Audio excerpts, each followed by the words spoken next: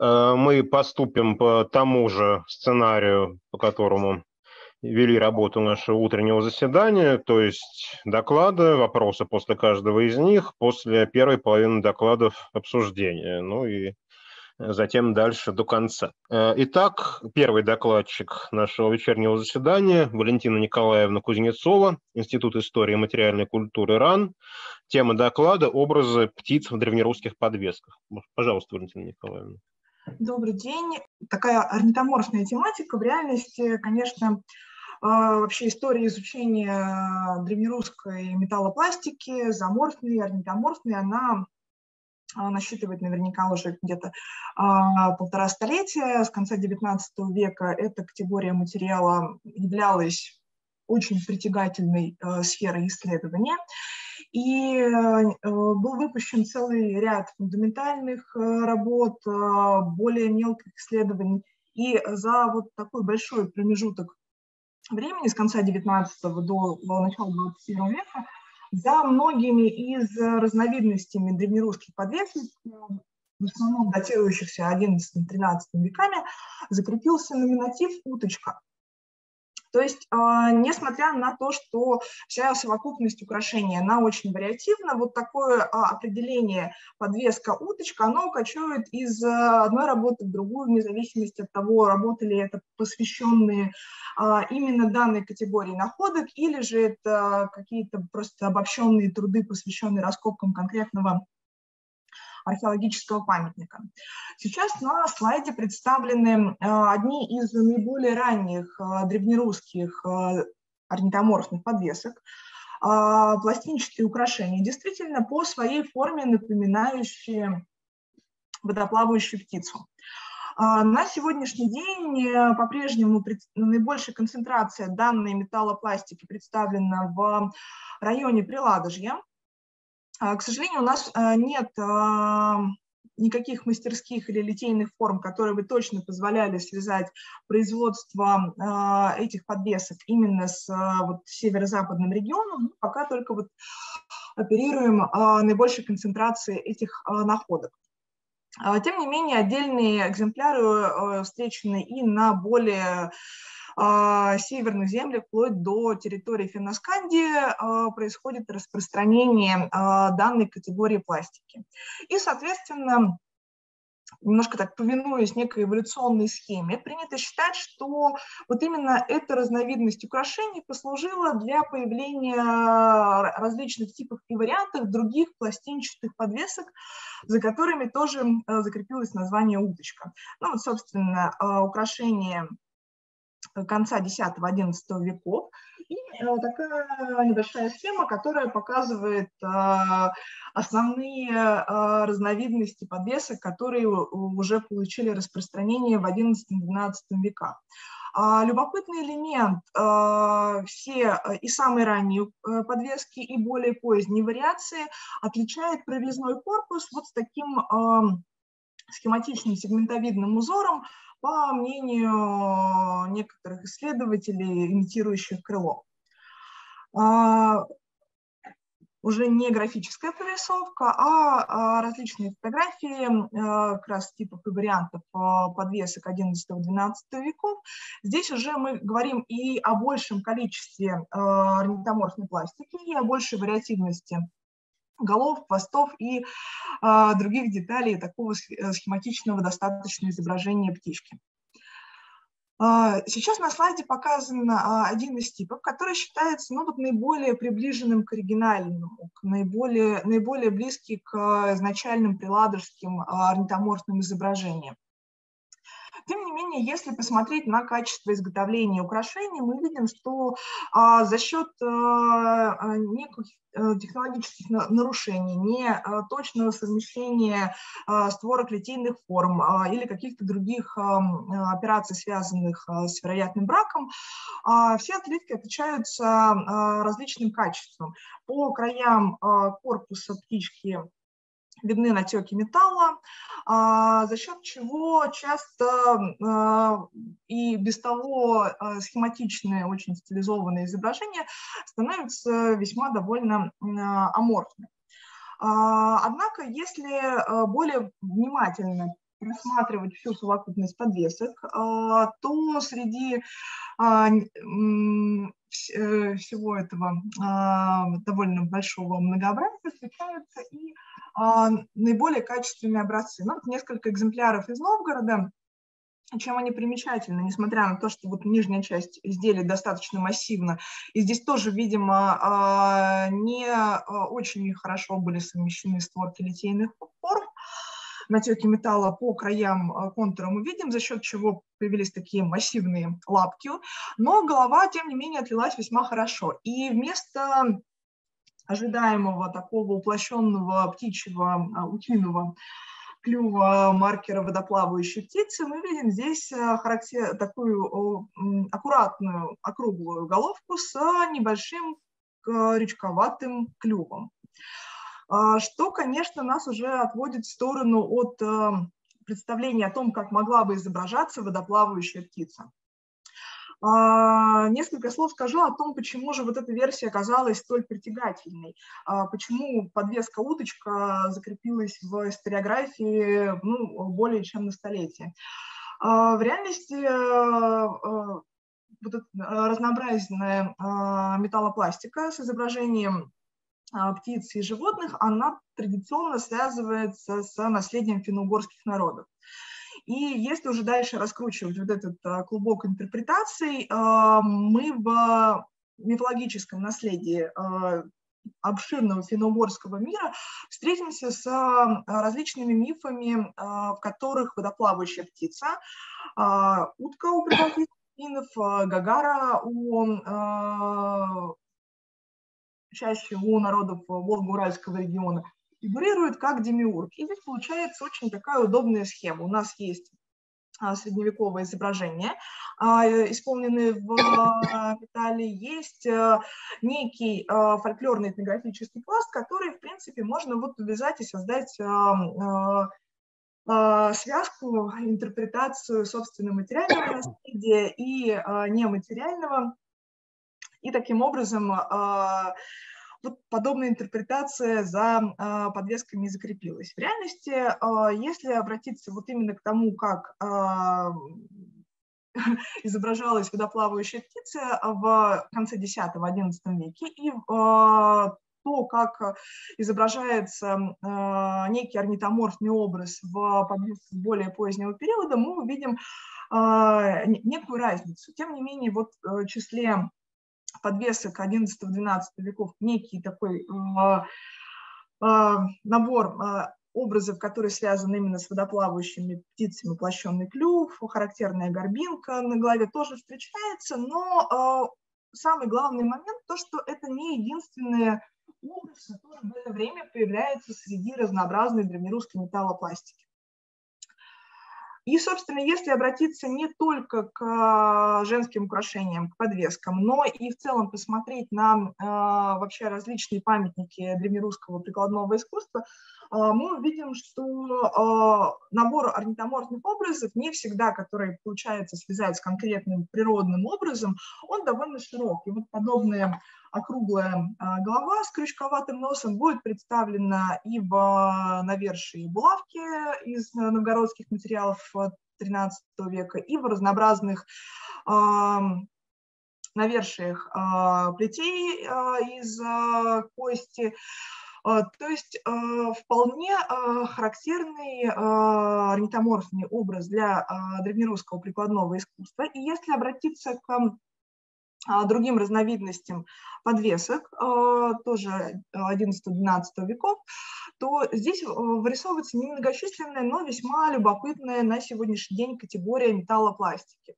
А, эта композиция вошла в историографию под названием «Птица у мирового древа». Но до какой степени правомерно интерпретировать ее непосредственно таким образом, тема отдельного доклада. Тем не менее, мы видим парные изображения птиц, и э, изображение головы тоже отнюдь не э, характерные для изображения водоплавающих птиц.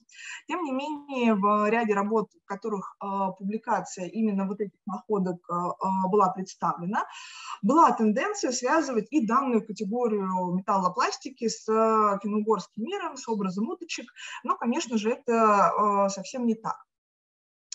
А, собственно, если обратиться к другим памятникам а, искусства Древней Руси, не только, а, то подобные парные птичьи композиции будут представлены довольно широко. Здесь, раз уж мы говорим про металл, то, конечно, одна из первых ассоциаций – это тоже предметы более высокого уровня ювелирного искусства, колты, браслеты, где парное изображение птиц э, также будет встречаться. Ну и, собственно, вот такие э, характерные иконографические особенности, как округлая голова, слегка крючковатый клюв, они тоже будут встречаться. А, также парные орнитоморфные изображения будут представлены в книжной миниатюре. И один из таких ярких и весьма примечательных э, вариантов аналогии, это Владимира Суздальское зодчество в камен, белокаменной резьбе, разнообразные э, изображения птиц, также отнюдь не связанные с э, некой водной сферой, представлены в большом количестве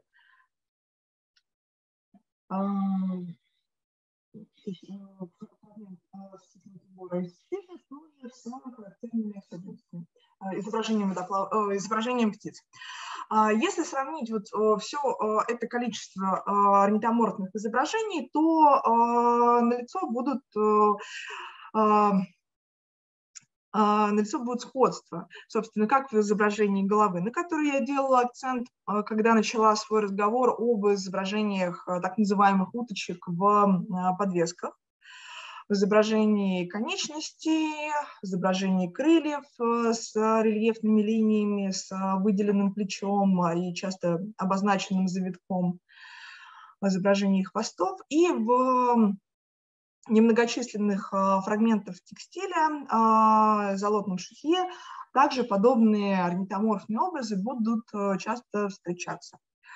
Что касается а,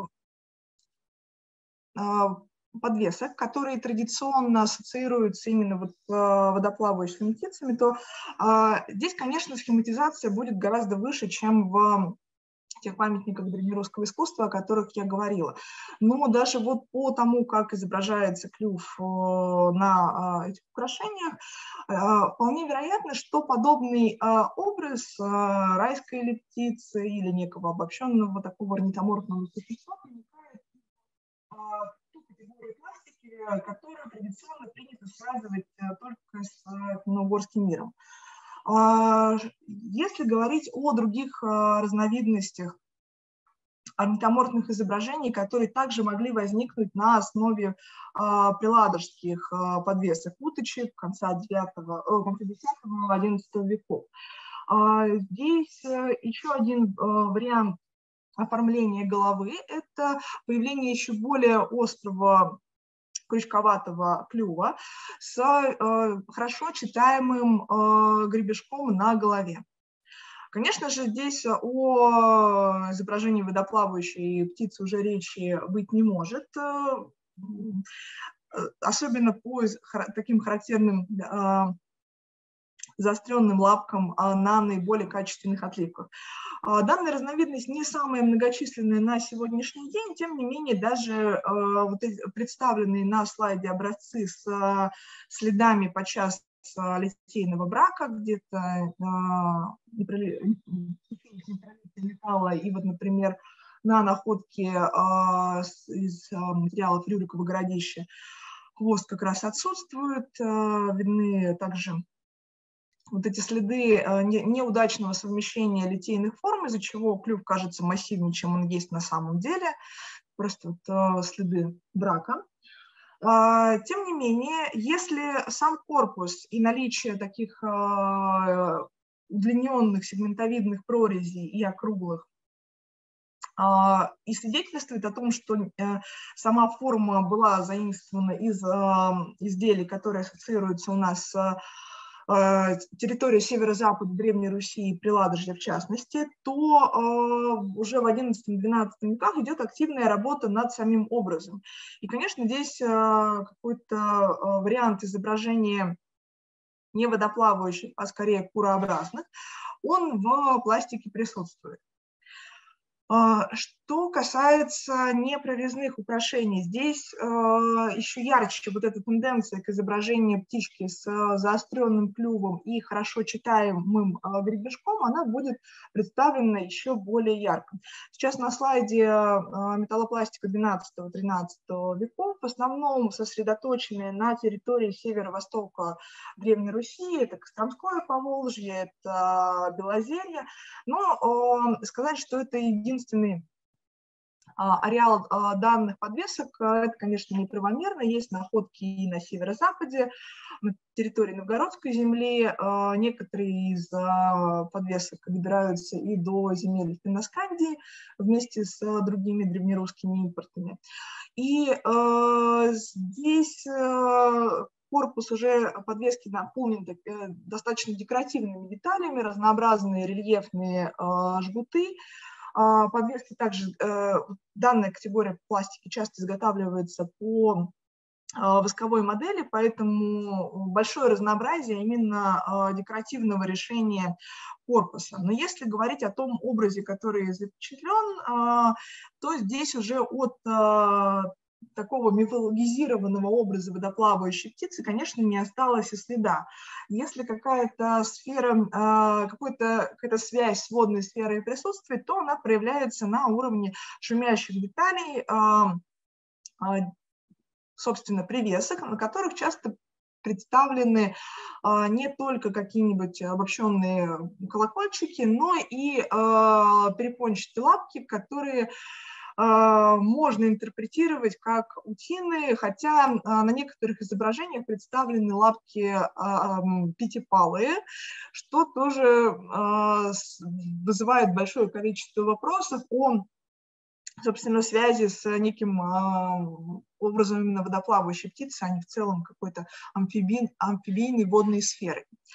Тем не менее, получается, что к XII XIII веку а, концентрация а, разнообразных а, изображений птичек с крючковатым клювом и гребешком, она становится превалирующей, во всяком случае, среди пластинчатых изображений. Наиболее а, ярко вот эта тенденция к изображению различных курообразных, она читается в а, так называемой а, металлопластике Владимира Суздальской земли. Подобные подвески даже получили название а, петушки Владимирского типа. Здесь, собственно, все видовые особенности достаточно хорошо читаются. А, и э, еще одна из любопытных форм а, развития данного образа – это изображение как раз двуглавых петушков. А, если по аналогии вот э, с такой связью с мифологической картиной мира финно-угорского народа.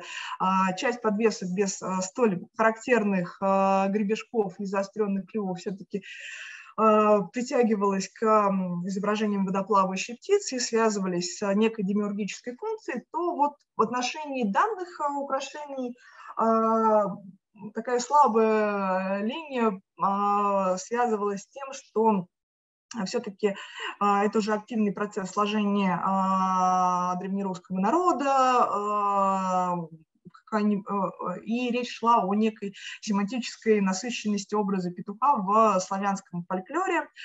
А если э, не пытаться активно притянуть именно интерпретацию, а смотреть на запечатленный образ и искать аналогии не только в далекой этнографии, для а, Древней Руси, а посмотреть, что мы вообще имеем на период Средневековья именно среди вот такого материального выражения различных заморфных образов, то здесь тоже своей небольшой подсказкой могут оказаться и книжные миниатюры, на заставке из псалтыри XIV века, собственно, петушиные головы включены в орнаментальное оформление.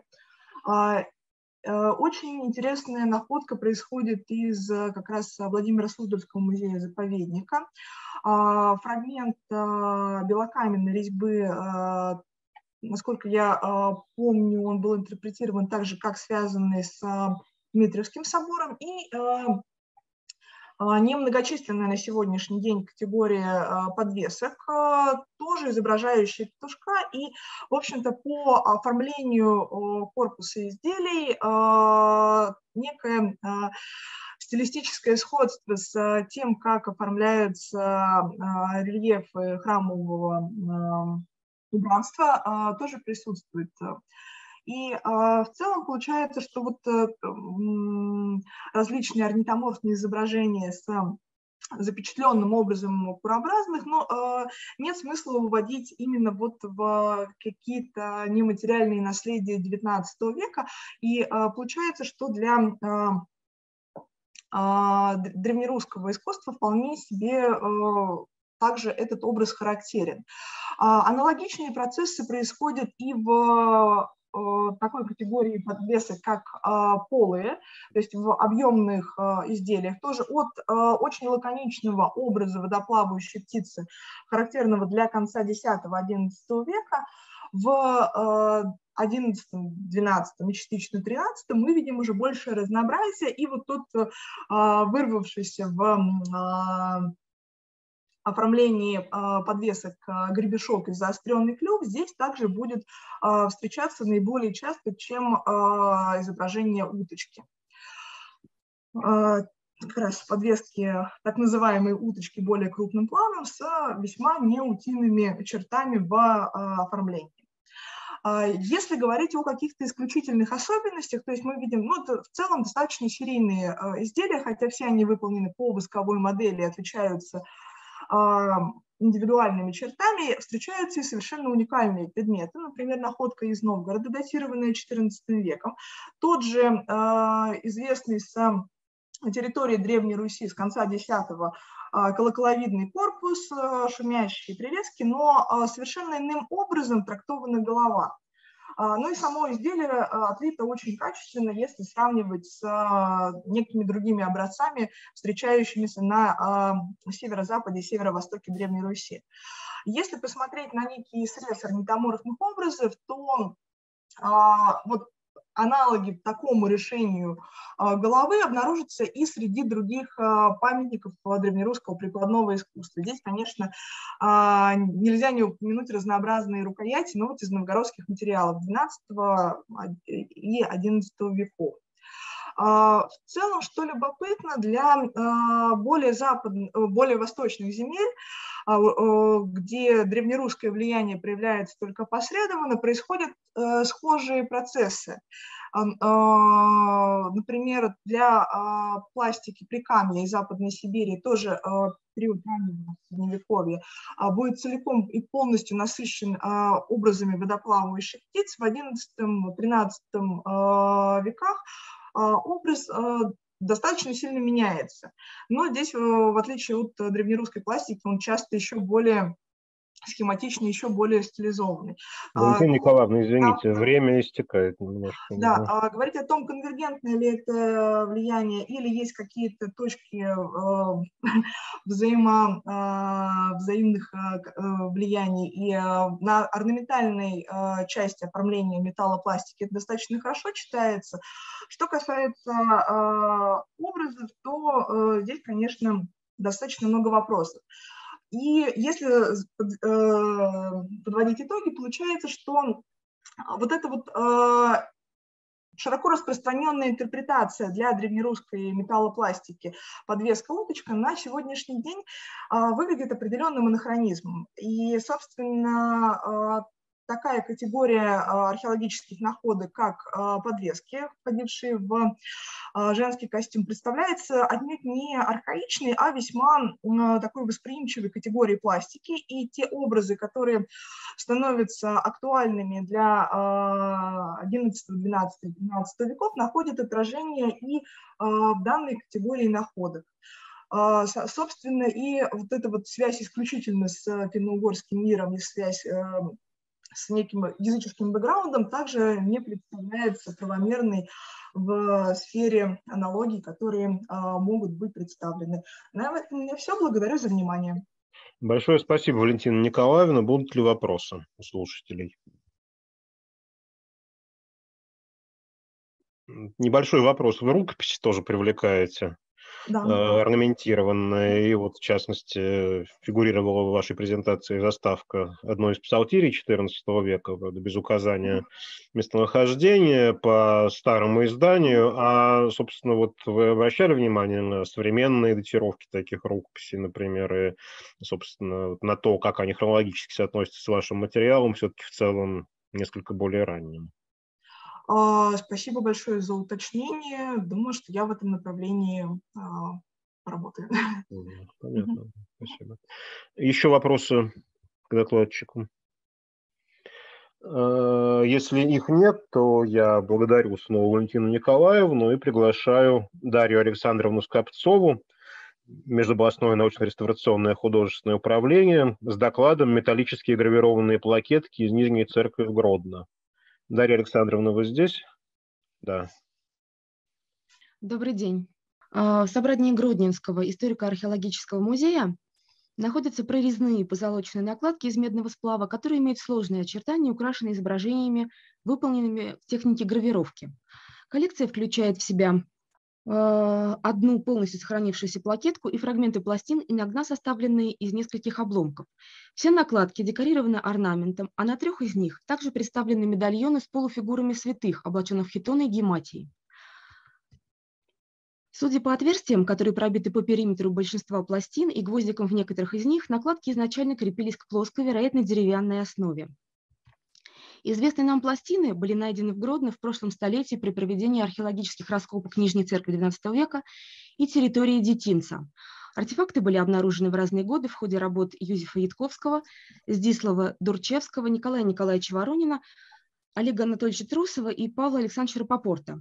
Коллекция медных плакеток давно введена в научный оборот и неоднократно публиковалась, однако не становилась предметом специального исследования, в том числе искусствоведческого, иконографического и стилистического. Подробнее всего, этот памятник декоративно-прикладного искусства освящен в труде Воронина «Древнее Гродно», вышедшем в свет в 1954 году, где описанию и интерпретации пластин отведено несколько страниц. Ученый предположил, что медными гравированными плакетками была декорирована алтарная преграда Нижней Церкви, и с тех пор эта гипотеза прочно закрепилась в научной литературе.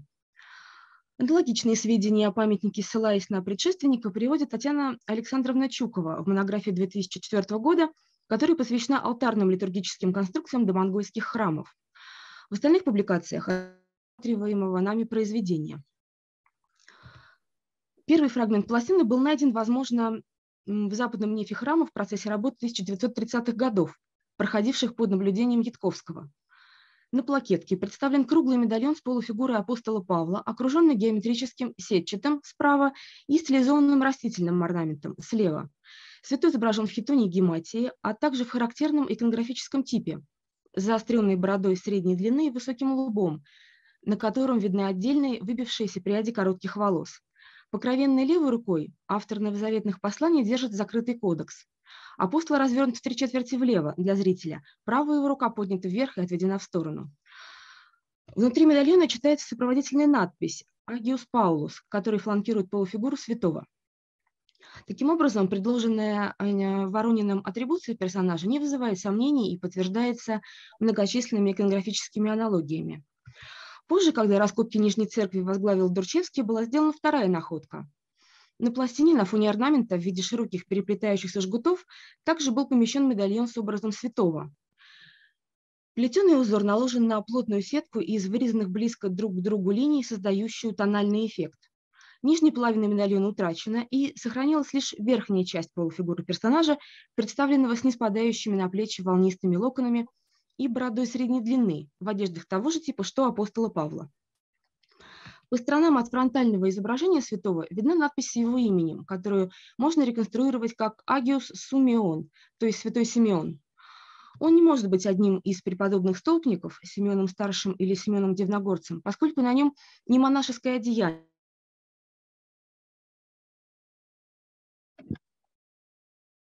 должно быть святительское облачение самофором. Кроме того, иконографические типы названных выше святых и персонажи с пластины из Нижней Церкви не совпадают. Однако облик последнего сопоставим с образами праведного Семена Богоприимца, и такая атрибуция со знаком вопроса, опубликованная Воронином, представляется нам вполне возможной. Обращает на себя внимание тот факт, что святой представлен единолично, а не включен в состав композиции «Сретения Господня» или изображение Симеона с младенцем Христом на руках. А, тем не менее, на а, синайской иконе Богоматери Гликофилуса раннего XII века ростовая фигура праведного Семена Богоприимца представлена среди пророков и других святых, обращенных к Деве Марии и Спасителю на ее руках. Альтернативной атрибуцией персонажа с Гродненской плакетки может быть его отождествление с праотцем Симеоном, вторым сыном Иакова и родоначальником одного из колен Израилевых, чьи единоличные изображения все же встречаются не слишком часто в эпоху, о которой идет речь. Фрагмент третьей пластины с фигуративным изображением был обнаружен на Майоликовом полу при выходе из жертвенника храма во время исследований 1949 года, проводившихся под руководством Воронина. Отметим, что здесь на поверхности металла значительно лучше сохранилось золото. Трактовка орнаментального мотива очень близка той, что наблюдается на предыдущей пластине, но сетку из многочисленных линий перекрывает не плетеный узор, а широкие стебли растений с небольшими листьями. А, безбородого юного святого с короткими волосами, а, слева от полуфигуры которого отчетливо читается первый слог его имени, Фе Воронин, предположительно, предположительно идентифицировал как Феодота, одного из 70 учеников Христа, или же как Иоанна Богослова. Ссылаясь на Валентину Ивановну Антонову, ученый написал, что в последнем случае две буквы, сохранившиеся ниже «агиос», могут быть началом слова «феолог». Действительно, тип одежд и свиток в левой руке святого на прорези, сделанной с оригинала, и на старом снимке он виден лучше, указывают на то, что перед нами пророк или праотец, либо апостол, возможно, также апостол от 70. А, сразу надо сказать, что среди 70 учеников Спасителя Феодот не называется, а из числа ветхозаветных персонажей, которые изображаются молодыми, нет тех, чье имя можно соотнести с фрагментом сопроводительного текста на пластине из Гродно. Та же надпись а, не позволяет атрибуировать полуфигуру как образ апостола Фомы, Филиппа или Фадея при сходстве их иконографии и облика персонажа на плакетке. А, Иоанн Богослов мог быть представлен как старец и как юноша, похожий на святого с пластины из Нижней Церкви. Однако в памятниках средневизантийского периода изображение молодого Иоанна Богослова, пожалуй, чаще встречается в сюжетных композициях. Существенно, что на пластине ниже кратко записанного «Оагиус» нет имени Иоанн. Нам удалось найти два сопоставимых примера, но в более поздних памятниках. В первом случае греческие слова «оагиос» и «фиологос», расположенные одно под другим, помещены слева от фигуры, а, собственно, имя апостола справа. Это образ темпла XVI века из Кафликона монастыря святого Павла на Афоне. Во втором случае имя не было указано вовсе. Подпись «Фиолог» на фреске «Положение в гроб» из церкви Успения Богоматери в Мелетове 1465 года. Безусловно, вопрос об атрибуции святого который изображен на, гродненской плакетке, требует дальнейшего осмысления, и сейчас мы не предлагаем окончательного решения.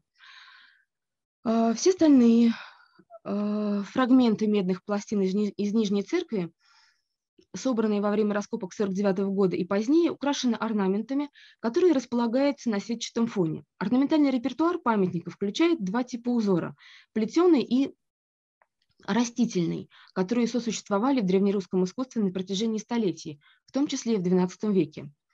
Поверхность большей части плакеток покрывает разнообразные узоры из переплетающихся жгутов, рисунок которых не повторяется. И еще один пример – единственная полностью сохранившаяся пластина из коллекции Гродненского музея, найденная в 80-е годы в ходе исследований Трусова аэропорта.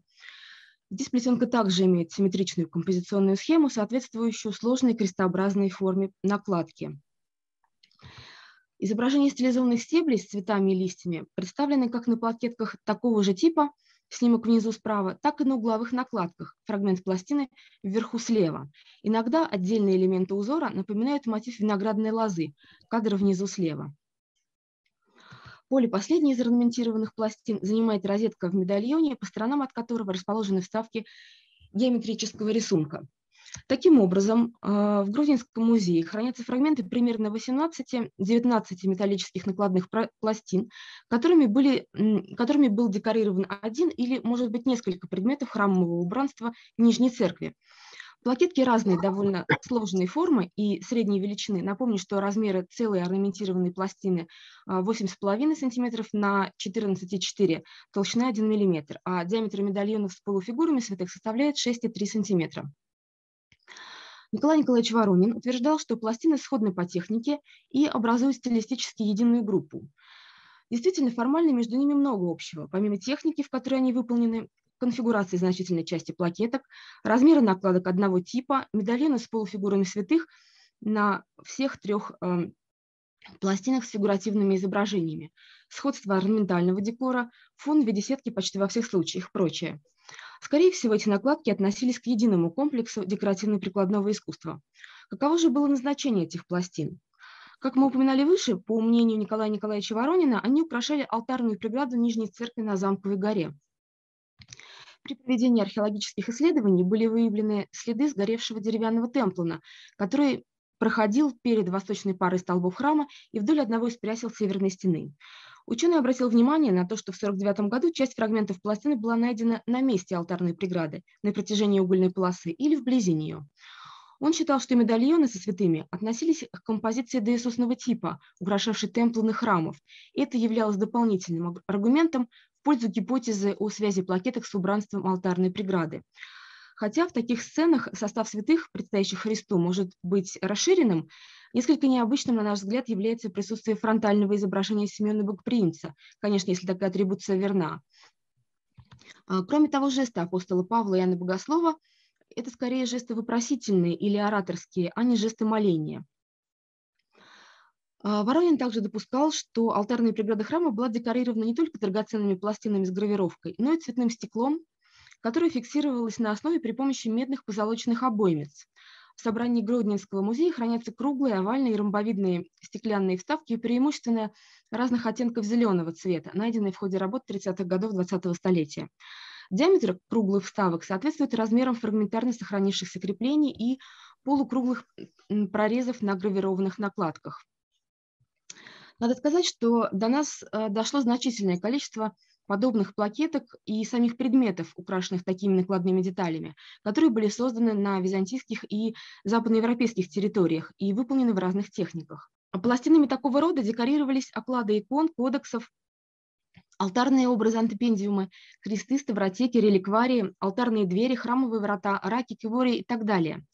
В письменных источниках содержатся упоминания драгоценного кованого золотом и серебром внутреннего убранства византийских и древнерусских храмов, а также богато украшенных алтарных преград. Однако ни в кратких описаниях, ни среди сохранившихся памятников мы не встречаем решения алтарной преграды, похожего на э, то, э, которое реконструирует Воронин, рассуждая об интерьере Нижней церкви в Гродно. А, в качестве очень отдаленной аналогии можно вспомнить лишь литые щические арки XII века, которые Рапопорт связал с оформлением алтаря. Однако высказывались и другие предположения об их возможной функции. Разумеется, нельзя исключать того, что пластины из Нижней Церкви не были связаны э, с ее алтарной преградой э, и являлись декорацией какого-то другого предмета храмового убранства. В таком случае среди даже всего разнообразия накладок вызывает затруднение поиск плакеток, аналогичных по форме гродненским. Сложная форма пластин также указывает на то, что основа, к которой они крепились, должна была оставаться частично открытой и могла иметь какое-либо цветовое решение или акценты. Именно конфигурация плакеток, они не квадратные и не прямоугольные, вынуждает отказаться от идеи о том, что они относились, например, к окладу иконы, а, хотя мы знаем оклады, украшенные медальонами с полуфигурами. Состав святых, представленных на плакетках, и большое количество орнаментированных накладок не позволяет связать гродненские плакетки с окладом Кодекса Евангелия. Необходимо признать, что сейчас мы не располагаем убедительными данными для того, чтобы подтвердить или опровергнуть версию Воронина о назначении пластин и облике Темплана Нижней церкви в Гродно. Еще один важный и непростой вопрос, который связан с гродненскими медными пластинами, касается их датировки. Как мы знаем, точное время возведения Нижней церкви и других домонгольских построек Гродно неизвестно. Верхней хронологической границей создания памятника может считаться 1183 год, когда, согласно Ипатьевской летописи, произошел пожар, в котором погиб некий Гродненский храм. Того же лета Городен по горе весь э, и церковь каменная от блистания молнии и шибения грома. Действительно, археологические раскопки показали, что Нижняя церковь была тем сооружением, которое окончательно разрушилось при сильном пожаре. Относительно датировки памятника среди археологов и историков искусства нет единого мнения. Воронин полагал, что Нижняя церковь построена во второй четверти XII века. А, Рапопорт считал возведение храма во второй половине столетия более вероятным, а позднее указывал 80-е и 90-е годы XII столетия как возможное время его создания. Олег Михайлович Анисян датирует Нижнюю церковь 1180-ми годами со знаком вопроса. Полиография надписей, помещенных в медальонах со святыми, не противоречит датировке пластин XII веком, а, что было отмечено еще Ворониным. Данную точку зрения поддержал Савва Михайлович Михеев, которому я выражаю благодарность за консультацию. В качестве параллелей он привел памятники первой половины XII столетия, надписи на кратире Братилы и на Стерженском кресте. А, он имеет точную дату, 1133 год.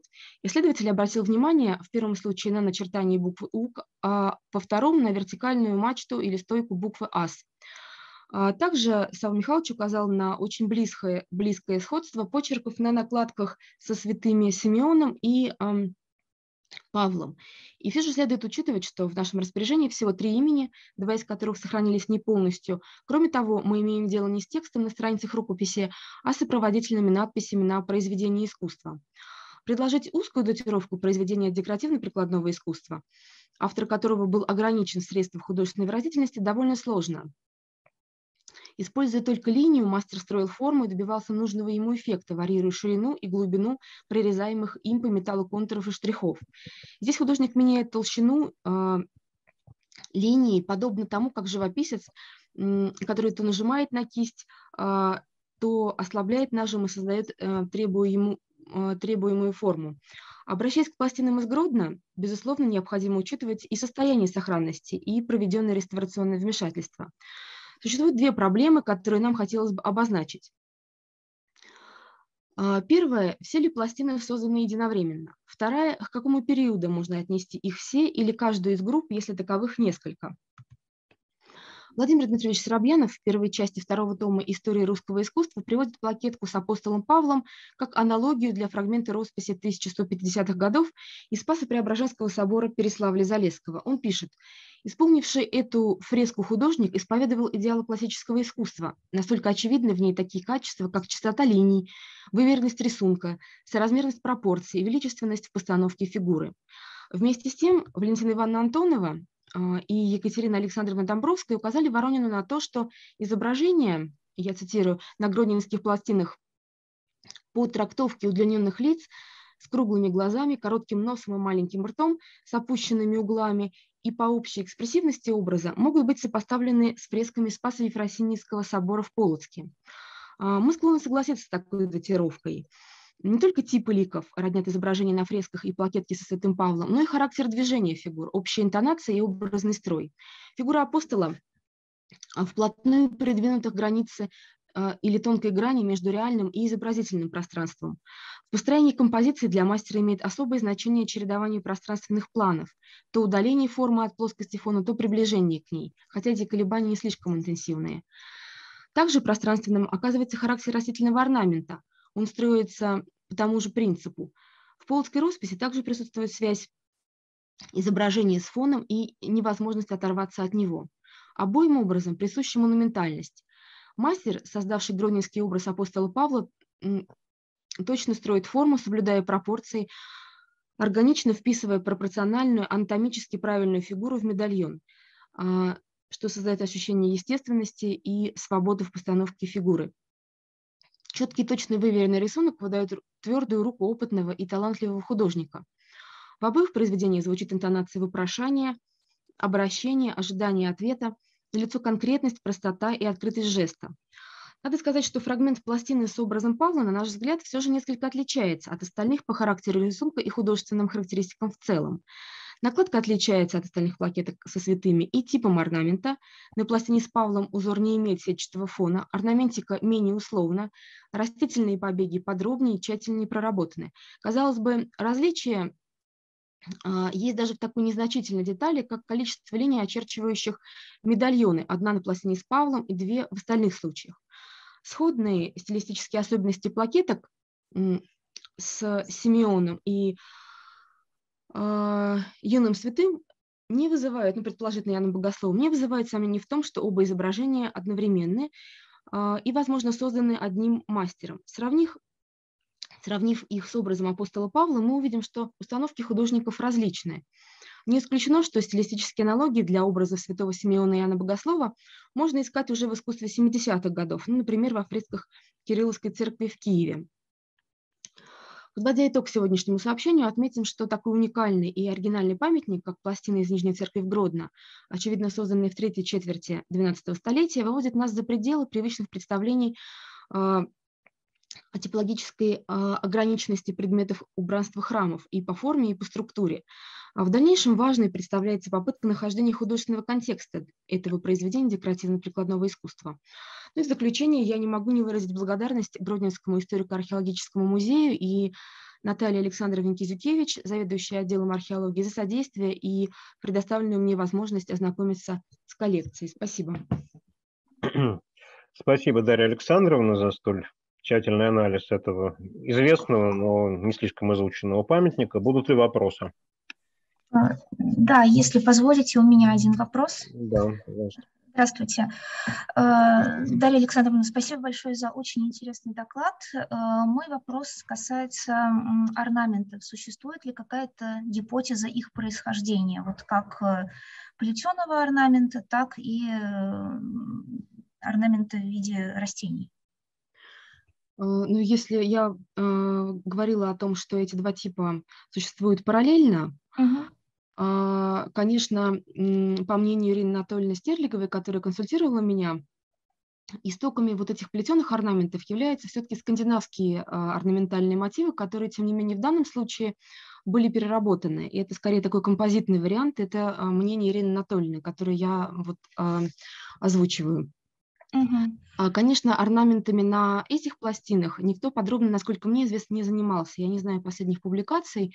И, конечно, это такая тема а, для возможных а, дальнейших исследований, которые, возможно, прольют свет и на то, каково же, собственно, происхождение вот этих пластин. Я говорю о художественном контексте. Угу. А вот скажите, пожалуйста, вот этот скандинавский контекст, э, вы можете его, может быть, чуть подробнее э, сейчас э, пояснить?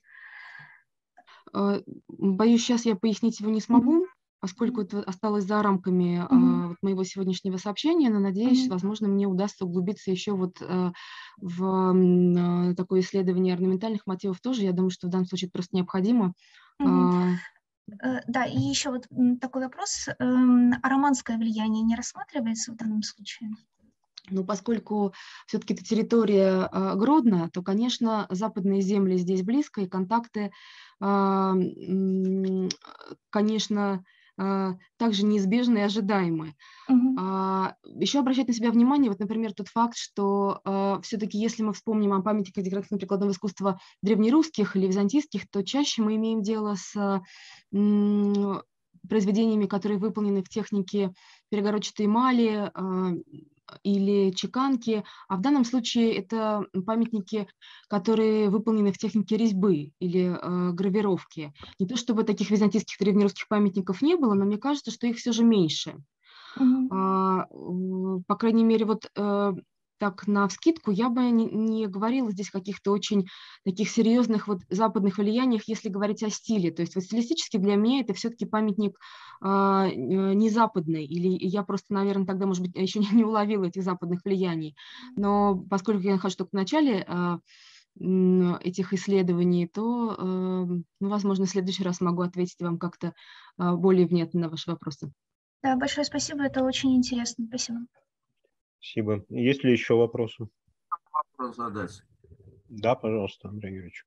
Спасибо большое за доклад, очень интересно. Я только так до конца не уловил. Все-таки вы считаете эти фрагменты остатками чего? А, ну вот вы знаете, у нас, эм, давайте я тогда еще раз повторю, действительно у нас нет, э, вот эта гипотеза Воронина, она довольно заманчива и привлекательна. А, вот эти элементы, которые вроде бы стыкуются друг с другом, но у нас нет аналогии вот такого решения алтарной преграды. Есть описание, но по ним понять, как выглядела алтарные, алтарные преграды и вообще алтари, и убранство алтарей, ну, довольно сложно. А, Все-таки они довольно, они не слишком маленькие, то есть вот если там 14,5 сантиметров а, длина этой крестообразной, условно говоря, накладки, то это какой-то предмет, скорее всего, не портативный. А, но сказать определенно, а, что же они украшали, да, вот еще обращают, а, я заметила, что очень много пластин с орнаментом, вот слишком много, и понятно, что до нас дошла только часть, то есть многое просто не было найдено, не сохранилось. Поэтому вот уверенно сказать, э, Понятно. что это было такое, то есть мне кажется, что тут возможностей довольно много. Просто вы проводили в качестве параллели вот эти пластинки из Фшижа, но да. это же чистой воды фрагменты Хороса? А, ну, тут существует несколько точек зрения, а, и об этом также пишет Ирина Анатольевна. Вот, например, и она, и Павел Александрович все-таки высказываются в пользу того, что а, это детали декорации алтарной преграды. Могу адресовать... Хороса, просто, мне Могу кажется, адресовать там, вас... это Могу адресовать к ее исследованию. Э, ну, там тоже все не так просто, Андрей Юрьевич, с теми Настас. Ее статья 2000 года. Хорошо, спасибо, спасибо. Да? Ну, в общем, нет ясности. Так, понятно. Нет, может быть, вы что-то подскажете. Если вопросов к Дарье Александровне больше нет, мы, я думаю, можем перейти к следующему докладу. Это доклад Ирины Александровны Шалиной Русский музей, древняя икона апостолов Петра и Павла из Белозерска, ее место в истории древнерусского искусства XIII века. Ирина Александровна. Да, здравствуйте, коллеги. Крупный образ апостолов Петра и Павла поступил в собрание Русского музея в 1934 году а, в составе 100 икон из центральных, которые поступили из центральных государственных реставрационных мастерских. А, памятник был изъят из иконостаса церкви Петра и Павла в Белозерске и вывезен в Москву а, Петром Ивановичем Юкиным в 1926 году, но обнаружен еще раньше, в 18-м Александром Ивановичем Анисимовым. Обследуя Белозерский храм, он сообщал Игорю Эммануиловичу Горбарю, что им найдена редчайшая икона конца XIII века с изображением Петра и Павла, на которой открылись удивительные орнаменты – на Евангелии у Петра, на венцах, древнейшая техника платья и превосходные киноварные надписи на костяном желтоватом фоне. Это будет уник, который сразу войдет в историю русского искусства как один из значительнейших памятников. Как выглядела в то время храмовая икона, демонстрирует фотография 1926 года, уцелевшая в архиве реставрационных мастерских. Ну, как видите, она была надставлена П-образной рамой а, с изображением на верхнем поле пророческого чина и апостолов по сторонам. Судя по пропорциям фигур, рама иконостаса, рама появилась не, не, не ранее последней трети XVI века и явно была связана с размещением древней иконы в киоте местного ряда. Возведение в центре Белоозерска каменной церкви святого Петра и Павла приходится на 1770 год. И судя по хранившейся там еще в XIX веке закладной плите, она была поставлена на месте древнего деревянного храма.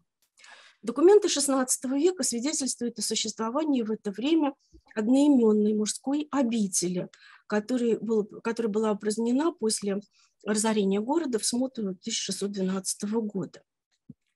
Икона упоминается как храмовая в переписной книге Белоозерска 1677 года. Покровской, в Петровской улице церковь во имя верховных апостолов Петра и Павла с пределом шатровая, с трапезою и с папертью. В ней местный образ верховных апостол Петра и Павла на золоте в киоте, венцы серебряные, резные, золочены, ожерелья низанные, три креста каменные в серебре, два жемчуги, десять крестов серебряных.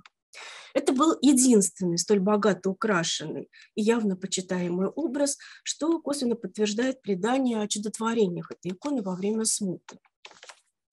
Начатые, начатые Юкиным Белозерские пробные расчистки были продолжены в ЦГРМ в 1933 году в связи с планировавшейся в Третьяковской галерее выставкой феодального искусства. Однако ввиду фрагментарности живописи, что указано в протоколе, работы прекратили. Продолжили их уже в Русском музее, где в течение двух лет были сняты последовательно записи XIV, XV, XVI и XIX веков, частично оставленные лишь в местах утрат. Серебряный авторский фон средника и полей в XV веке был заменен золотом, а в XVI еще раз желтой краской с киноварными надписями, оставленными во время реставрации. К тому же слою относятся изображения ангелов на верхнем поле по сторонам Голгофского креста. Апостолы представлены как учители и благовестники в строго фронтальных позах, первоначально на серебряном фоне и без позема, благословляющими символами Писания, свернутым свитком у Петра и закрытым Евангелием у Павла. Они облачены в необычные для них голубые хитоны и розово-золотистые гематии. Выше в полукруге ореола а, небесного поясное изображение Спасителя, благословляющего избранных учеников простертыми руками. В давляющем числе кратких публикаций об иконе, которой до сих пор не было посвящено ни одного монографического исследования, отмечается традиционность иконографии фронтальных фигур, якобы повторявших древнейшие образы Новгородского Софийского собора. Между тем, как мы видим, она не просто обладает самостоятельным изводом, но и оказывается едва ли не уникальным примером подобного изображения.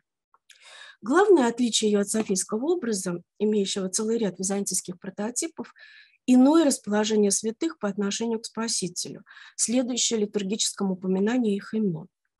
Различное положение первоапостолов имело свою долгую историю и традицию, и довольно глубокий смысл. Нам уже приходилось подробно говорить об этой иконографии, поэтому здесь отметим лишь главное. Тенденция ставить Павла по правую руку Иисуса отчетливо прослеживается уже с самого раннего времени, причем независимо от наличия между Эм, ними центрального образа, апостолы неизменно изображали с развернутыми друг к другу. Особенно, если позвольте, не буду называть памятники, они перед вами, чтобы просто сократить время.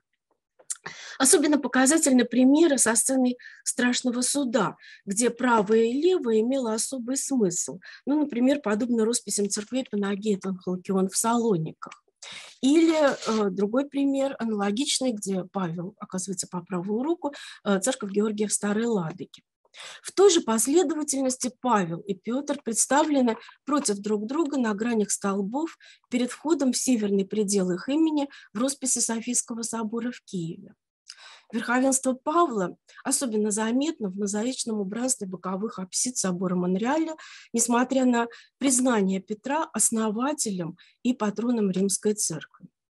Главное, что во всех этих случаях очевидно стремление развернуть позы апостолов к центру, что э, хорошо заметно и в памятниках одновременных Белозерской иконе, ну, например, в миниатюрах апостола 1220 годов э, справа. Этой традиции в полной мере соответствует и иконография образа Софийского собора. Одновременно развивался другой вариант размещения апостолов в соответствии с вспоминанием Петра и Павла, где первый располагался по правую руку Христа. Но композиция, как мы видим, э, сохраняется, как и в предыдущем варианте. При этом схема с развернутыми апостолами, часто представленными в молении перед образом Спасителя, благословляющего их или вручающего им Евангелие, как в византийском, так и русском искусстве становится преобладающей и доживает, вот начиная от э, раннего времени, доживает вплоть до конца 16, 17, даже 18 столетия. Это и памятники палеологовского времени византийские, и русские, и можно назвать просто самые-самые разные ареалы. На наш взгляд, столь устойчивый тип сложился в результате выделения главного ядра композиции передачи закона, традицию легис или ключей, как основателям церкви, церкви традицию клавиум. Сокращенный вариант этого сюжета, который знаменовал торжество церкви, собственно, и представляет иконография развернувшихся друг друга верховных апостолов. Как кажется, этим объясняется тот факт, что традиционный фронтальный портрет Петра и, Пер... Э, Петра и Павла не был востребован в византийском мире. Хотя единичные примеры, конечно, известны, но их совсем немного. Парность прямоличных образов соблюдена на створке Синайского триптиха с Павлом на первом месте и на миниатюре Шмиадинского Евангелия с зеркальным расположением святых. Как и в нашем случае, фигуры представлены в одних позах, одинаково, с одинаковыми жестами и даже облаченными э, в те же необычные одеяния. Ну, назовем еще два самостоятельных образа Петра на миниатюре Гертруды и на иконе э, из протета на Афоне. Ну, вот, собственно, это все примеры, которые удалось найти для данного случая, то есть именно для фронтальных изображений. Таким образом, в живописи Белозерская икона представляет собой уникальный пример фронтального парного изображения. И это при том, что сам по себе этот извод был вполне традиционен для других чинов святости. В композиции нет и намека на небольшой разворот к центру, что, как мы видим, было характерно для подавляющего числа христианских памятников. Подчеркнутая прямоличность, как кажется, более отвечала поиску русского искусства XIII века, открытого, обращенного к предстоящему молитвенного образа, и вполне соответствовала представлению о незыблемости небожителей. В основе такой композиции лежит еще и богословское представление о цельности парного портрета, ставшего емким образом миропорядка, разумной и гармонично устроенной Вселенной, духовном братстве, соединенном ради любви к Богу. Поэтому столь настойчиво во всех этих иконах подчеркивалось не только равенство святых, и одинаковых, одинаковость поз, жестов, дублирование одежд, атрибутов. Отвечали они еще и евангельской идее создания церкви на земле, где двое или трое собраны во имя мое, там и я посреди них, что в данном случае и подтверждает изображение а, благословляющего Вседержителя. Впоследствии в русском искусстве иконография фронтальных образов Петра и Павла появляется также крайне редко. И, ну вот, собственно, мне удалось найти только два примера, может быть, что-то еще сможете подсказать, а как вы видите, уже довольно поздние, которые вполне могли восходить к каким-то чудотворным или прославленным иконам, каковой, судя по всему, и был Белозерский памятник. Пафос торжественной приподнятости, свойственный искусству первых десятилетий XIII века в целом, здесь сочетается с принципиально иным качеством молитвенного предстояния святых, обращающихся к своей пастве. По сравнению с древним образом Софийского собора, с его тонкими дефинициями внутреннего духовного единства, здесь все подчинено прямому контакту с предстоящим, э, к которому обращены взоры апостолов. На первый план выдвигаются мотивы наставничества и учительства. Образная ткань иконы согласуется с песнопениями Актуиха, которые воспевают апостолов как столпов веры, основания церкви, труп божественного учения, от э, твердых и благовещенных проповедников. Вместе с тем, в смягченных и не лишенных созерцательности ликах нет и намека той нарочитой и декларативной императивности, требовательной интонации, которая присуща новгородским памятникам. Напротив, при всей монументальной значительности неподвижных и статуарных фигур наряду с непоколебимой стойкостью образов ощутимы ноты терпимости, мягкого убеждения, более отвечающие миссии наставничества. Осмысленная по-новому композиция не только не подчеркивает приоритет одного из апостолов, но, напротив, всеми средствами выявляет их абсолютное равенство – Поэтому мастер настойчиво демонстрирует одинаковость абрисов, пост, одеяний, одноцветность хитонов и гематиев, симметричность поднятых благословений рук, атрибутов, даже характер положения плащей, полукруглыми складками, лежащие одинаково на левых плечах и аналогично по диагонали, свисающих к низу. На фоне этой согласованной симметрии, дублирования жестов, ритмичного единообразия особенно заметны даже малые изменения. Чуть увеличенная фигура Петра с широким ликом, разные перстосложения десниц, а, чуть а, интенционная разница образных характеристик.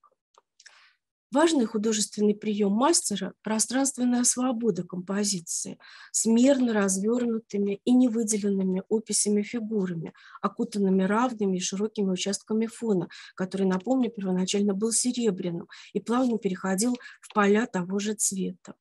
Он усиливает ощущение воздушной среды, в которой пребывают обособленные друг от друга святые. Способствует этому и сдержанный по тональности колорит, построенный на сочетании мягких, разбеленных голубых и золотисто-розовых, которые воспринимались на серебряном фоне вибрирующей нерукотворной поверхностью. В невременности, явленности образов подчеркивала отсутствие позема. Мощность монументальных фигур компенсирует кажущуюся неустойчивость конструкции, ее подвижное равновесие, выраженное в несоразмерно крупных и словно вывернутых на зрителя ступнях ног, которые поставлены прямо на край ковчега, а также в зыбкой линии извилистых и прихотливо уложенных склад, складок подолов. Надо иметь в виду, что лики с э, правильными чертами и крупными, широко открытыми глазами, сохранились лишь на уровне подмалевка. Счищены все разделки, которые, судя по мельчайшим остаткам белильных движков, ну вот, например, единственный кусочек, который можно показать на ухе Петра, вот два авторских, две авторские разбелки, а, ранее отмечали наиболее важные высветленные места. Однако они явно не лишали образа состояния внутренней сосредоточенности и теплого добросердечия. Икону традиционно датируют в широких границах первой половины XIII столетия, иногда выводя за пределы его середины. По сравнению с другим белозерским образом, вывезенным из того же города, Богоматери Умиления, который мы склонны связывать с концом 30-х, началом 40-х годов а, и с а, новгородским мастером, изображение Петра и Павла выглядит старше – Лев Исакович Лившиц обоснованно предложил рассматривать ее в кругу произведений первой трети XIII века и даже ближе к концу. Действительно, сравнение иконы с датированными памятниками позволяет сузить этот хронологический диапазон до 20-х годов. Композиционные особенности монументальных фигур и тяжелые падающие складки ритм дублирующих окружностей нимбов и небесного сегмента отчасти напоминает построение Богоматери Аранты. А свободное расположение пластически выявленных и обособленных друг от друга апостолов с широкими цезурами фона, подчеркнутое внимание к ритму диагонально скошенных плащей, вот э, очень хорошо видно, особенно на схеме, а, и разбеленный колорит сближает этот памятник с росписями монастырского собора в Жиче. Живопись, рассматривая иконы, стоит особняком от небольшой группы русских памятников первой трети XIII века. И несмотря на данное ее происхождение, затрудняет идентификацию художественного центра. Начиная с Виктора Никитича Лазарева, большинство исследователей, в том числе Ангелина Сергеевна Смирнова и Галина Сергеевна Колпакова, связывали ее создание с Новгородом. Валентина Ивановна Антонова, а вслед за ней Александр Александрович Рыбаков, считали произведение близким Ростово-Ярославскому кругу памятников, что кажется более справедливым. Действительно, ее образный строй совсем не похож на новгородские памятники.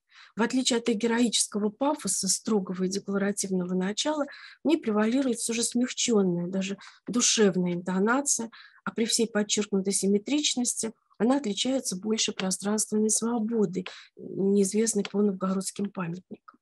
Избегает мастер рассматриваемого произведения и ярких, э, характерных для этого центра цветовых контрастов, заменяя палитру на приглушенно теплые серебристые оттенки разбеленных красок.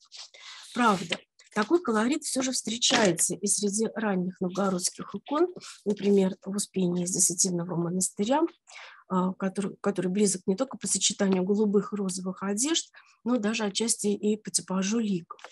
Еще одна параллель с новгородскими памятниками – это образ пророков на полях, совсем иной по стилю и действительно, скорее всего, новгородской иконы Богоматери Белозерской, созданной позже Петра и Павла, причем двумя разными мастерами, одному из которых и принадлежит живопись полей. По своей образной характеристике сходен с апостолами и лик небольшого образа Спаса из Успенского собора в Ярославле, посвященного в 1219 году. Напомню, что его принято датировать, принято считать надгробной иконой ярославских князей Василия и Константина и датировать середины века. Однако художественные особенности свидетельствуют о гораздо более раннем времени его создания, который вполне вписывается, как кажется, в стилистику 20-х годов, что справедливо отметил и Лев Исакович Лившиц в недавней работе. Ему же принадлежит и верное наблюдение о выделении глубоко посаженных глаз тенями, которые усиливают состояние сосредоточенного внимания и наделяют образ особой сокровенностью, что хорошо ощущается и в ликах апостолов.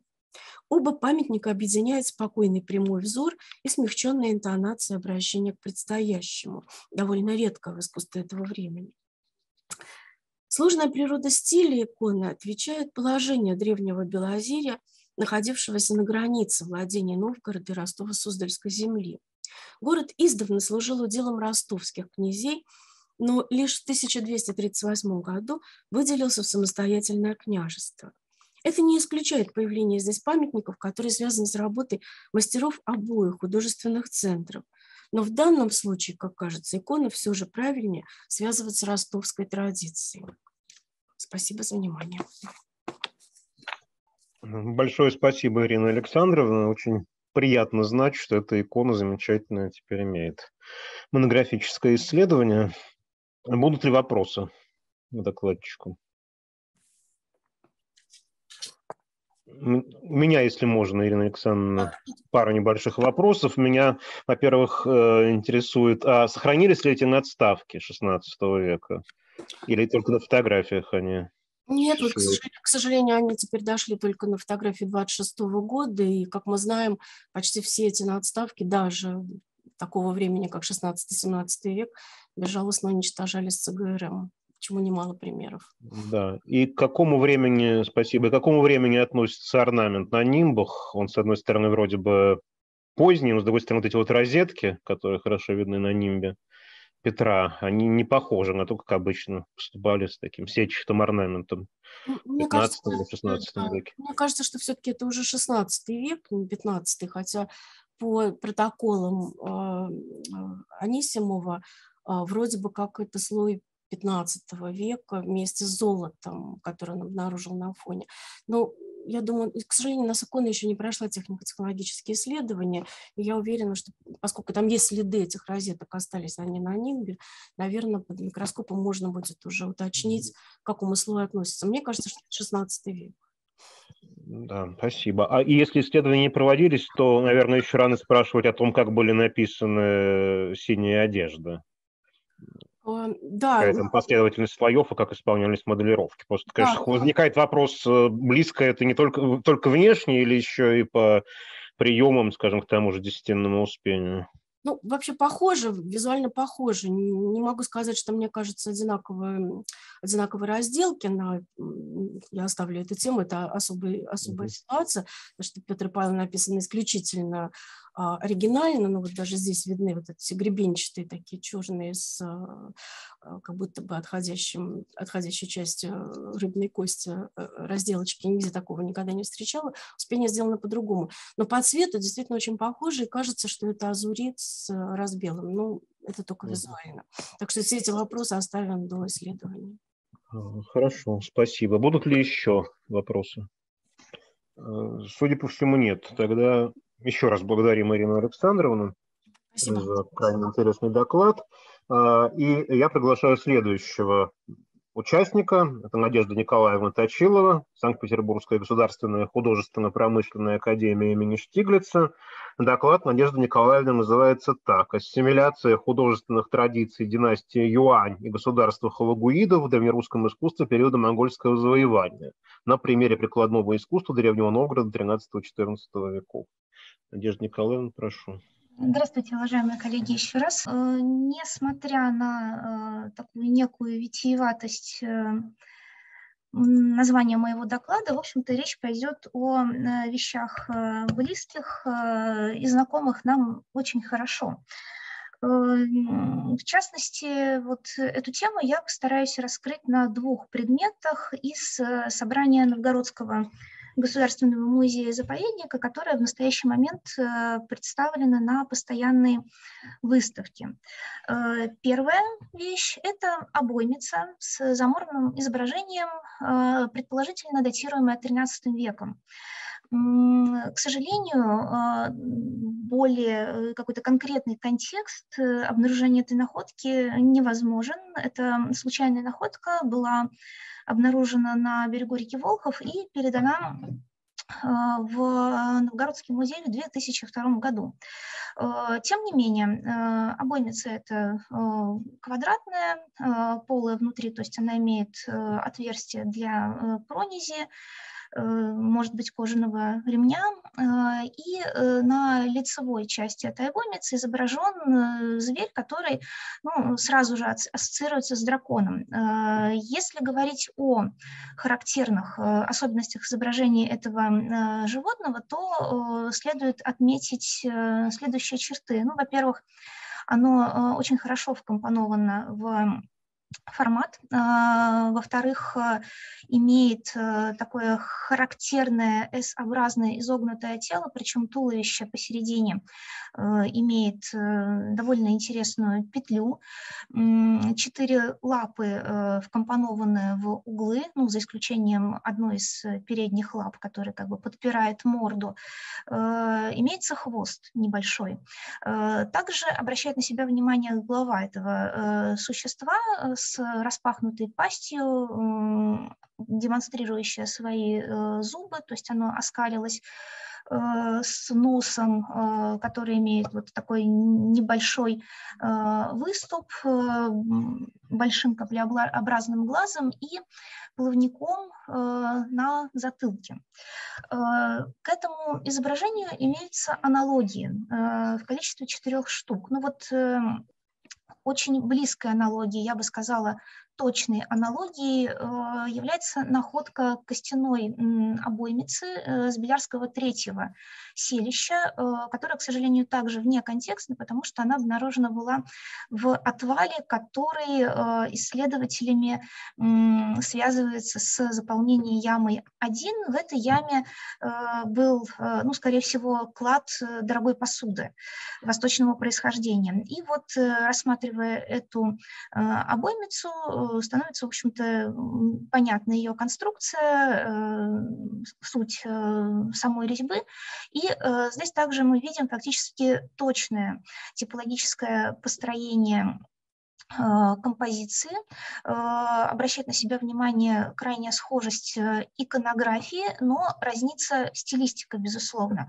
И вот я бы хотела обратить ваше внимание, э, что позволяет говорить о родстве иконографии, это вот э, длинный коготь, который имеет, ну, прежде всего, да, вот такая второстепенная деталь, которая имеет повторение на двух этих вещах.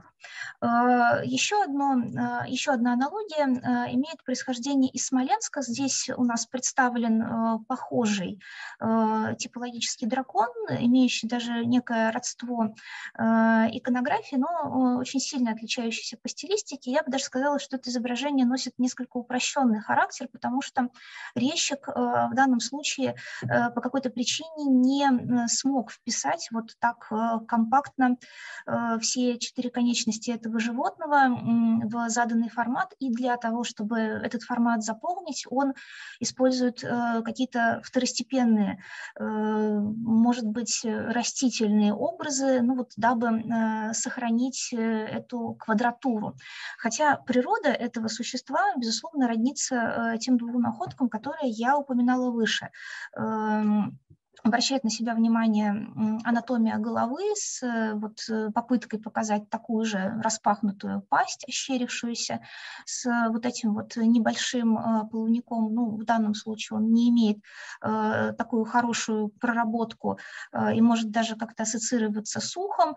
Э, также обращает на себя внимание родство нижней части э, изображения туловища, которое представляет во всех трех случаях э, распластанные лапы и вот здесь также у нас сохраняется вот этот маленький хвостик.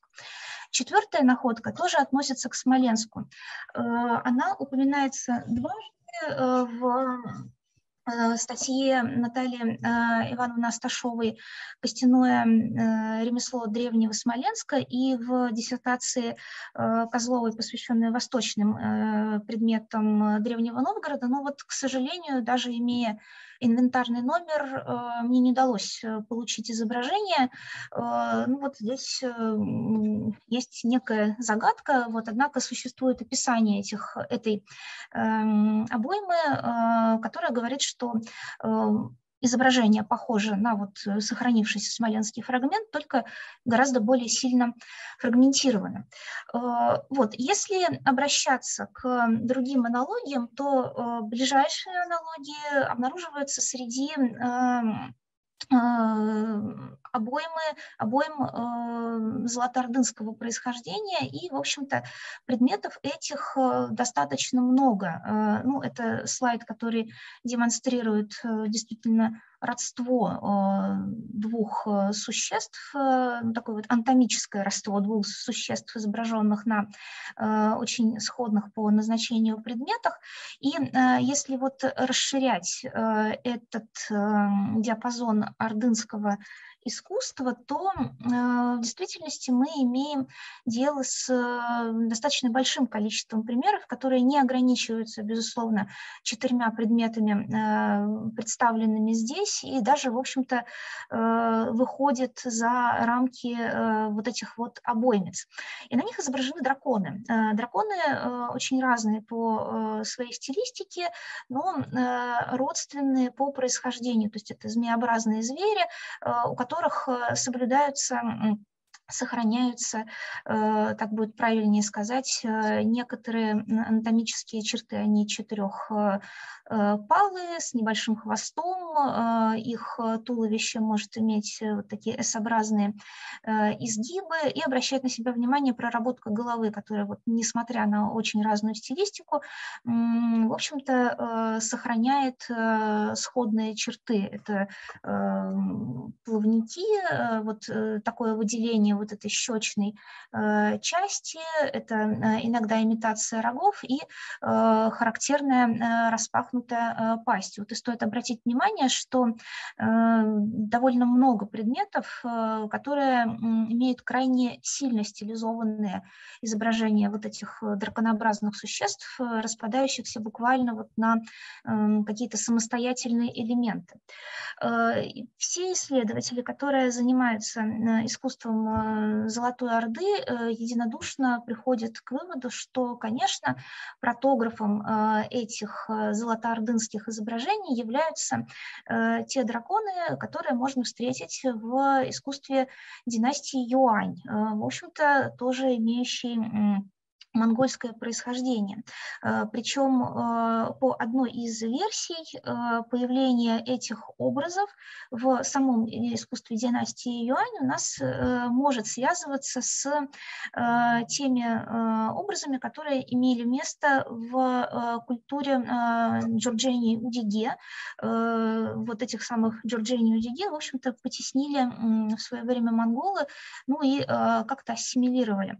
В действительности, когда мы обращаемся к различным э, образам э, драконов э, династии Юань, то видим сходство с тем, что наблюдалось на гарнитурах, различных обоймицах золотоордынского времени, и э, морфология вот этого животного, наличие тех э, элементов, которые я уже перечисляла выше, они, безусловно, соблюдаются. Хотя, безусловно, и сами, сами драконы вот в контексте искусства династии Юань, они могут немножко разниться по особенностям своей иконографии, ну, что, собственно, в общем, представлено на этих двух примерах тканей и скульптуры из янтаря, которые находятся в метрополии Метрополитен-музее.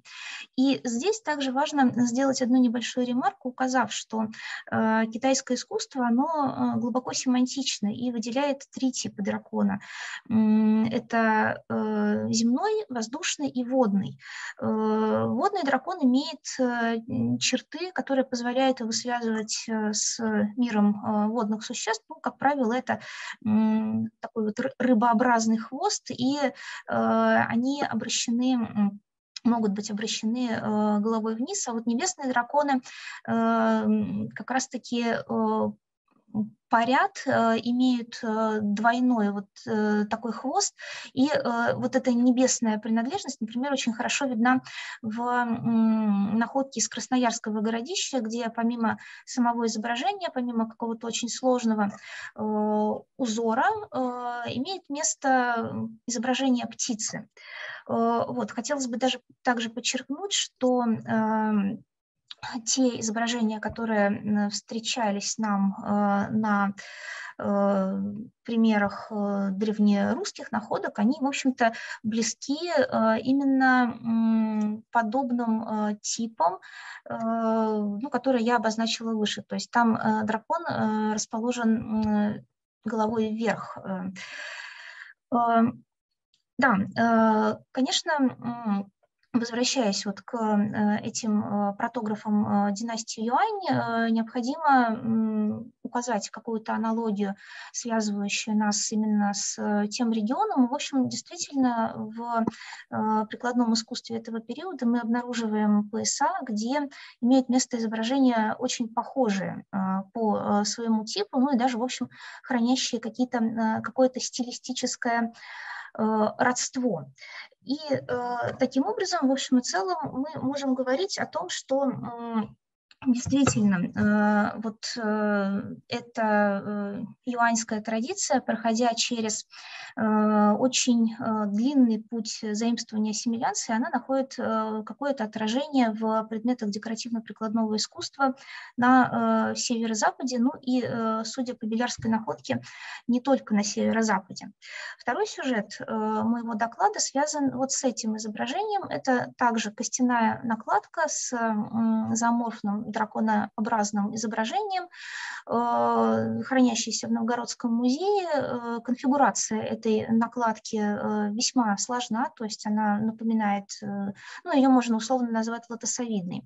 В этот формат прекрасно вписаны изображения существа двулапого, это хорошо, в общем-то, видно на слайде, двукрылого, с хвостом загнутой петлей, и этот хвост как бы соприкасается, соприкасается касается с морда дракона. А, морда дракона имеет узнаваемую а, иконографию, э, тоже вот отвернутые, э, хорошо обозначенные губы, острые э, зубы, ну в целом эта пасть может считаться такой оскаленной, каплеобразный глаз и уже упоминаемый мой плавник, который произрастает вот из такого валика, отделяющего морду дракона от шеи, ну можно сказать моделирующего щеку 嗯。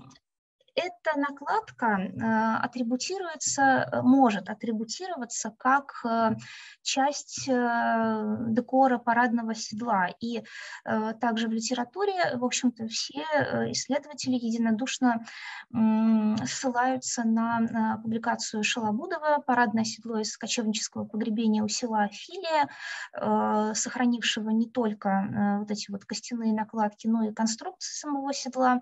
И здесь представлена вот подобного рода накладка, ну, венчающая некую композицию из других костяных элементов. Что касается интерпретации самого декора, здесь идет ну, некая такая интрига.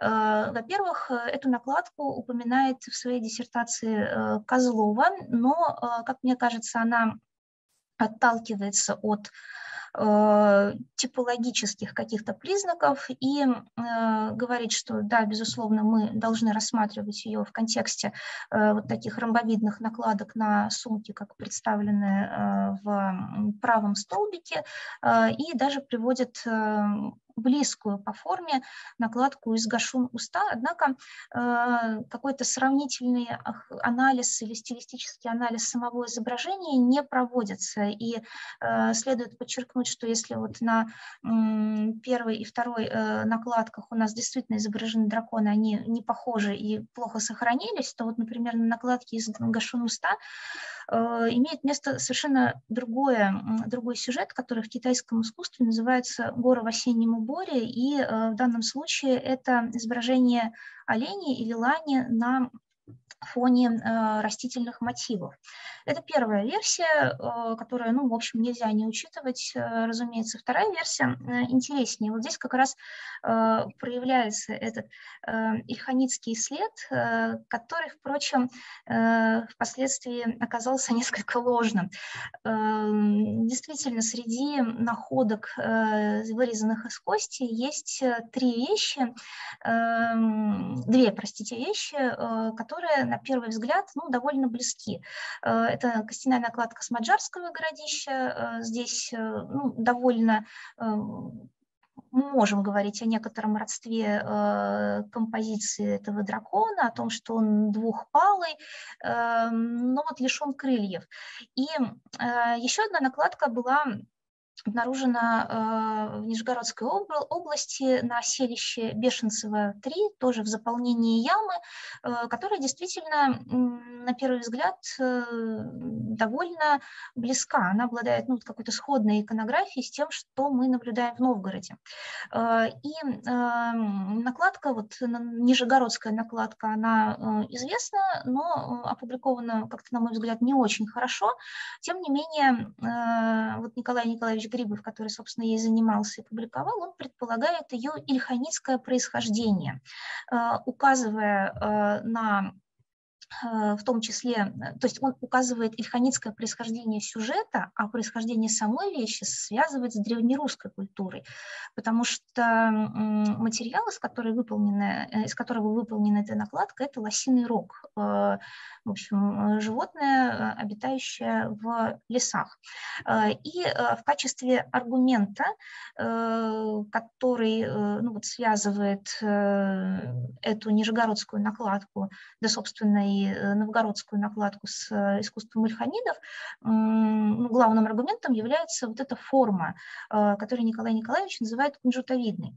Однако, если мы обратимся к какому-то прикладному искусству ильханидов, то среди э, максимально разнообразного ряда э, зооморфных образов э, находим в том числе вот таких драконов. Этих изразцов довольно много, они рассеяны по музеям, как вот в Европе, так и за океаном. В Эрмитаже в том числе есть замечательный, хорошо просматриваемый, просматриваемый изразец, где мы видим изображение дракона, туловище которого максимально близка, близко к э, иконографии тех э, драконов, наблюдаемых нами в искусстве династии Юань. Э, за исключением, может быть, головы, потому что голова действительно проработана ну, голова тоже, конечно, похожа на искусство династии Юань, но вот ее проработка э, с вот этими э, плавниками или гребнями э, очень близка, на мой взгляд, э, тому, что мы э, наблюдаем прежде всего на новгородской э, вещи, ну и во вторую очередь уже на нижегородской вещи. То есть, э, в принципе, мы можем достаточно уверенно, э, ну, я позволю себе достаточно уверенно утверждать, что э, искусство искусство ильханидов, э, несмотря на то, что Хулугуидский Иран, ну вот империя династия хулуйгаидов, она, утверди, она утвердилась на, Востоке на э, некоторое время, примерно на 20 лет раньше, чем э, династия Юань, Юань, она воспринимала искусство э, Китая этого периода, что, в принципе, мы можем видеть на других примерах декоративно-прикладного искусства уже иранского происхождения. И вот эти вот китайские драконы с длинными телами, трехпалые, там, пятипалые, с очень характерными разными головами, они бытуют длительное время. Они встречаются в 15 веке, э, хотя приобретают уже очень э, специфические формы, эм, как, например, это видно и композиции, самое главное, как это, например, видно на э, тарелке 1640 года из Метрополитен-музея. Эм, что касается аналогий, которые, ну, как мне кажется, могут быть э, достаточно близки нашей новгородской находке, э, они встречаются на большом количестве массового материала. Это, как правило, э, накладки с, от сумок бронзовые, встречающиеся ну, фактически повсеместно, но так вот более отчетливо связывающиеся с Булгаром. И вот на верхней накладке я надеюсь, ее хорошо видно, мы, э, в общем-то, можем наблюдать зверя э, в схожей позе, э, да, бескрылого, но повторяющего многие анатомические особенности, даже, в общем, чем-то схожего стилистически. Ну, Надежда и, наконец... Николаевна, прошу прощения, просто напоминаю о регламенте. Э, хорошо, мне нужна буквально минута. Э, спасибо. Э, вот, ближайшая находка, к сожалению, оказалась тоже случайной. Это четырехлепестная поясная накладка с изображением дракона с реки Аять, где мы, в общем-то, можем увидеть вот это вот драконообразное существо в сходной позе с двумя лапами и вот точно так же развернутой головой.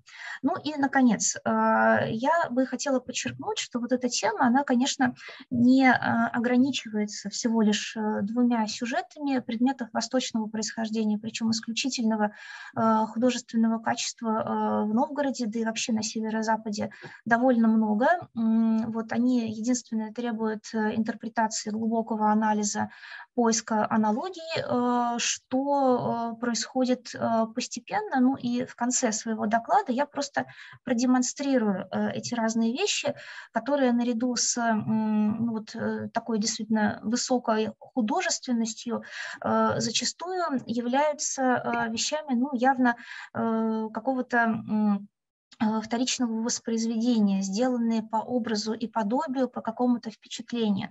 И э, в заключении э, своего выступления я бы хотела сказать, что да, действительно, вопрос, который, в общем-то, уже был поставлен в историографии о существовании золотоордынского периода в искусстве Древней Руси, он актуален, ну и требует дальнейших разработок. Мне кажется, прикладное искусство является тому хорошей иллюстрацией. Большое спасибо Спасибо за внимание. Большое спасибо, Надежда Николаевна. Действительно, очень важная для этой эпохи проблема. Будут ли вопросы к докладчику?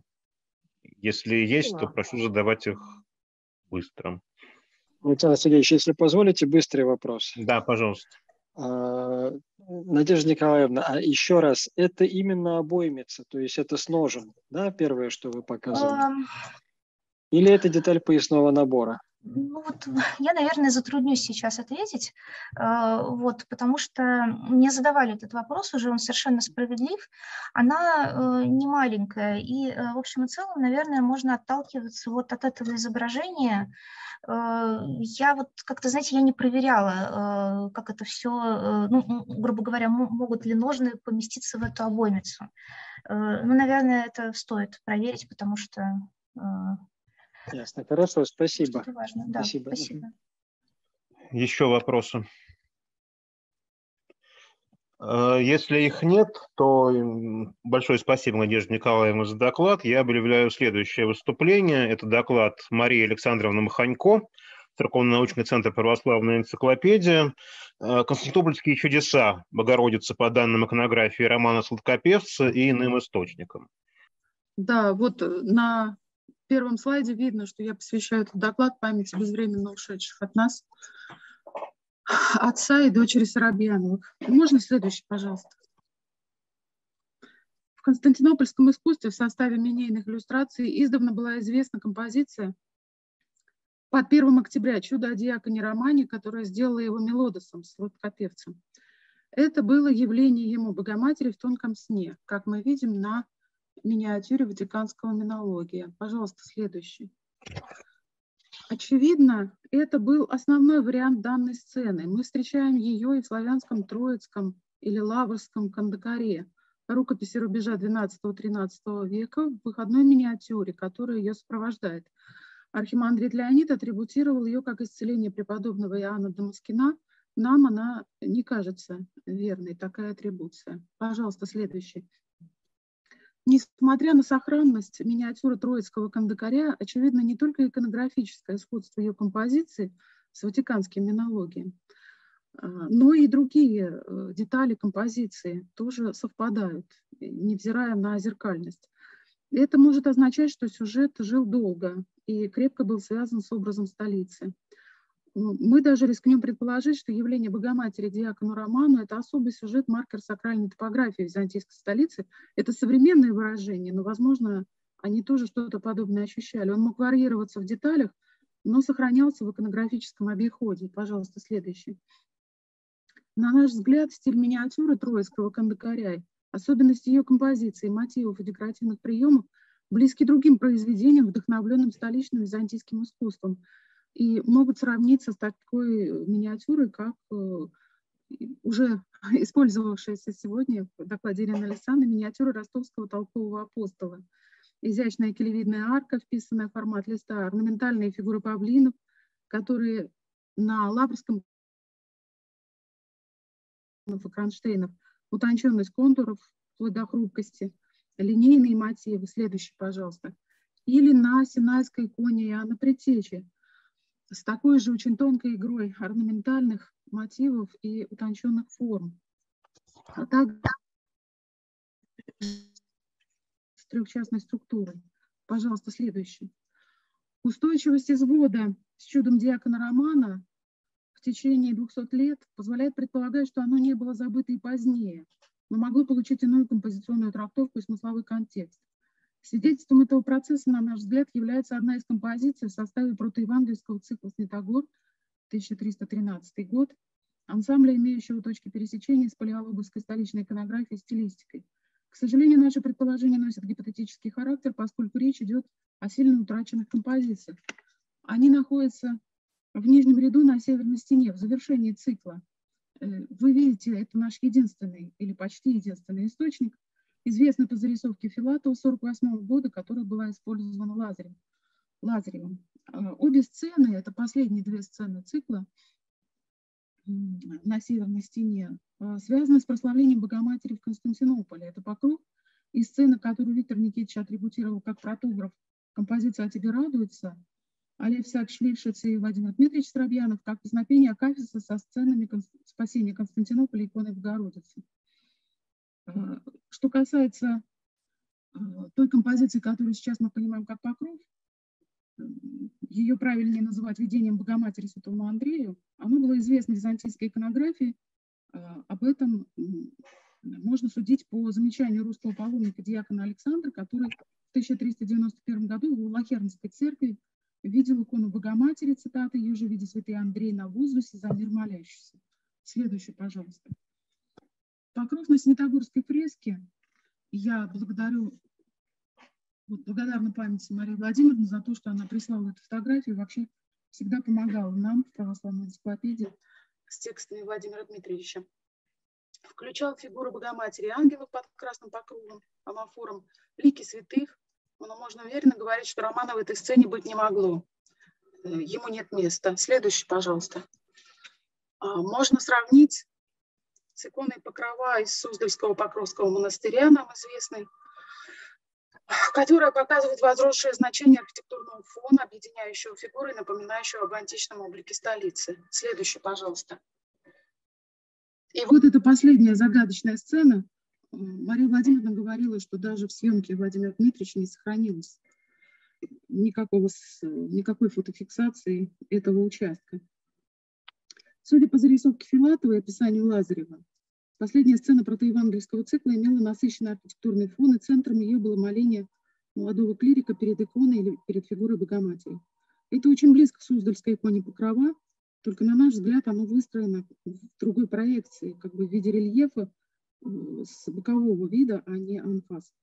Рискнем предположить, что неизвестная сцена – это новый извод чуда о романе Сладкопевца, но данные уже не как сонное видение, а как чудо обретением сладкого глаза во время исполнения знаменитого кандака на Христово в Константинопольской церкви Богоматери.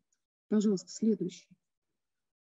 Особенностью образа романа вот в этой старой древней суздальской композиции Покрова э, короткая филонь – это древний тип облачения. Мы благодарим Василия Григорьевича Пуцко э, на указание этого факта. Э, и в Киевской Руси, в богослужебной традиции, она сохраняется вплоть до XVII века. А на его распространенность указывает как миниатюра Ватиканской минологии, так и особенность облачения святителя Николая на известной иконе с острова Литва. Пожалуйста, следующий. Архитектура на иконах Покрова XIV века служит символическим, но все же указанием на столичные реалии жития святого Романа, его связь с храмом Богоматери в Киеве, одним из красивейших храмов столицы после перестройки в XII веке на месте более древних зданий, которые могли видеть самого святого. И вот в его в остатках его декора выявлена фреска в нише с почитаемым образом Богоматери Кириотиса с титром. Следующий, пожалуйста. Разделение двух константинопольских чудес. Введение в Блахердском храме святого Андрея и явление Богоматери диакону, диакону Роману характерно для новгородского искусства XIV века. Покровские иконы в это время не, не имеют фигуры Романа. И мы видим это как на древнейших иконах господи, из Новгородского э, музея и из Покровского звериного монастыря. Пожалуйста, следующее. Так и в более поздних э, произведениях, ну вот я их только именую, вплоть до 16 начала 16 века из разных собраний. Пожалуйста, следующее. Здесь насыщение композиции идет за счет ликов святых, и сама она превращает извод из как бы отдельного городского чуда в образ всей церкви, совокупности э, церкви земной и небесной, воспевания литургии и ее таинств. Пожалуйста, следующее. Ну и к XVI веку константинопольские реалии там подчеркиваются иными деталями. Вот появляются такие загадочные, интересные фигуры, как статуя царя Устьяна.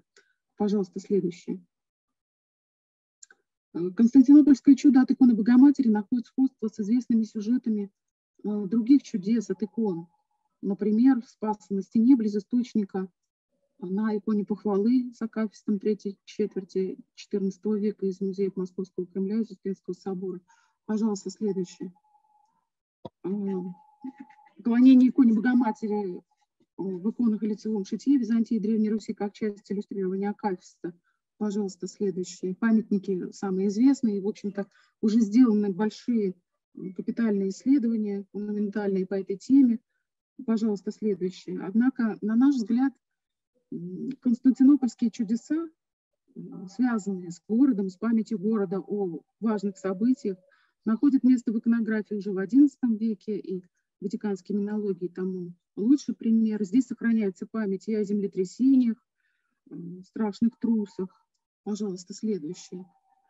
Загадочная память пепла 6 ноября. Следующий, пожалуйста.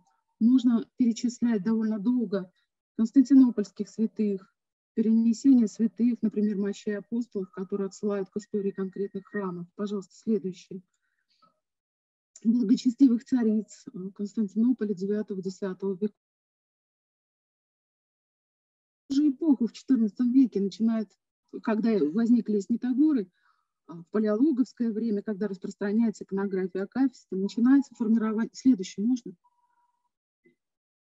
Начинается формирование изводов константинопольских чудес святителя Николая. Это, соответственно, чудо Ковре, чудо на Вселенских соборах. Пожалуйста, следующее. И как бы связанных с ними киевских чудес. Чудо о Половчине из новгородской иконы житийной. Пожалуйста, следующий. Э, чудо о киевском младенце. Здесь мы руководствуемся исследованиями Ангелины Сергеевны Смирновой. Пожалуйста, следующий. На Балканах есть примеры, когда перенесение тела Константинопольской святой, блаженной Параскевы Петки из предместья византийской столицы в Тырново э, делает ее почитаемой святой на Балканах, и мы ее знаем прежде всего как Тырновскую или Сербскую. И эти сцены становятся частью житийных циклов ее икон. Пожалуйста, следующий. В позднее время э, история романа, его константинопольских э, видений, снов и вот этого духовного озарения, она опять возвращается как бы становится частью покровской иконографии, но все-таки на первом плане уже остается такая всеобъемлющая, не связанная только с образом Константинополя тема единства Церкви земной и небесной. А, и само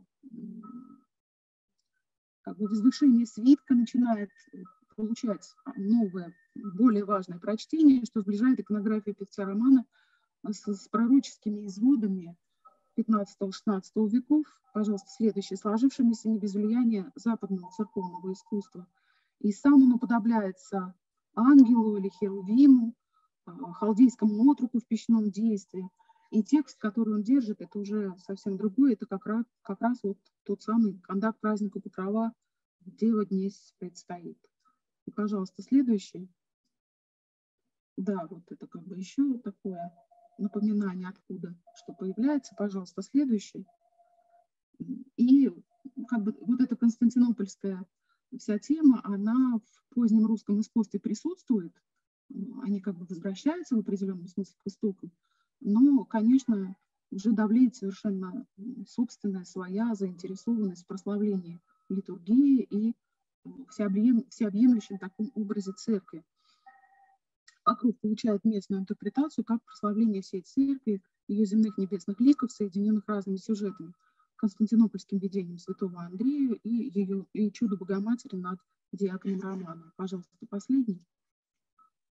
Ну вот, собственно, такое наше предположение, хотя, конечно, очень сильно гипотетически, поскольку сохранность вот такая, какая есть.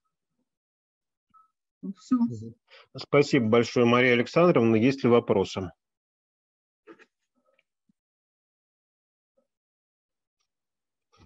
Можно задать вопрос?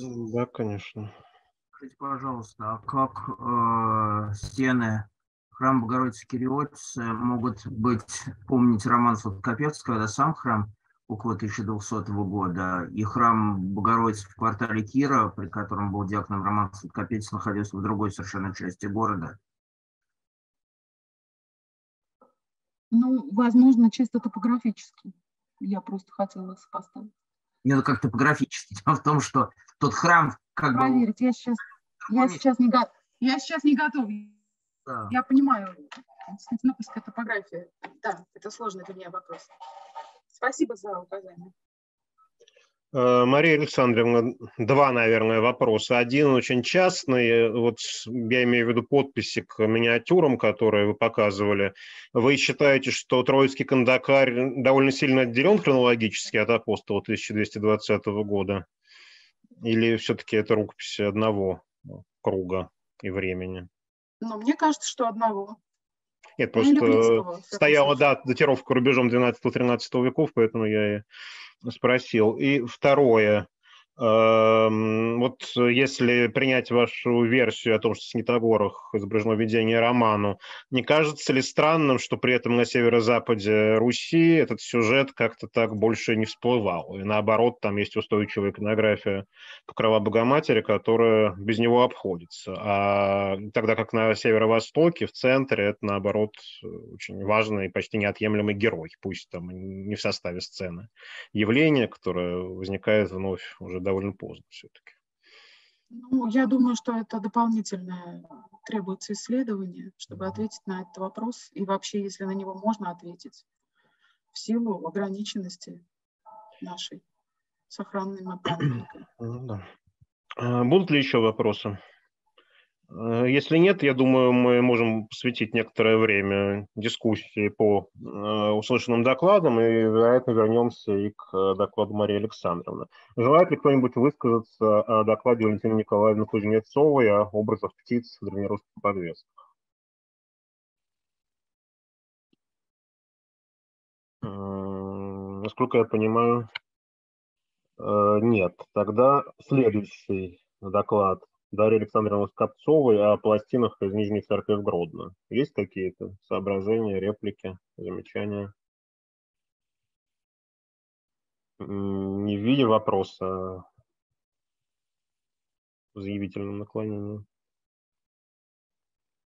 Я просто хотел сказать, что по этому поводу, что, наверное, вопрос о функциях этих пластин не самый главный из звучавших, из тех вопросов, которые рассматривались в докладе, но все-таки он довольно важен. И вот по моим ощущениям, хотя мы действительно знаем очень мало обо всем этом, эта версия продолжает быть наиболее вероятной. Тем более, что, если я правильно понял, эта структура могла иметь э, заворот на северной стене храма, и если у нее была такая, это был такой элемент, то тут уже наше представление о том, что могло быть, входить в состав изобразительного декора, могут и не работать. И вполне можно предположить, что на каких-то, в каких-то периферийных зонах этого, скажем так, сооружения находились и фронтальные изображения святых, в том числе образ того же Семена Богоприимца. Собственно, мы знаем по некоторым более поздним русским ансамблям, провинциальным, возможно, архаичным, что деисусная композиция может включать в себя на флангах фронтальные образы или даже может, ну, как бы быть не, не деисусом, но чем-то функционально его замещающим и включать а, фронтальное изображение, да, ну, как в случае с иконами из Вазенца в Эрмитаже или как в случае с этим чином XIV века из Кяллаванги, который разбросан по разным собраниям, включает в себя как иконы персонажей в молении, так и изображение фронтальное. Вот. Можно мне тогда маленькое замечание? Да, да, Ирина Анатольевна. Мне да. кажется, доклад очень интересный. И замечательно, что вот он будет, такое исследование. А по поводу предназначения, все-таки для алтарной преграды, они же очень маленького размера. Мне кажется, вот это самый главный аргумент против алтарной преграды. Они там с ладонь все просто. Трудно представить. Ну, ну и вот и все. Важно, все, что важно, я хотела конечно, сказать. Да, еще да. раз благодарю. Дарья Спасибо, да. Угу. Кто-нибудь еще хочет высказаться по этому докладу? Тоже вот все-таки да. алтарной преграды, ну, во-первых, их и нет таких, да, у нас как бы представлений. Есть смутные, все-таки в Византии сохранилось, наверное, довольно много алтарных преград, в том числе этого времени, но и, как бы, так сказать, никаких подобных элементов нет, поэтому я бы все-таки вот оставил бы скорее версию о Хоросе, вот. Но как бы разбирать...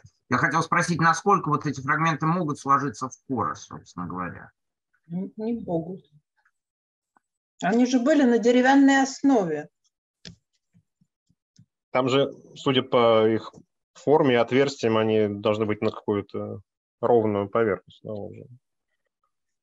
То есть, Тогда какие еще есть альтернативы, если Ирина Анатольевна, если не иконостас? А хорос не мог быть деревянным с накладками?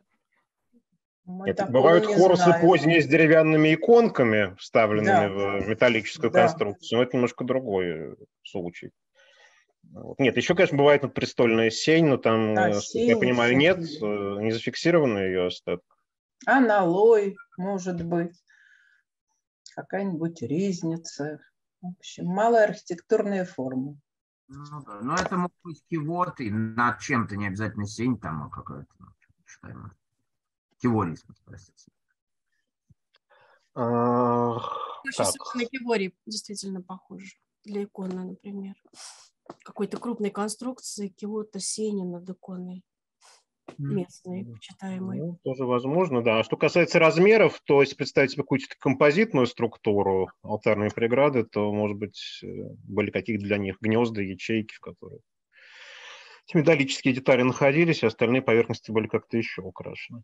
А, если больше никто не желает высказаться по поводу доклада Дарьи Александровны, можем перейти к докладу Надежды Николаевны Точиловой о художественных традициях династии Юань и государства Халагуидов. У кого-нибудь есть мысли по этому поводу? Ну, если позволите, Александр Сергеевич. Да, конечно, Федор Никитович, да, пожалуйста. Я вот буквально, может быть, это будет полезно Надежде Николаевне, поскольку если все-таки речь идет о поясном наборе в первом случае, ну пусть это черный металл, да, а не цветной, тем не менее, вот может быть для контекста это пригодится. Есть статья такая у Юрченко, была о трех сотнях золотых поясов в Новгороде. Это не 13 век, это время уже хана Узбека, но тем не менее, может быть, для контекста это будет полезно, потому что там как раз речь идет о Бордынской знати именно в новгородском конфликте в 1331 году. Но это вот в качестве соображений. Спасибо. Да, еще доклад Ирины Александровны, конечно. Кто-нибудь желает выступить по поводу иконы Петра и Павла из Белозерска?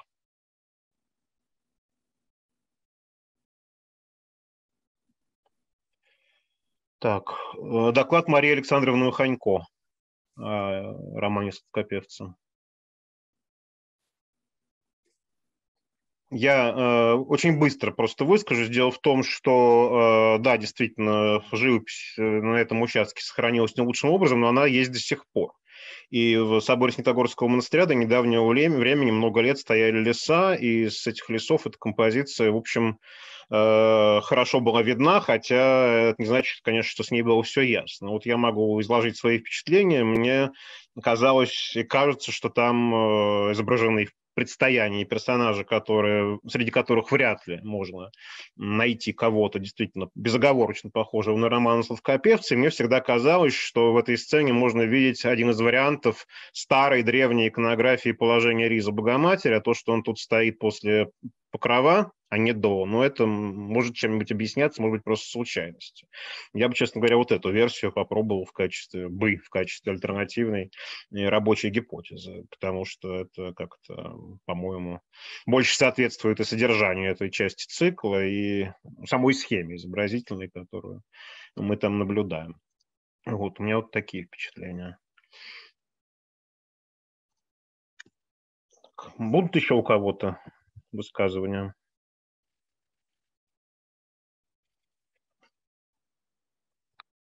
Насколько я понимаю, нет. Илья Владимирович, тогда вновь ваша очередь.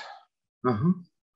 Так, дорогие коллеги, я прошу только всех соблюдать регламент, потому что, э, ну, это, мне кажется, правильно следовать неким законам, которые мы уже установили.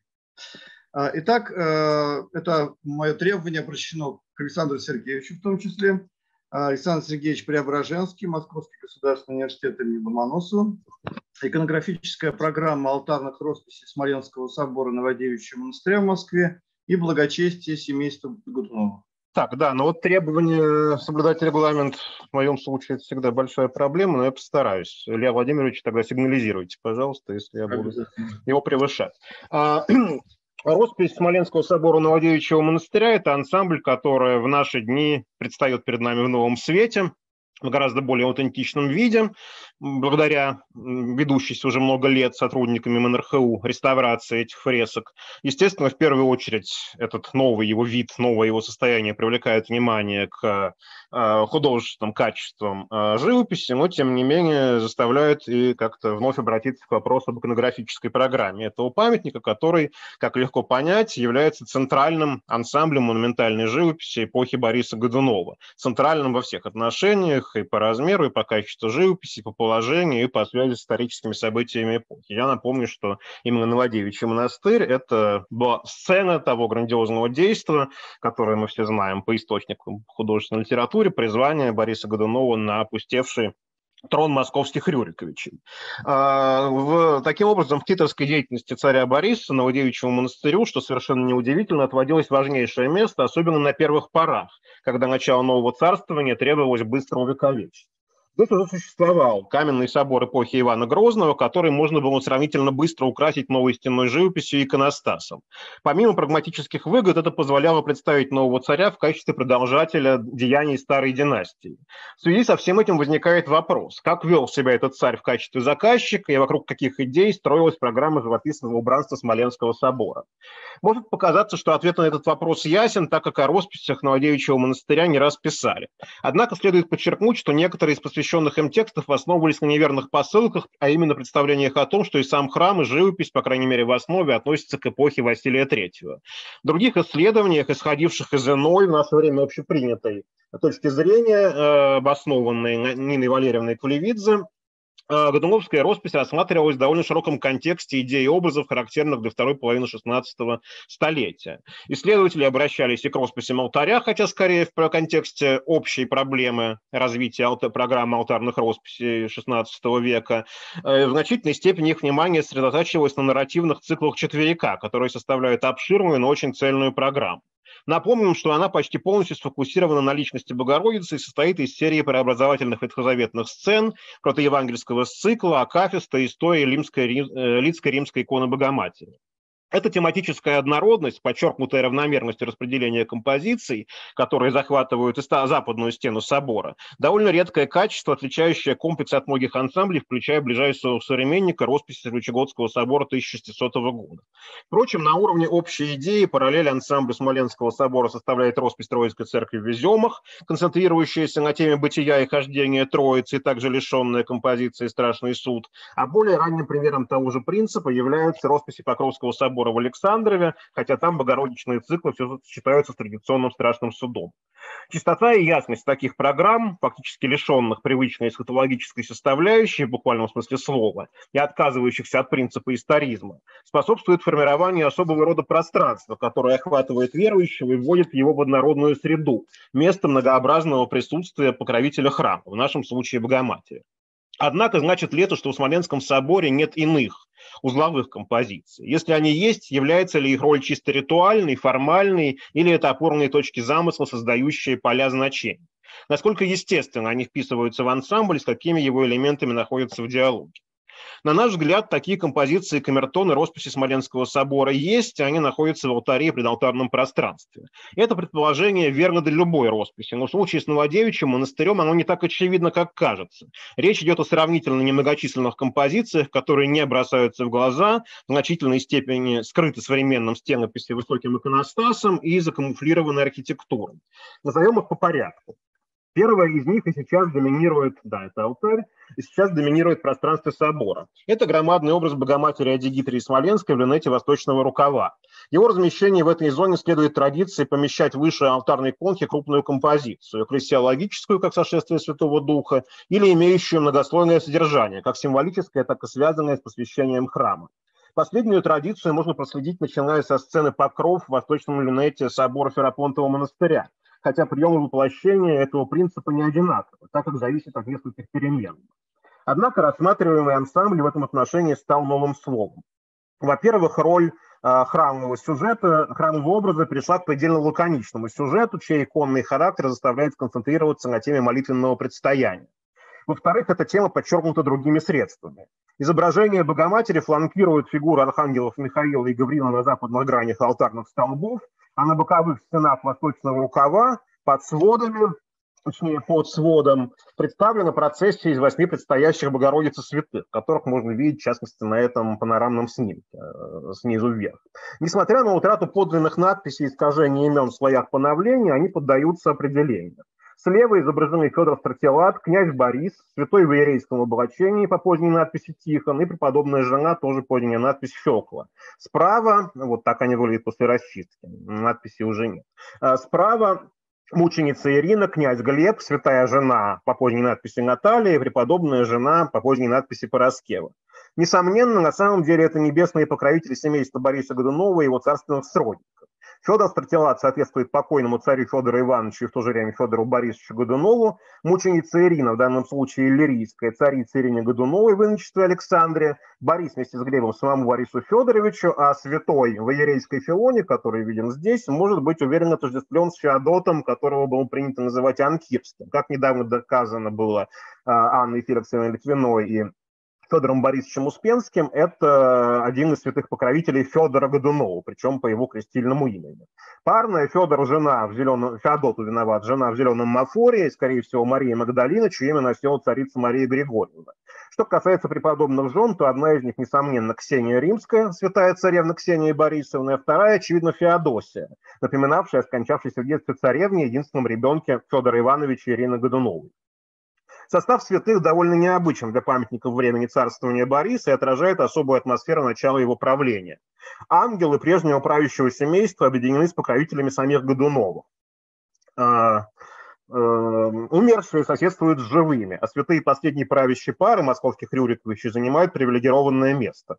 Вряд ли можно сомневаться, что перед нами акт изобразительной легитимации новой династии, аналогичной событиям и текстам времен воцарения Бориса том числе летописцу самого Смоленского собора, открывающемуся именем царицы Иноки Александра, то есть Ирины. Особенно интересно, что, если судить по росписи, Борис обретает царственное достоинство не только как Шурин усопшего государя и родной брат Ирины, но и как старший кровный родственник мужского пола, то есть наследник покойной дочери Федора Ивановича. Предстоя Богородице, прежние и новые правители олицетворяемые соименными святыми, оказываются в дважды сакральной зоне, в пространстве алтаря и венчающей части храма. Это подчеркивается их непосредственным соседством с образом Святой Троицы, распластанным по плоскости восточного свода. С художественной точки зрения а, это решение сложно признать удачным. Однако, однако вынужденность свидетельство его необходимости. Не исключено, что образ Троицы в некотором смысле замещает традиционную для этого компартимента Пятидесятницу, и, кроме того, является наследником изображений гостеприимства Авраама, которое присутствует между восточными парусами Архангельского собора и Покровского собора в Александрове. Однако по сравнению с этими памятниками роль образа Троицы возрастает на порядок. Поэтому, не исключая возможности подражания более ранним ансамблям, мы, как и в случае с процессией святых перед Богоматерью, видим здесь изобразительную проекцию благочестивых обычаев рода Годуновых – Хорошо известно, что в их религиозной жизни центральное место занимало почитание Святой Троицы, выразившееся в украшении и строительстве целого ряда храмов и монастырей. Алтарная роспись Смоленского собора может считаться кульминацией этого процесса. Святые заказчиков уподобляются правцам, находятся в постоянном общении с трипостасным божеством и, как можно предполагать, удостаиваются хлеба вечной жизни, буквально сходящего с небес. Характерно, что совсем неподалеку, в центральном куполе, он здесь частично виден, размещена еще одна тринитарная композиция «Образ Отечества в окружении небесных сил». Сфера его воздействия охватывает в том числе и восточный рукав храма. Тема соименных святых правящего семейства для Годуновского времени была одной из центральных. Можно сказать, что в целом она решалась более ярко, чем при Иване Грозном. Однако роспись Смоленского собора выделяется на этом фоне. Покровители почти всех членов царского семейства изображены два – на столбах и под сводом восточного рукава. Первая группа святых рассеяна по интерьеру и совершенно другие персонажи, когда как вторая собрана целостную композицию, дающую впечатление личного молитвенного контакта заказчиков с Богородицей и указывающую на их избранность. Не будучи портретом семейства донаторов, эта сцена приближается к ним по своему значению. Она заставляет вспомнить не только довольно многочисленные семейные иконы Годуновых, но и известия разной степени ясности, позволяющие говорить о том, что в московской культуре конца XVI века образовался нестойкий, но все же заметный интерес к разным категориям прижизненных образов несвященных лиц. В это и созданные русскими мастерами донаторские изображения выезжего, выехавшего греческого иерарха Арсения Лосонского и сохранившиеся в редакции XIX века в Грановитой палате изображение Федора на престоле с Борисом предстоящим и с боярами и уникальный золотой с изображением Бориса Годунова – эти факты, как и подтверждающиеся памятниками инвектива дьякоба Ивана Тимофеева, обвинившего Бориса в разделении Святой Троицы, то есть э, двоицы, то есть в изображении Бориса без Глеба, в своей совокупности говорят об определенных сдвигах, происходивших в недрах московской культуры, отвыкшей от византийской практики репрезентации государей и донаторов и еще не освоившей идею европейского портрета. Симптомом назревшей необходимости более индивидуализированных Э, способов персонификации царственного заказчика кажется и роспись Смоленского собора. Вместе с тем нельзя не отметить странное качество этой композиции. В отличие от образов Богоматери и Святой Троицы, прекрасно просматривающихся из центра храма, вереницу громовских святых довольно трудно разглядеть и тем более распознать. Вряд ли случайно они ускользнули от внимания исследователей советского времени, не упоминавших эту фреску и даже подобно Редковской, настаивавших на отсутствии годуновских следов в программе росписи Смоленского храма. В сущности, композиция с патрональными святыми смело вводится в привилегированное пространство, но вместе с тем скрывается от зрителя. На это можно возразить, отметив, что таковы особенности архитектуры и габариты пространства Смоленского собора. Однако вернее будет сказать, что эти же особенности архитектуры, которых не было в украшенных живописью сооружения Годуновского времени, позволили осуществить описанную нами новацию без явного нарушения общепринятой нормы. Будучи невидимыми, фигуры соединенных святых Годуновых все же соотнесены с другими элементами программы. Прямо под ними на внутренних гранях столбов, также скрытые от глаз молящихся, представлены обращенные друг к другу царь Константин и Владимир Святой. Смысл их сопоставления не требует расшифровки. Это вот так они выглядели до реставрации, так они выглядят после раскрытия древней живописи. Однако ясно, что размещение этих фигур в алтарной зоне также необычно и спровоцировано появлением сцены моления святых.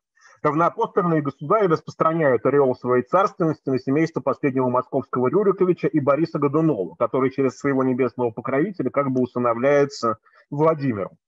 Рядом с Владимиром Константином помещены медальоны со святителями, согласно позднейшим надписям Емельянова Милетия. Вполне возможно, что эти фигуры относятся к другому смысловому блоку, однако стоит отметить, что на память Емельяна Физического 8 января пришлось погребение царя Федора, а память Милетия Антиохийского 12 февраля довольно близка к моменту начала работы Земского собора, избравшего Бориса на царство. Возможно, выбор святых в этой зоне имеет мемориальное значение, причем роль отдельных дат была, могла быть до конца понятна именно, именно и только членам рода Годунов. Константин и Владимир – единственные представители царской и княжеской святости в алтаре Смоленского собора, изолированные иконостасом от святых, представленных на четырех западных столбах. Вместе с тем очевидно, что они мыслятся как предводители князей, воинов, мучеников и святых жен, чьи крупные фигуры занимают столь важное место в росписи четверика. Следовательно, сон святых в лице Константина и Владимира пересекает линию алтарной преграды, включая движение годомовских святых в сторону Богоматери, или точнее их предстояние перед ней. В росписи основного пространства храма идея движения к востоку композиционно почти не выражена. На нее лишь намекает фигура князя Всеволода Гавриила с храмом, поставленная не фронтально, а в повороте к алтарю, направляя в его сторону к Богородице и Троице всех остальных. Представляется, что это не случайность осознанное использование традиционной псковской этнографической формулы в новых целях. Не нарушая общего состояния покоя, святые нацелены на алтарное пространство, куда их направляет приглашающий жест десницы Бориса, царского патрона, справа внизу, в глубине. Это явные заместители ктитора-обновителя храма. В связи с этим вспомним прямую связь все с традиции посвящения храмов Троицы. Связи прекрасно известны членам рода Годуновых, о чем говорит эта известная вкладная псковская очевидная икона, выложенная одним из Годуновых Упатьевский монастырь. Идея пути к Царствию Небесному, напоминая о шествии воинства Небесного Царя и вождей Древнего и Нового Израиля на известной иконе Успенского собора, отсылает к программе роспись Архангельского собора с фигурами погребенных там князей, сопровождаемых образами соименных святых и обращенных в сторону алтаря, к образу Софии Премудрости в конце. Тема общения с божеством выражена там даже более отчетливо и сюжетно, чем в Смоленском соборе. Тем не менее, ни один княжеский портрет не оказался по ту сторону алтарной преграды. В более сдержанной росписи Смоленского собора этот шаг уже сделан, причем он увлек за собой не только членов новой династии, но и весь народ Нового Израиля, который в идеальном порядке представлен в многофигурной алтарной композиции «Покров Богоматери» сцене, не лишенной литургических коннотаций, но превосходящей широтой своего содержания значение фигуры сюжетов, традиционных для алтаря. Сама мысль поместить в конкурс средней апсиды огромную сцену Покрова была не нова. Ее уже опробовали в росписи Покровского собора Александровой Слободы, где Покров, храмовый сюжет, уступил в восточный люнет Успения, спустившись в саму апсиду. Для этого шага можно найти много релевантных причин, однако главное из них, очевидно, состоит в том, в желании как можно крепче привязать покров к алтарному пространству, превратив сцену в семантически кульминационную точку ансамбля, сделав ее моментом окончательного триумфа Богоматери и конца земной истории. Будучи помещен в алтарную конху, покров с множеством предстоящих, как идеальная модель православного социума, являющего себя в храме во время богослужения во всей своей полноте, ставит знак равенства между этим обществом и горним миром, куда уже вступили святые во главе с двумя равноапостольными правителями. Смысл сцены в конхе Смоленского собора далеко не ограничивается идеей покровительства, хотя она естественным образом сохраняет свое значение, как кажется, переходя в идею покоя как синонима духовного совершенства, уже обретенного в церкви без всяких пауз, приводящего на небеса. Мастера и заказчики росписи Смоленского собора, очевидно, отталкивались от убранства Покровского собора в Александрове, более раннего царского храма. Они не стали э, обращаться к ферапонтовской модели и не возвратили покров в восточный люнет, учитывая традицию размещения в этой зоне именно храмового образа и возможности колоссальной композиции Богоматерь Смоленская, способные взаимодействовать с обширной аудиторией, вместе с тем вступать в индивидуальный контакт с верующими в качестве увеличенной реплики главной святыни храма. Более того, они разрушили оппозицию покров страшный суд, существовавший не только в Александрове, но и в другом варианте в Ферапонтове. Из-за этого, а также из-за появления пятиярусного иконостаса в системе декора Смоленского собора почти исчезла композиционная смысловая ось запад-восток. С другой стороны, вследствие этого максимально облегченным стал контакт между горним и дольним миром. В самом Наусе полноту теофании являют один из самых абсурдных иконостасов с Отечеством, Богородица, как сопровождаемая ангелами небожительницы, и росписи центрального купола и барабан, где нет исторических лиц, правцев, пророков и евангелистов, а остались только триипостасное божество и бесплотные силы. Доступность откровения и совершенство церковной жизни становится абсолютным. Изображенные в конте молящиеся осенены сводами церкви одеянием Богоматери. Реальные молящиеся ее гигантским образом и ангельскими крыльями на восточных столбах. В куполе и в люнете над пределом Архангела Гавриила в Южной Акции. Сцена справа. Удачным образом древнее, восходящее еще к эпохе Василия III посвящение пределов диаконике, позволило развить и буквально воплотить идею покоя нового Израиля, олицетворяемого спасенными вавилонскими отроками, которые нашли прибежище под крыльями сошедшего в огненную печь Архангела. Сцена видения Григория Богослова в жертвеннике сошествия небесных сил и Эммануила в церковь при завершении литургии, выполняя свои особые задачи, тем не менее работает на то же ощущение постоянного присутствия высших сил, не оставляющих человека. Возможность тихого, неявного диалога между росписями четверика, алтаря и купольной это еще один, также малозаметный элемент. Парные композиции на восточных гранях западных подкупольных столбов, когда-то ошибочно связывавшиеся с каноническими работами XVII века, но явно принадлежащие к первоначальному замыслу.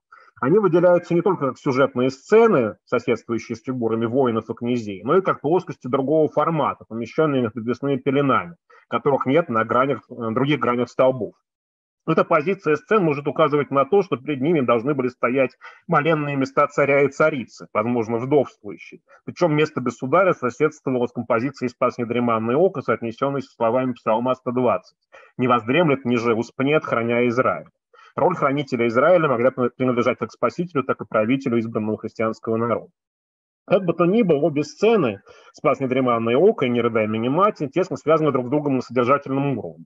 Они соотносятся с событиями богослужением Великой Субботы изображают состояние покоя, обещающего близкое торжество и самого Христа, и Богородицы в обоих случаях выступающей в качестве не только страдающего персонажа, но и спутницы царя славы, причастной его скорому триумфу, и вводящей христиан Царство Небесное. Все эти качества рифмуются с алтарной сценой покрова как образом торжества и идеального покоя церкви. Та же тема завершения исторического цикла полноты времен и осуществления спасения звучит и в купольной росписи, где окруженный бесплотными силами Господь показан как Творец мира, осуществивший свой замысел. Несколько ином, но также оптимистическом ключе тема исполнения замысла Господа о человеке, церкви и царстве выразилась несколько более поздней свияжской стенописи, где в алтаре помещена литургическая композиция «Да молчит всякая плоть», также содержащая идеальный портрет коллективный нового Израиля, также связанный с темой Великой Субботы, как порога на пути в вечность. А на западной стене находится символическая сцена собора Богоматери с дополнительными мотивами, которая, как уже часто об этом писали, много заменяет страшный суд образом торжества Богородицы и вот, Однако здесь свияжки реализуют принцип диалога двух ключевых что делает более динамично, традиционно. В Смоленском соборе этой динамики нет. Здесь более важны тонкие содержательные нюансы, что отчасти затрудняет восприятие считывания. Простота и своего рода бесконфликтность написанного Бекура а, итак, простота и своего рода бесконфликтность программы стенописного декора Смоленского собора – качество одновременно реальное и кажущееся. Этот ансамбль находится в постоянном диалоге с более ранними памятниками столичной традиции. Но существенно переосмысляет звучавшие ранее идеи, обладает уникальными качествами. Традиционные концепты получают в нем новое, монументальное и вместе с тем камерное, ричкостно окрашенное звучание, не случайно требуя от зрителя внимания к малозаметным деталям, к их диалогу, каким-то сокровенным элементам, сценам, и, так сказать, э, которые вписывают в большой такой действительно крупный моментальный ансамбль какие-то такие личные интенции заказчиков.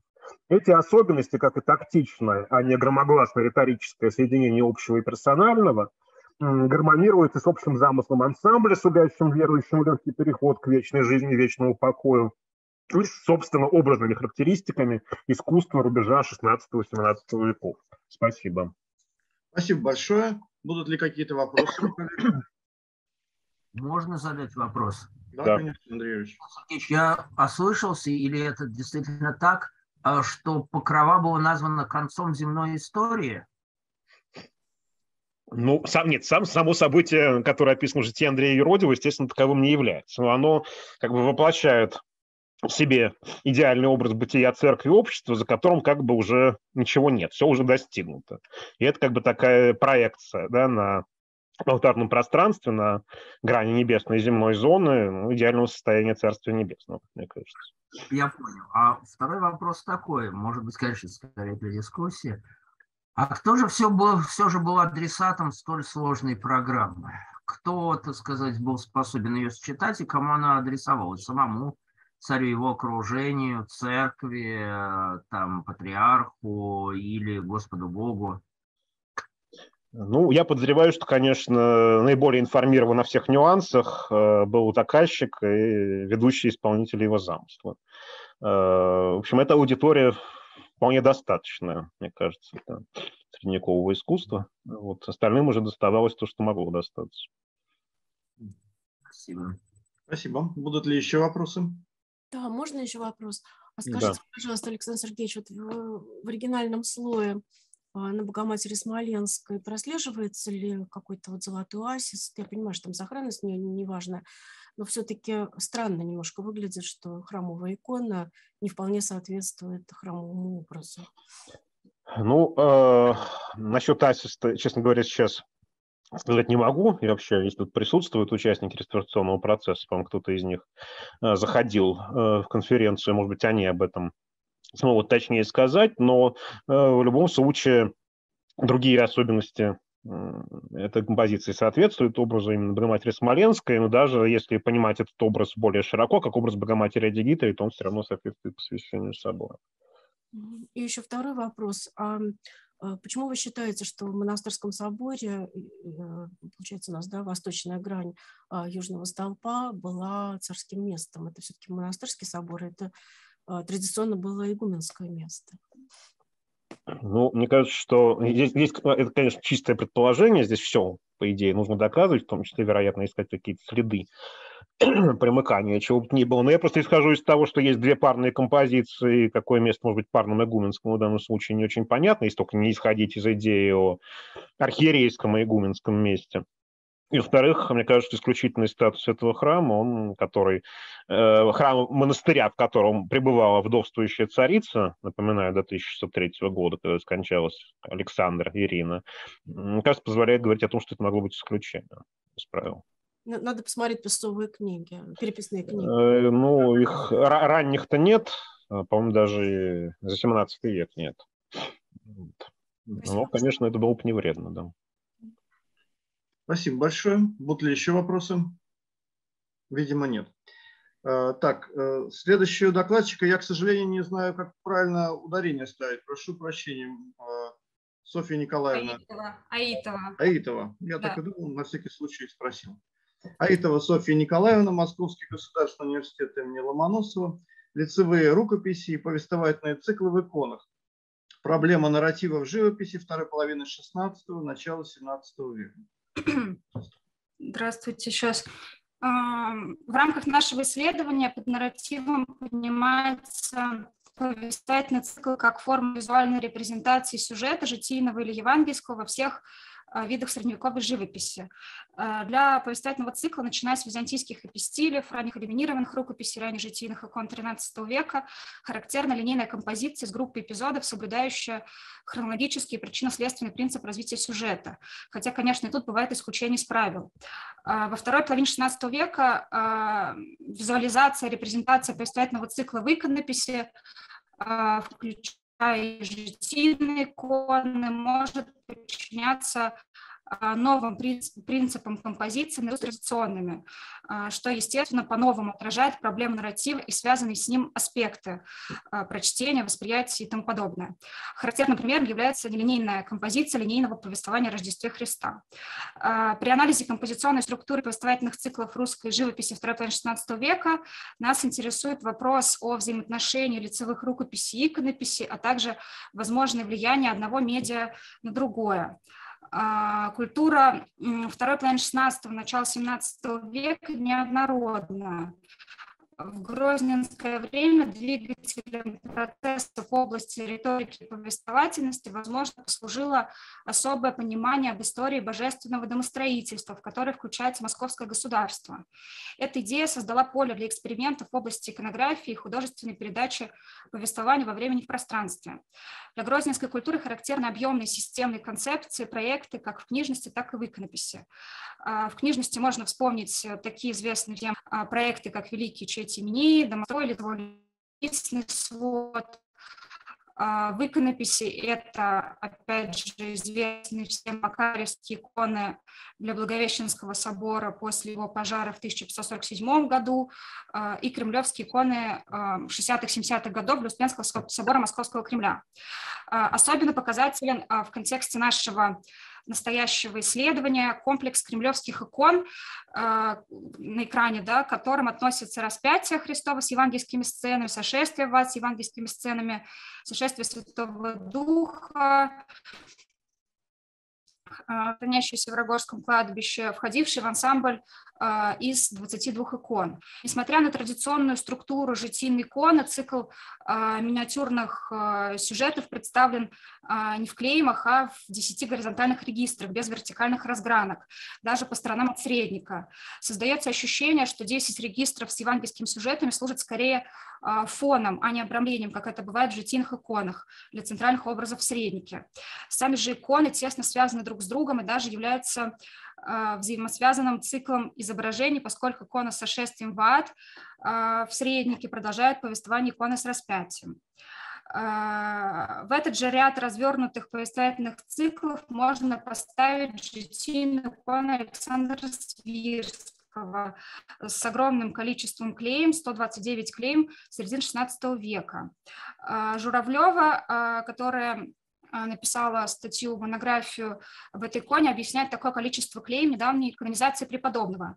Как известно, в эпоху митрополита Макария была, а, действительно была предпринята канонизация многих святых, что вызвало появление большого количества иллюстрированных житийных текстов, к которым мы еще а, будем обращаться. Ну вот, например, на экране миниатюры иллюстрированного жития Сергия Радонежского конца XVI века из а, из РГБ. Лицевые, а, также в этот же контекст можно поставить и лицевые жития Зосимы Саватия Соловецких, которые не показываю, но тем не менее два списка конца XVI века а, из РГБ и ГИМа, один начала XVII века из Национальной библиотеки.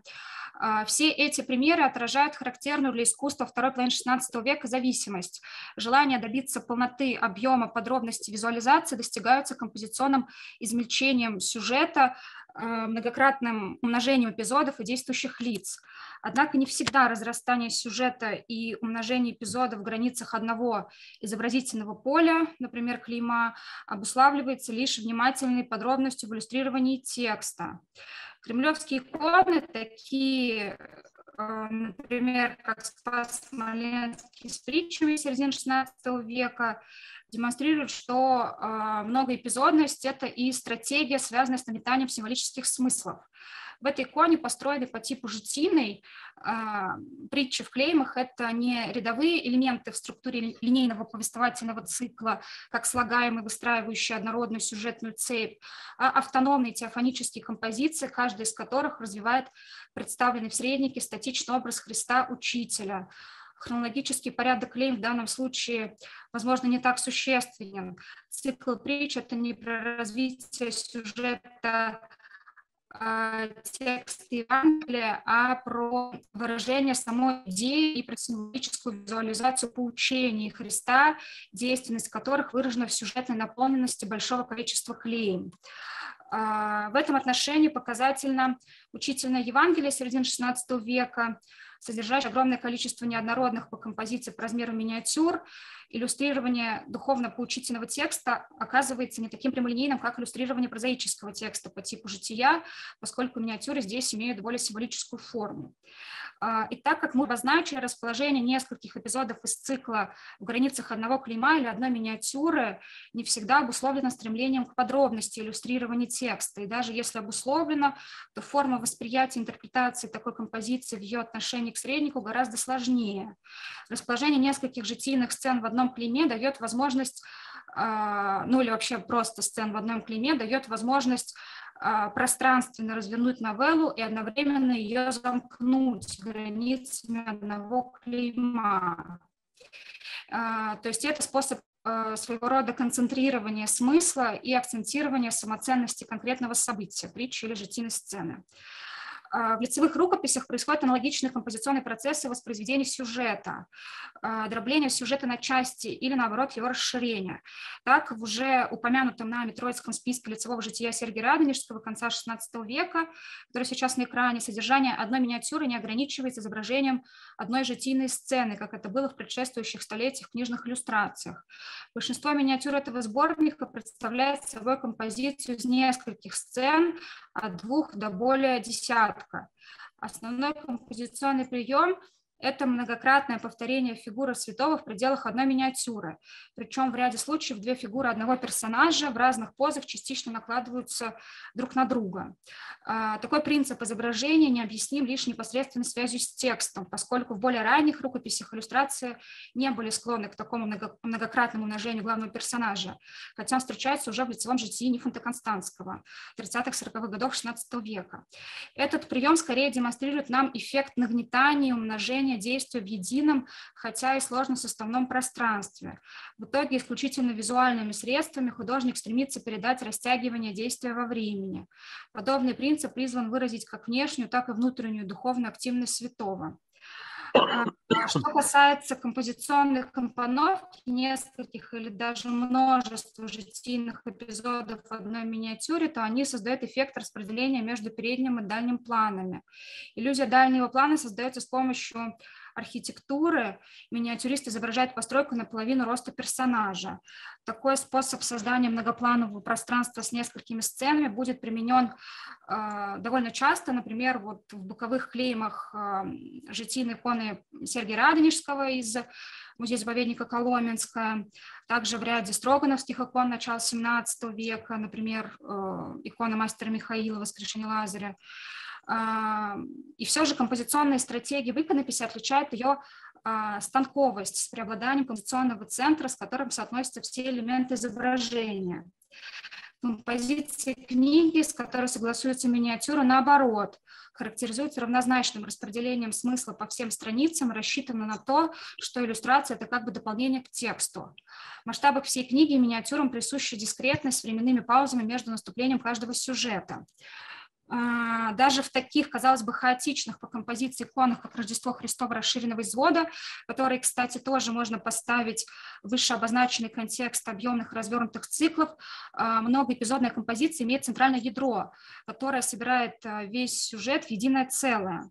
Композиция Рождество Христова расширенного состава, получившая широкое распространение в живописи 16-17 века, в основном в иконах, но есть исключительные случаи фрески миниатюры, демонстрирует еще одну тенденцию нарратива, расширение традиционных иконографически стандартных сцен праздников э, до повествовательных циклов, которые, в отличие от икон со средником и клеймами, имеют, э, имеют нелинейную композицию, подчиненную структуре иконографической формы. Э, сюда же можно отнести иконы э, Троицы Ветхозаветной, а, который сейчас на экране как пример, в ряде которых, начиная с конца XVI века, на второй план помещается небольшой цикл прибытия, отбытия трех ангелов, представленный как а, ретроспекция по отношению к центральному сюжету гостеприимства Авраама, а также иконы а, тоже как пример показываю одну, а также иконы воскресенья сошествия вас с дополнительными сценами.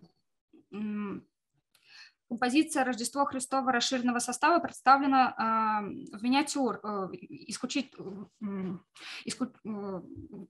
в качестве исключения вот в этом слове такого, в принципе, не характерно для миниатюр в слове «Зачатие на предтече» Егоровском сборнике 60-70-х годов на двух разворотах страниц. Расползание миниатюры на несколько страниц демонстрирует радикально новый принцип устройства миниатюры, почти что не встречавшийся ранее. Как и в иконе, тема Рождества Христова представлена как панорама события, требующая широкого пространственного охвата. Несмотря на отсутствие регулярной, понятной для восприятия расстановки сцен цикла, панорама держится расположенной в небесах а, фигуры Господа Саваофа, от которой сюжет распространяется в разные стороны. А, похожую композицию, продолжающуюся на нескольких страницах, можно обнаружить также а, и в сказании о чудесах архистратига Михаила из этого же составного сборника Егоровского «История Адама и Евы». А, в целом же художественное оформление этой рукописи как будто избегает регулярности в расположении миниатюры, а сами иллюстрации выходят за пределы своего поля, вытесняет текст. Композиции полны персонажами, в действии все и все восхваляют созданный Богом мир. А, такая нелинейная композиционная система нарративного цикла применяется начиная с последней трети XVI века в житийных иконах. Например, икона Александра Свирского с житийными сценами, который сейчас на экране, несмотря на кажущуюся необозначенность центра, ввиду равнозначности всех сюжетов, композиция имеет, имеет все же эпицентр. Это образ Богоматери, который поклоняется Александр Свирский. Из прозаического процесса строительства монастыря сюжет приобретает значение духовного восхождения к Богу. А, к этому же роду произведений, а, как бы, имеющих родство с как бы, житийными циклами, но построенных иначе композиционно, мы можем отнести икону а, Никифора Савина «Погребение святого Иоанна Богослова. Рубежа веков», несмотря на то, что состоящий из нескольких эпизодов сюжет сконцентрирован на одном событии. Отметим теперь, как житийная формула портрет святого цикл его жизни представлена в форме миниатюры, э, из чего можно сделать вывод о влиянии композиции, характерной для иконы, на книжную иллюстрацию формально, находясь раньше текста и миниатюр житийными эпизодами, выходная миниатюра с фигурой святого может восприниматься в том же, собственно, собственно говоря, в том же ключе, что и ростовая фигура святого в житийной иконе. В выходной миниатюре близок тип миниатюры, э, встречающийся в, э, в, иллюст, в иллюстрациях жития Сергия Радонежского. Вот картинка в центре. В центре представлен фронтальный ростовой образ преподобного, а по сторонам от него два сюжетных эпизода. Э, эта, эта иллюстрация сопровождает э, похвальное слово э, Сергию, которое в целом следует который, который в целом следует житийной хронологии, но характеризует скорее персону святого, чем его биографию. Отсюда как бы его выделение и акцентирование Полнота жизненного цикла заменена его кратким изложением с акцентом на манифестацию святости персонажа и лишь какой-то гранью его биографии. Интересно то, что такой тип миниатюры оказывается одним из ранних примеров житийного варианта с ростовой фигурой святого и с житийными сценами в среднике, который появится в второй половине 17 века. А, ну, таких примеров на самом деле довольно много, но вот я показываю один. Это к вопросу а, еще и о путях развития повествовательного цикла и проблемы нарратива уже во второй половине 17 века. А, в самую последнюю очередь обозначим формальные признаки, сопровождающие обозначенные выше тенденции. Ну вот, э, как пример, оставляю вот эту икону Троицы Ветхозаветной с дополнительными сценами на фоне, а именно развитие в обоих а, медиа, изображения в частности, внутренних палат, а также ландшафта. Они позволяют обозначить координаты пространства сюжета, а также, подобно джоттовским пространственным пробкам, разместить и расположить жестиную сцену. Благодаря развитию архитектурно-природного пейзажа художники могут располагать и группировать в единую взаимосвязанную композицию большое количество эпизодов, как в случае э, из такого типа иконами, так и в случае с иконами Рождества Христова расширенного э, иконографии. Э, и в заключение скажем, что тема нашего доклада, конечно, не исчерпывается обозначенными вот в ходе доклада моментами. Мы как бы схематично обозначили лишь основные тенденции. А, векторы развития повествовательного цикла, включая традиционный житийный кон со средних клеймами, отражает а, новый аспект риторики повествования в позднесредневековой культуре, необходимость сопоставления исследуемой проблемы в иконописи второй половины 16 начала 17 века с книжными иллюстрациями обусловлена, с одной стороны, сложившимся убеждением и вместе с ним методологическим подходом о том, что миниатюра рукописи, рукописи зачастую первична для новых композиций, так как тесно связаны с текстом и мобильны. А с другой стороны, миниатюра напрямую отражает поставленную проблему нарратива, поскольку иллюстрирует текст, содержащимся в нем повествованием. Поэтому кажется, что повествовательность икон этого времени, часто встречающая в исследовательской литературе слова, но в нашем докладе, докладе речь идет именно о повествовательных циклах, обусловлено влиянием а, миниатюры этого времени. В этой связи наше исследование показало то, что, несмотря на имеющиеся параллели, например, умножение сцен в границах одного изобразительного поля, например, в границах клейма миниатюры, и несмотря на области взаимовлияния, появление в рукописях панорамных миниатюр на развороте страниц, обе формы живописи в смысле визуальной передачи повествования в форме повествовательного цикла довольно самостоятельно ввиду индивидуальности художественных приемов и а, ввиду индивидуальности их функционирования в сфере благочестия. Спасибо за внимание. Спасибо большое, Софья Николаевна. Будут ли вопросы слушателей?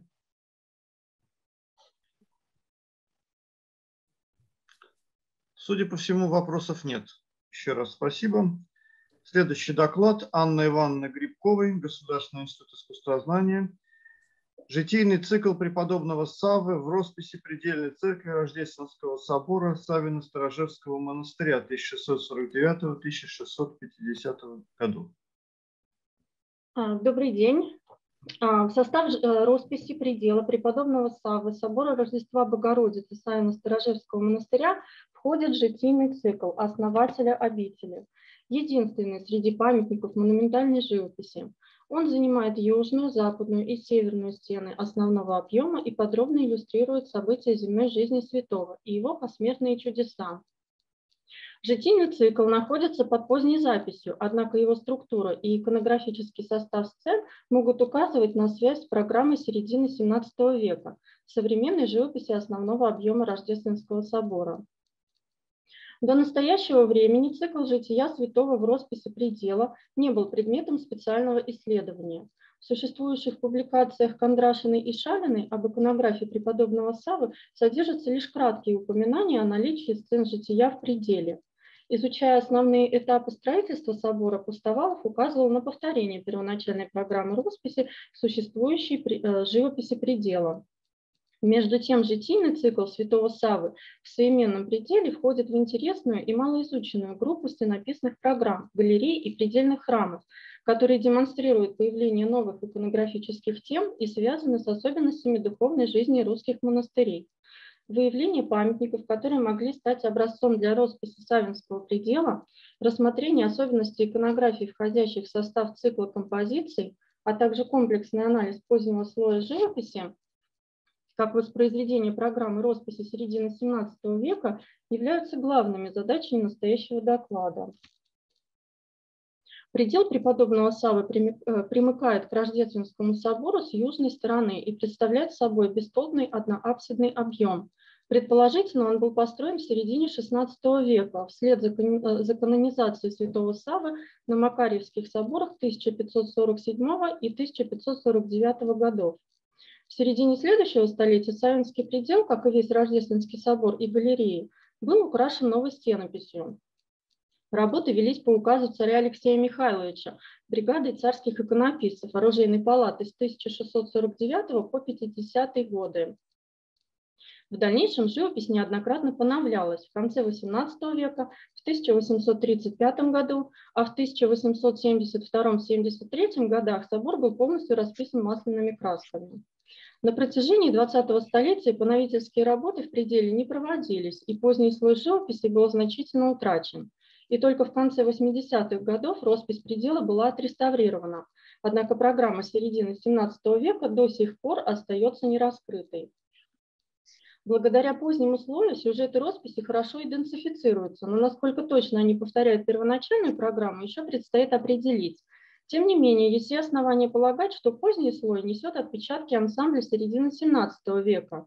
На это указывают не только раскрытая во второй половине 20-го столетия живопись в основном объеме храма и небольшие расчищенные фрагменты в южной и западной галереях, которые повторяют первоначальную программу, но и фрагменты росписи в алтаре самого Савинского предела. Наличие житийного цикла в пределе напрямую связано с прославлением мощей преподобного Саввы. Очевидно, что к середине XVI века сложилась и житийная иконография Звенигородского чудотворца. В ее основу легло географическое сочинение, которое было написано иноком Маркелом Безбородом сразу же после канонизации святого. Это подтверждает небольшое количество памятников того периода, о существовании которых известно только благодаря сохранившимся описям, иллюстрациям и фотографиям начала XX века. Все они опубликованы в каталоге «Преподобный Савва Сторожевский. Иконография 15-го начала XX веков» авторов Седова и Шалиной. В число этих памятников входят икона преподобной Савва в молении образа Христа Царицы с житием и чудесами в клеймах второй половины XVI века, икона преподобной Савва с житием и чудесами в 16 клеймах второй половины XVI века, Последняя известна по литографии в книге служб 1876 года и могла быть самым древним житийным образом святого, ставшим образцом для последующих произведений. Еще известна икона преподобной Савва с житием и чудесами, чудесами в 20 клеймах второй половины XVI века или около 1648 года, висевшая в конце XIX века на южной стене собора над ракой святого, а также шитая для нее в 1648-49 годах подвесная пелена с житием и чудесами в 20 клеймах. Кроме того, уцелела литография, выпущенная в 1903 году в московской типографии Сытина, на которой изображен снимок с, древ... Э, с древней иконой, что в правой стороне раки святых мощей преподобного Саввы. Поздним сохранившимся произведениям относятся иконы 1835 года из собрания Лихачева. Она представляет собой большую ценность, поскольку была написана одновременно с работами по поновлению стенописи в соборе в старинном вкусе и могла сохранить древнюю иконографическую традицию изображения жития святого Саввы. Таким образом, в настоящее время известны воспроизведения лишь четырех памятников циклом жития святого. Это литографии двух икон 1876 и 1903 годов и фотографии иконы в 20 клеймах и шитой для нее пелены.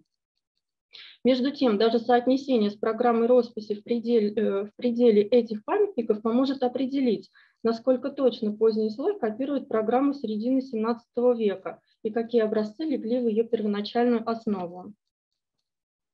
Повествование житийного цикла в росписи предела начинается с верхнего регистра, где в люнетах находятся события земной жизни святого.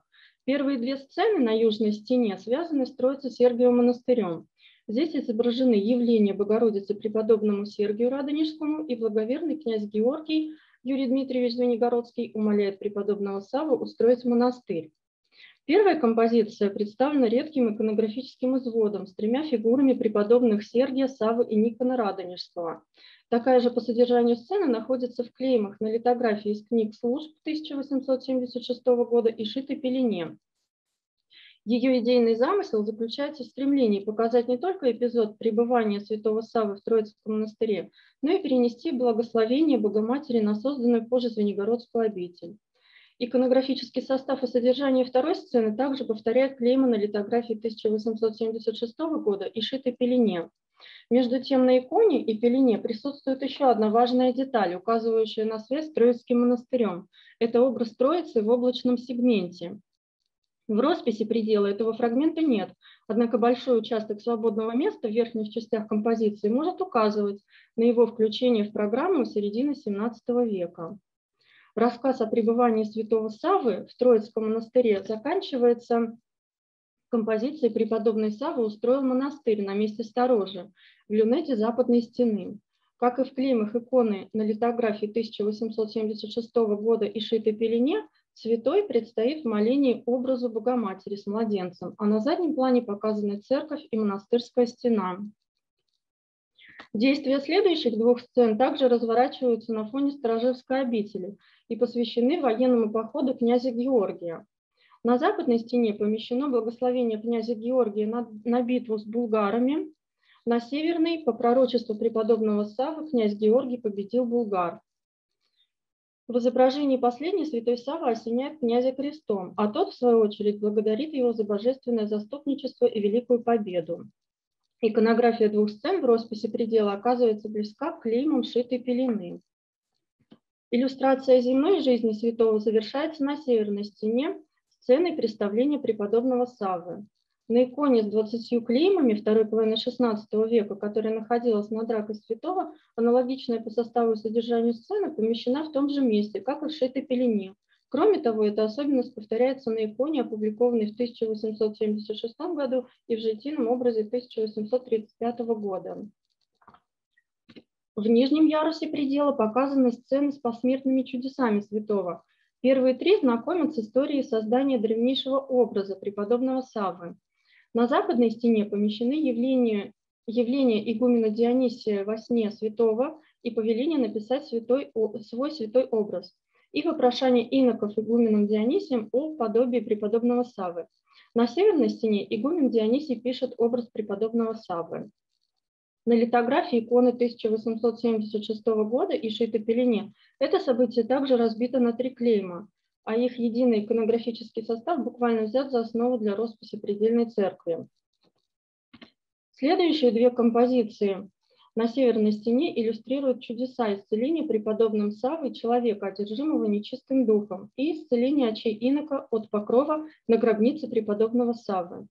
Содержание двух сцен оказываются близки клеймам на литографии из книг служб 1876 года и шитой пелене, что также указывает на следование единой иконографической традиции.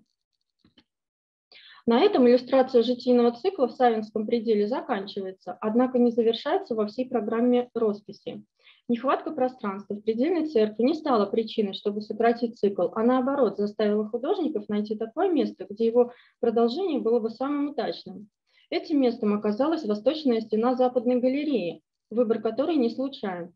Во-первых, эта часть храма связана с местом, где предположительно был погребен преподобный Сава, а во-вторых, именно здесь произошло чудо с разбойниками, которые намеревались обокрасть храм через окно, еже есть у гроба святого.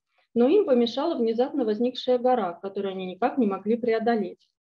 Изображение этого события помещено в левой части люнета, и по своему составу схожи с клеймами на литографии иконы 1876 года и шитой пелене. Однако в росписи отсутствует главная деталь – высокая гора, символизирующая собой неприступную крепость. Очевидно, что первоначально этот фрагмент входил в состав композиции, но при поздних поновлениях был утрачен. В правой, прошу прощения, в правой части люнета изображено чудо исцеления очей инока, отрением их под покровом от гроба преподобного Савы, состав которой схож с клеймом на шитой пелене. Судя по всему, здесь показана история исцеления монаха Вениамина, который припал к гробу святого, яко неочимо возрете Мажаша. А мы после этого лицо священной водой инок исцелился. Ниже, справа от окна, находится Исцеление игумена Мисаила у гроба преподобного Саввы. Аналогичная по содержанию композиция воспроизведена в клеймах на литографии иконы 1876 года и шитой пелене, что говорит о существовании единой иконографической схемы. На этом иллюстрация житийного цикла святого Сава как в росписи предельной церкви, так и в рассматриваемых памятниках XVI-XVII веков заканчивается.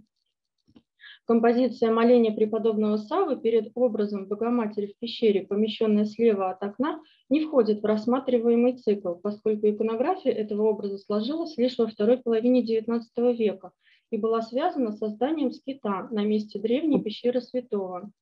Скорее всего, это изображение появилось здесь во время записи храма в 1872-73 годах и символизирует молитвенный подвиг безмолвия и отшельничества основателя обители. При анализе существующей программы росписи предела выявляется заметное сходство ее иконографических особенностей с утраченными памятниками второй половины XVI – середины XVII веков.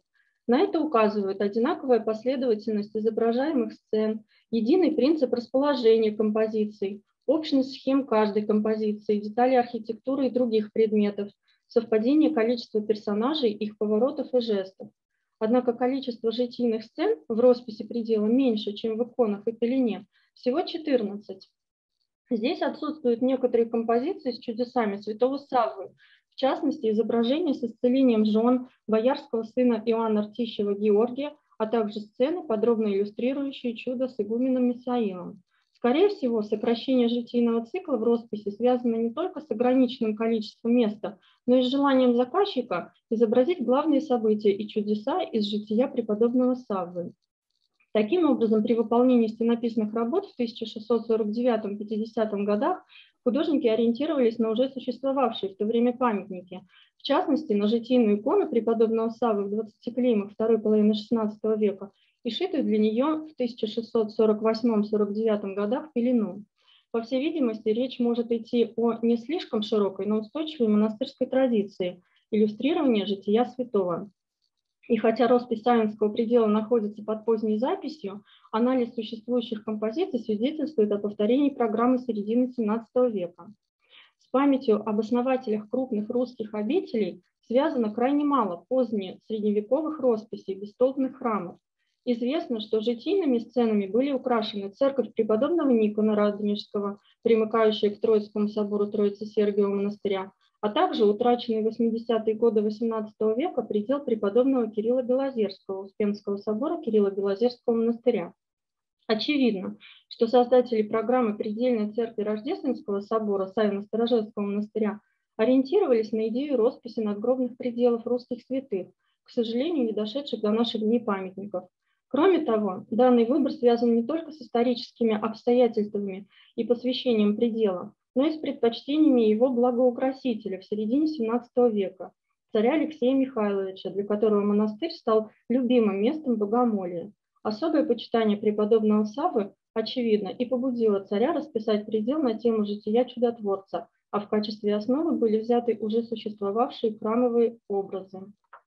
Спасибо за внимание. Спасибо большое, Анна Ивановна. Э, будут ли вопросы?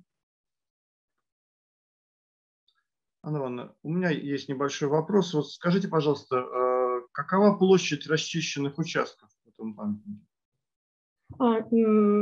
Площадь расчищенных участков минимальна. Э, в пределе, в самом, э, в рассматриваемом цикле ее практически нету, но есть участки в алтарном пространстве предела, которые позволяют нам ориентироваться на то, что роспись э, была э, восполнена э, при поздних поновлениях.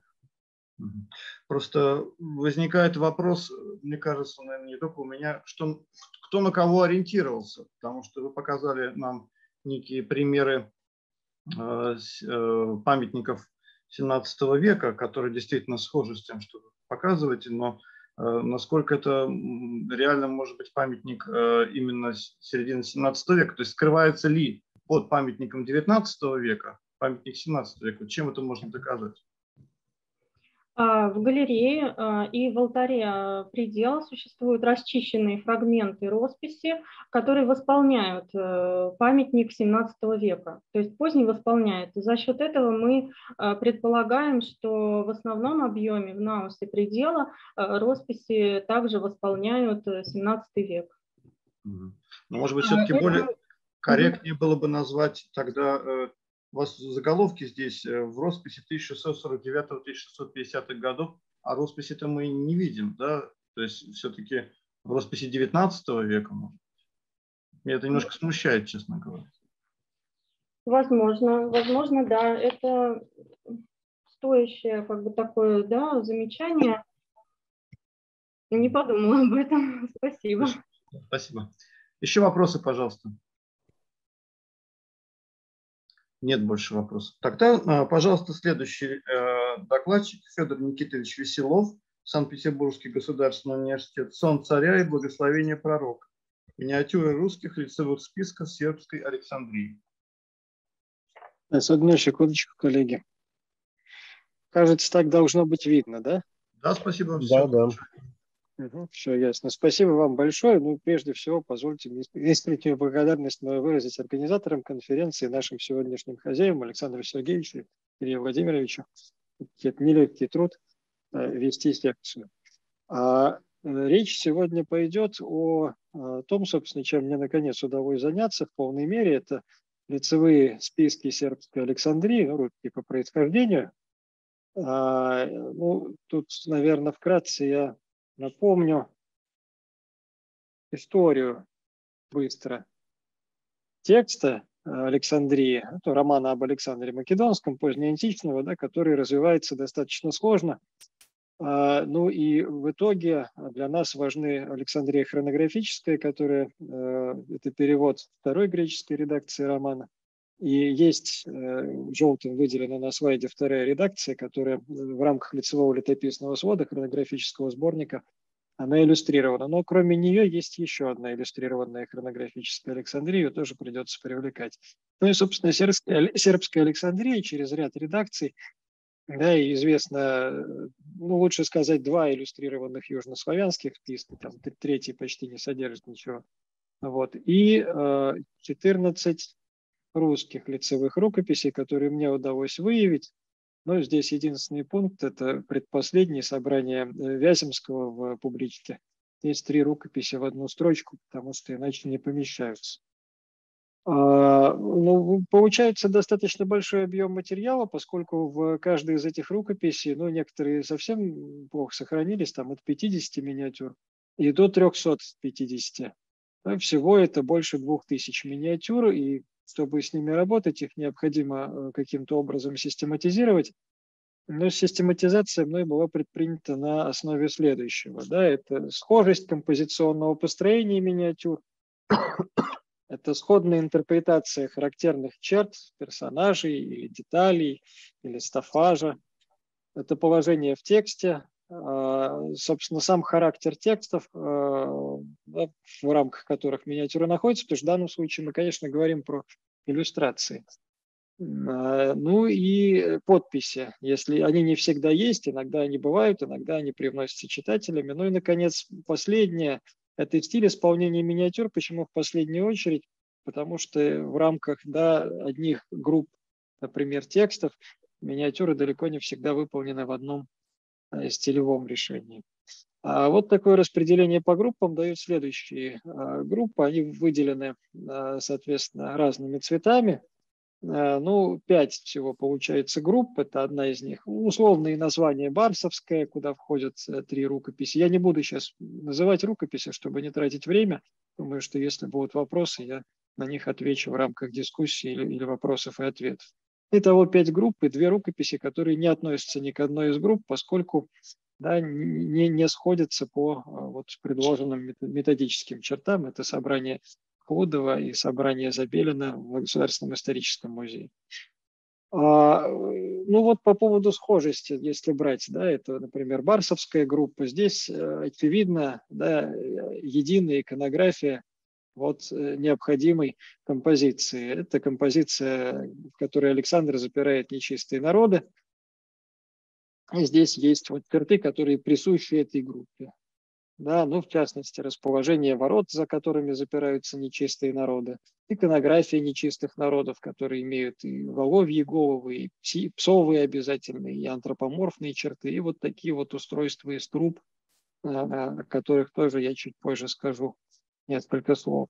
Уваровская группа, она характерна двумя достаточно поздними рукописями, но есть еще рукопись Третьяковской галереи, изданная а, ну, вот в рамках письменных памятников Третьяковской галереи. А, и, судя по всему, судя по композициям миниатюр, она является дальним-дальним родственником этой группы. Вот. Э, и в рамках этой группы, например, миниатюры Третьяковской галереи, они уже компонуются там по две и по три вместе на одной иллюстрации, на, на, одной, на одном, простите, листе, на одной стороне листа. До этого Третьяковской галереи, они больше разбросаны. Но э, тут, что является решающим, это отсутствие в иных рукописях миниатюр на вот конкретно данный сюжет. Э, Ефросиновская группа тоже, это две достаточно поздние рукописи. XVIII века, начала XVIII века. Опять же, здесь есть сюжеты, характерные только для этой группы, в других группах они не встречаются. Вяземская группа очень близка по стилю, но если, скажем, рукопись исторического музея, она поинтереснее, она подробнее, она выполнена более профессиональным художником, то очевидно, что здесь мы имеем дело с копией, и опять же это подтверждается разным возрастом рукописи. Ну, рукопись Уваровская постарше, чем рукопись Вяземская. Простите, рукопись музейская постарше рукописи Вяземской. И еще две рукописи интересные. Это одна из них это так называемая Петровская Александрия. Это в собрании библиотеки Петра I, библиотеки Академии наук. Это потрясающая альбомная рукопись, очень красивая, подносная, сделанная для, судя по всему, для царевича в 1676 году в посольском приказе. Но вот мной была еще обнаружена рукопись. Она была опубликована до этого, э, тоже в собрании Вяземского в публичке, которая, судя по всему, является ее черновиком. По крайней мере, схожесть композиционной миниатюры, она не вызывает сомнения, и это вот на протяжении всей, всей рукописи. Кроме того, там текст одинаковый, и по тексту тоже доказывается, что это черновик. Ну и Худовская и Забелинская рукописи, которые сложно отнести к какой-либо из выделенных мной групп. А всего проиллюстрировано 449 а, сюжетов романа а, в разных рукописях и общими, э, то есть параллельно проиллюстрированы во всех группах или во всех рукописях всего 9%, всего 39 сюжетов. То есть разница очень большая, да, вариативность очень большая, поэтому с моей точки зрения здесь нельзя говорить о том, что у этих 14 лицевых рукописей может быть какой-то единый лицевой протограф или не восходят к некому единому лицевому архетипу. Скорее всего, их было много. Вот чем объяснить того, что так мало общих сюжетов. Вот они здесь перечислены, но не буду на них останавливаться. И чем объяснить такую вариативность? А, ну, что касается вариативности, вот в данном случае это пример с э, явлением волхва Никтана в образе чудовища Олимпиаде в ночь зачатия Александра. Ну, нужно сказать, что еще Ариана и у прочих историков античности появляется легенда о том, что, Ари... Э, что Александр на самом деле не сын Филиппа, что там все намного сложнее. А, и, собственно, эта легенда, она через псевдокалисфенов роман доходит и до Руси. Но и здесь видите, что иконографии, вот, собственно, этого самого бога Амона, который является Олимпиадой, они самые разные. Есть, вот, условно говоря, антропоморфные, есть больше такая зооморфная. А, и это полностью, оказывается, зависит от текста. В тексте, э, тексты разные, здесь они приведены, ну вот описывается глава Орля, на нем розе Василиска, выкрываджи и три косы зваты червлем. И мы видим вот, собственно, орлиную главу, и крылья и, и, и прочее. А в других рукописях добавляется, что еще опас аспидов, ну то есть хвост аспидов, и ноги львовы и так далее. И здесь вновь видна зависимость от текста. А, еще более характерная зависимость от текста – это э, вот сюжет со сном царя Филиппа, когда сначала Волх Никтонаф, он является к Олимпиаде и зачинает Александра, параллельно Филиппу снится сон о том, что у него наконец-то будет долгожданный наследник, Филипп в это время на войне находится. А, и там тоже достаточно интересно получается, по крайней мере, несколько иконографий. Да? Тут есть бог Амон антропоморфный с ребеночком, есть заморфный с ребеночком, есть без ребеночка просто с рогом, есть человеческой рукой. Это полностью оказывается связано с текстом, поскольку текст эволюционирует вот от «Явись ему бог Амон во сне по образу льва рогом золотым, на нем о Александре весь нося», Дальше с рогом золотым Александрову руку нося. И дальше через несколько переписываний текста допускается ошибка Александра в руку нося, и в руке у зооморфного ОМОНа появляется маленький ребеночек Александр. А, не всегда э, изменение иллюстрации связаны с текстом, иногда необходимо найти текст, который объясняет сохранившуюся иконографическую схему. Так в рукописях Барсовской группы есть вот а, такой инструмент с трубами, который связан с запиранием Александром нечистых народов. А, и в тексте это нигде не объясняется, это объясняется в тексте некоторых других списков и тоже сохраняется иногда этот инструмент. Но тут речь идет о том, что Александр поставил трубы на все страны, да когда с какой стороны ветер повеет, тогда он и трубы, трубы сами затрубят от ветра.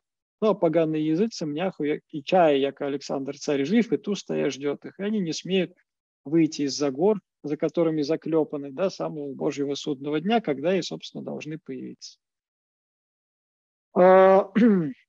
А, что касается благословения пророка, ну, как заявлено в заглавии моего доклада, тоже, да, это знаменитая, известная сцена, с, причем а, сама, сам по себе сюжет, он появляется еще уже достаточно рано, и, судя по всему, до псевдокалисфенова романа, это э, связь Александра Македонского с Иерусалимом, на псевдокалисфеновом романе уже в более такой христианизированной версии – Эпсилон и дальше э, сербская Александрия, славянский перевод, это пророк Иеремия. В данном случае, по меньшей мере, мы э, видим несколько вариантов облачения пророка Иеремии. Может быть облачен, как э, представлено сейчас на слайде, в архиерейское облачение. Более того, в тексте сербской Александрии написано о том, что он в архиерейском облачении встречал Александра. Кажется, какие могут быть еще расхождения, однако нет – Пророк может вполне встречать Александра, как мы видим, и в облачении Иерея, и вообще э, чаще всего без э, какого-либо облачения, а в хитоне и в гемантии. И, э, судя по всему, здесь тогда нужно говорить о том, что авторы миниатюр, авторы иллюстраций, они пользуются известными сюжетами да, да, иконографии пророка Иеремии, которая к 17 веку, о котором я говорю, была уже достаточно давно разработана, известна. И, ну вот для примера из, Софийс, из пророческого чина Софийского собора Новгорода, а, икона 1509 года. А, то есть таким образом могут быть разные вариации. Что касается, вот возвращаясь э, к э, зачатию Александра, да, э, глава Орля, роги, ризы Василийского, крылья и косы златы червлены, но совершенно очевидно, что, например, в Клудовском сборнике это совсем не Орля глава, да, а, а глава некоторого чудища. Вот что касается чудища в Александрии хронографической, то есть в Александрии э, переводной от редакции Беты, которая иллюстрирована в лицевом летописном своде, достаточно точно описано, как Нектонав являлся Олимпиаде, что он надел куру э, вместе с головой э, овцы, ну, точнее, барана, да, и с соответствующими золотыми рогами, украшенными златом. Вот. Но что интересно, а, в более поздней 1620-х а, годах рукописи а, из э, публичной библиотеки основного собрания рукописной книги F1554, где текст хронографической Александрии, но который иллюстрировано, там э, этот самый Никтонав, он представлен в виде беса, вполне себе, с крыльями, о которых никакой речи не идет в тексте хронографической Александрии. И, судя по всему, э, это следует относить к уже обратному влиянию иллюстраций Александрии Сербской на Александрию хронографическую. А в чем это еще может проявляться? В частности, это иконография одного из таких важнейших персонажей романа об Александре, э, коня Александра Буцефала. В данном случае а, сверху а, две иллюстрации. Это сцена украшения коня. Ну, сначала Филиппу приводят коня Буцефала, и в, уже у Ариана описывается, что у Буцефала на бедре есть пятно в виде воловьей головы. Поэтому он, собственно, Буцефал. И это пятно в обязательном порядке прослеживается в иконографии, начиная, ну, по крайней мере, с X-XI века. И здесь мы это пятно видим в сербской Александрии. Но в сербской Александрии у Буцефала еще и рог появляется, он единорогом становится. И вот в данном случае, пожалуйста, есть и пятно, и рог, но в Александрии хронографической, из чего я делаю вывод, что она испытала влияние иконографии Александрии Сербской, а мы говорим о 1620-х годах. А, вот сцены с э, украшением Буцефала, ну, условно говоря, поскольку это либо сцена при показа коня царю Филиппу, либо дальше уже, когда Александр скачет на этом коне, на Буцефале, а Филипп а, иногда с Олимпиадой, э, любуются на своего сына, который укротил это дикое животное. Кстати, в некоторых иллюстрациях в обязательном порядке присутствует клетка, в которой держится буцефал. Это описывается в романе, что когда Филиппу привели коня, он не знает, что с ним делать, его никто не может укротить, тогда его сажают в клетку.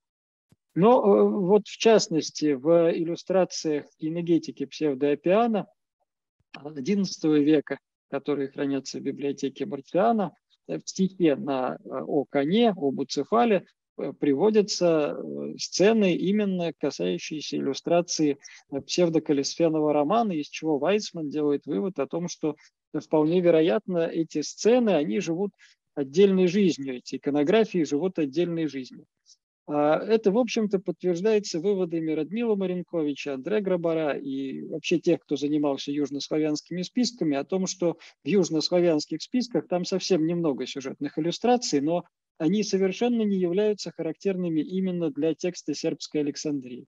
Эти иллюстрации могут быть применимы к любой версии романа псевдокалисфена, из чего делается вывод э, о том, что Э, это вполне э, возможно. То есть вполне возможно отдельное существование иллюстраций от текстов. И дальше на каких-то этапах эти иллюстрации с текстами начинают пересекаться.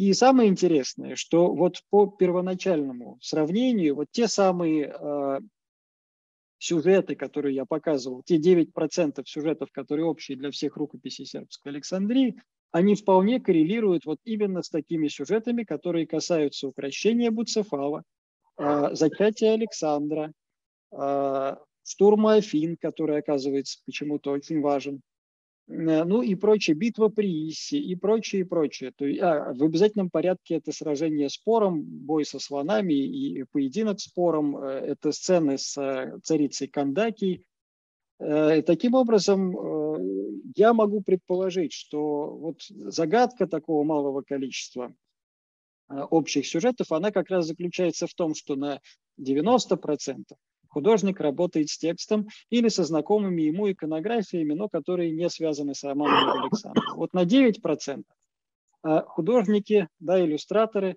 они получали готовый материал, ну, скажем, то же самое «Вознесение Александра», которое известно по многим-многим-многим а, памятникам и архитектурным, и декоративно-прикладного искусства.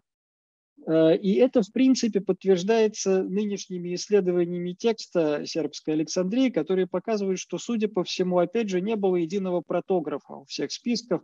Ну, вот так Антуанетта Градмерк, э, Дмитрий Михайлович Буланин показывают, что, э, по-видимому, было несколько проникновений текста, нескольких текстов и, возможно, тоже связанные с иллюстрациями, если они попадали на русскую почву, а так все-таки, скорее всего, они достаточно самобытные, и, в общем-то, да, тут об этом тоже уже речь шла, что нет связи русских иллюстраций ни с южнославянскими, ни с византийскими. Вот единственная связь, которая может быть, как мне представляется, это сквозные сюжеты, а, вот связанные с самыми характерными легендами об Александре. А, ну, пожалуй, на этом я заканчиваю. Благодарю за внимание и буду а, рад, конечно, вопросам. Спасибо большое, Федор Никитович. Э, будут ли вопросы? И рад бы, но все-таки слишком малознакомый материал, чтобы эти вопросы задавать. Да, большое спасибо за то, что познакомили нас с этим. Э, так, э, пожалуйста, у нас остался последний доклад э, авторского коллектива сотрудников Государственного русского музея Ирина Анатольевна Антропова, Анастасия Ивановна Журавлева, Жанна Аркадьевна Максименко. Два кемских деревянных резных креста второй половины XVII века, сравнительный анализ конструктивного, пластического и колористического решения. Да, здравствуйте, видели меня и слышно ли меня? Да, доклад э, Ирина Анатольевна делает. Да, Ирина, да. Всем добрый вечер. Среди большого ставрографического материала одной из самых интересных и малоизученных является группа кемских деревянных поклонных крестов второй половины XVII века. Незначительную по количеству, но уникально по своим характеристикам группу входят шесть сохранившихся распятий, находившихся на территории Кеми и Кемского уезда. Особенностью выявленных памятников является схожая типология. Все они поклонные, восьмиконечные, большемерные, резные, живописные. Примечательно, что все кресты имеют надпись даты поставления. Темой нашего сегодняшнего выступления станут два наиболее выразительных креста этой группы, находящиеся ныне при Кемском Успенском соборе. Удивительно, но оба памятника до последнего времени оставались неизвестными специалистам и только начинают изучаться. Первоначальное местоположение обоих крестов неизвестно.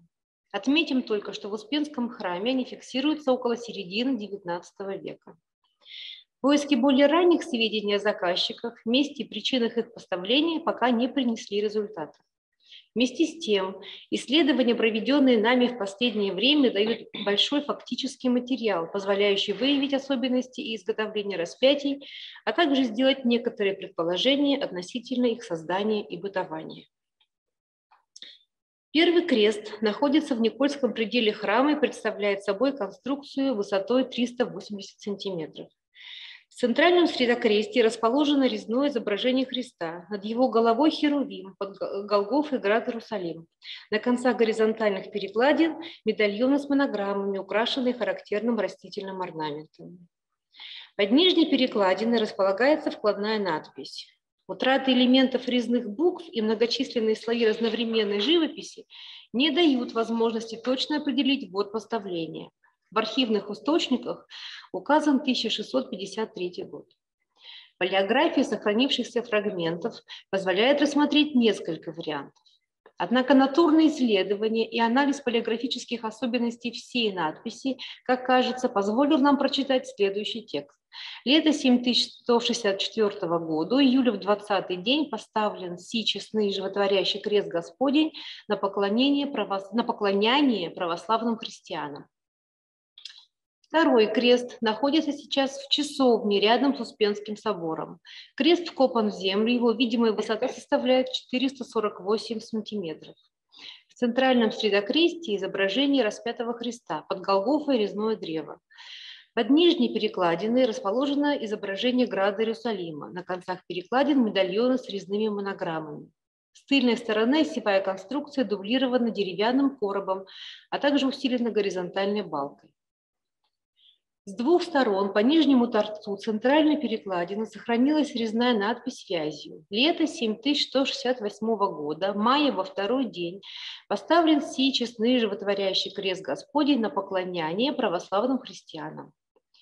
Особенностью данного креста является наличие резных молитвенных песнопений, заполняющих все пространство обоих боковых торцов от центральной горизонтальной перекладины до самого низа, по 55 строк с каждой стороны.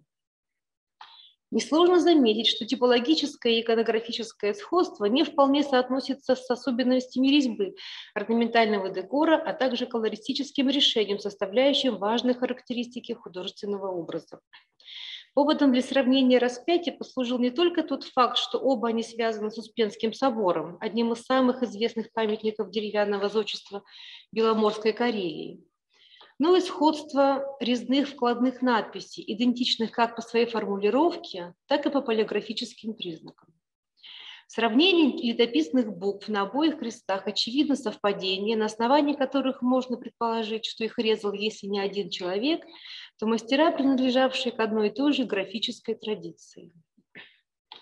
Прежде чем перейти к сравнению памятников, заметим, что сохранность креста из Никольского предела существенно отличается от креста из часовни.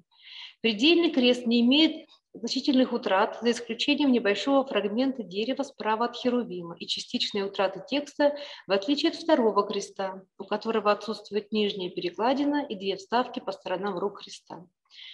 Почти утрачено изображение Иерусалима внизу. Также разницу можно отметить и в сохранности полихромной разделки. Стратиграфия и химический анализ отобранных с креста в часовне проб дает возможность определить лишь ряд поздних попыток поновлений, до трех слоев в отдельных случаях. А в пробах из э, креста из предела прослеживаются попытки проведения реставрационных мероприятий, это наличие слоев протеинового связующего поверх утраты авторского красочного слоя или поздних записей, вставки композиции на основе воска масляного связующего, позднее золочение до пяти слоев записей.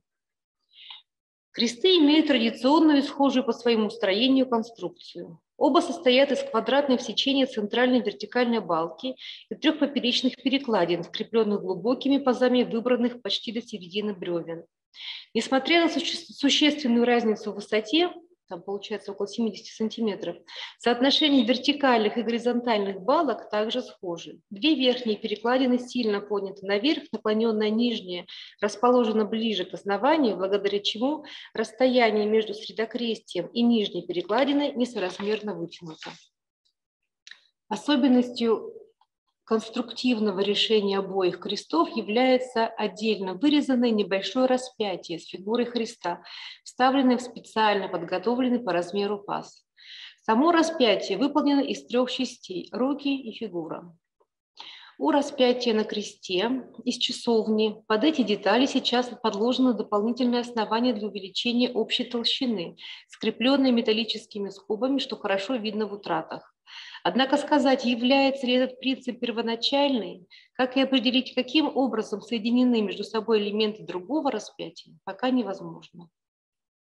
Важно отметить, что совпадает не только конструктивное решение, но и материал. Основы обоих крестов выполнены из сосны, тогда как небольшое распятие с фигурой Христа и в том, и в другом случае береза.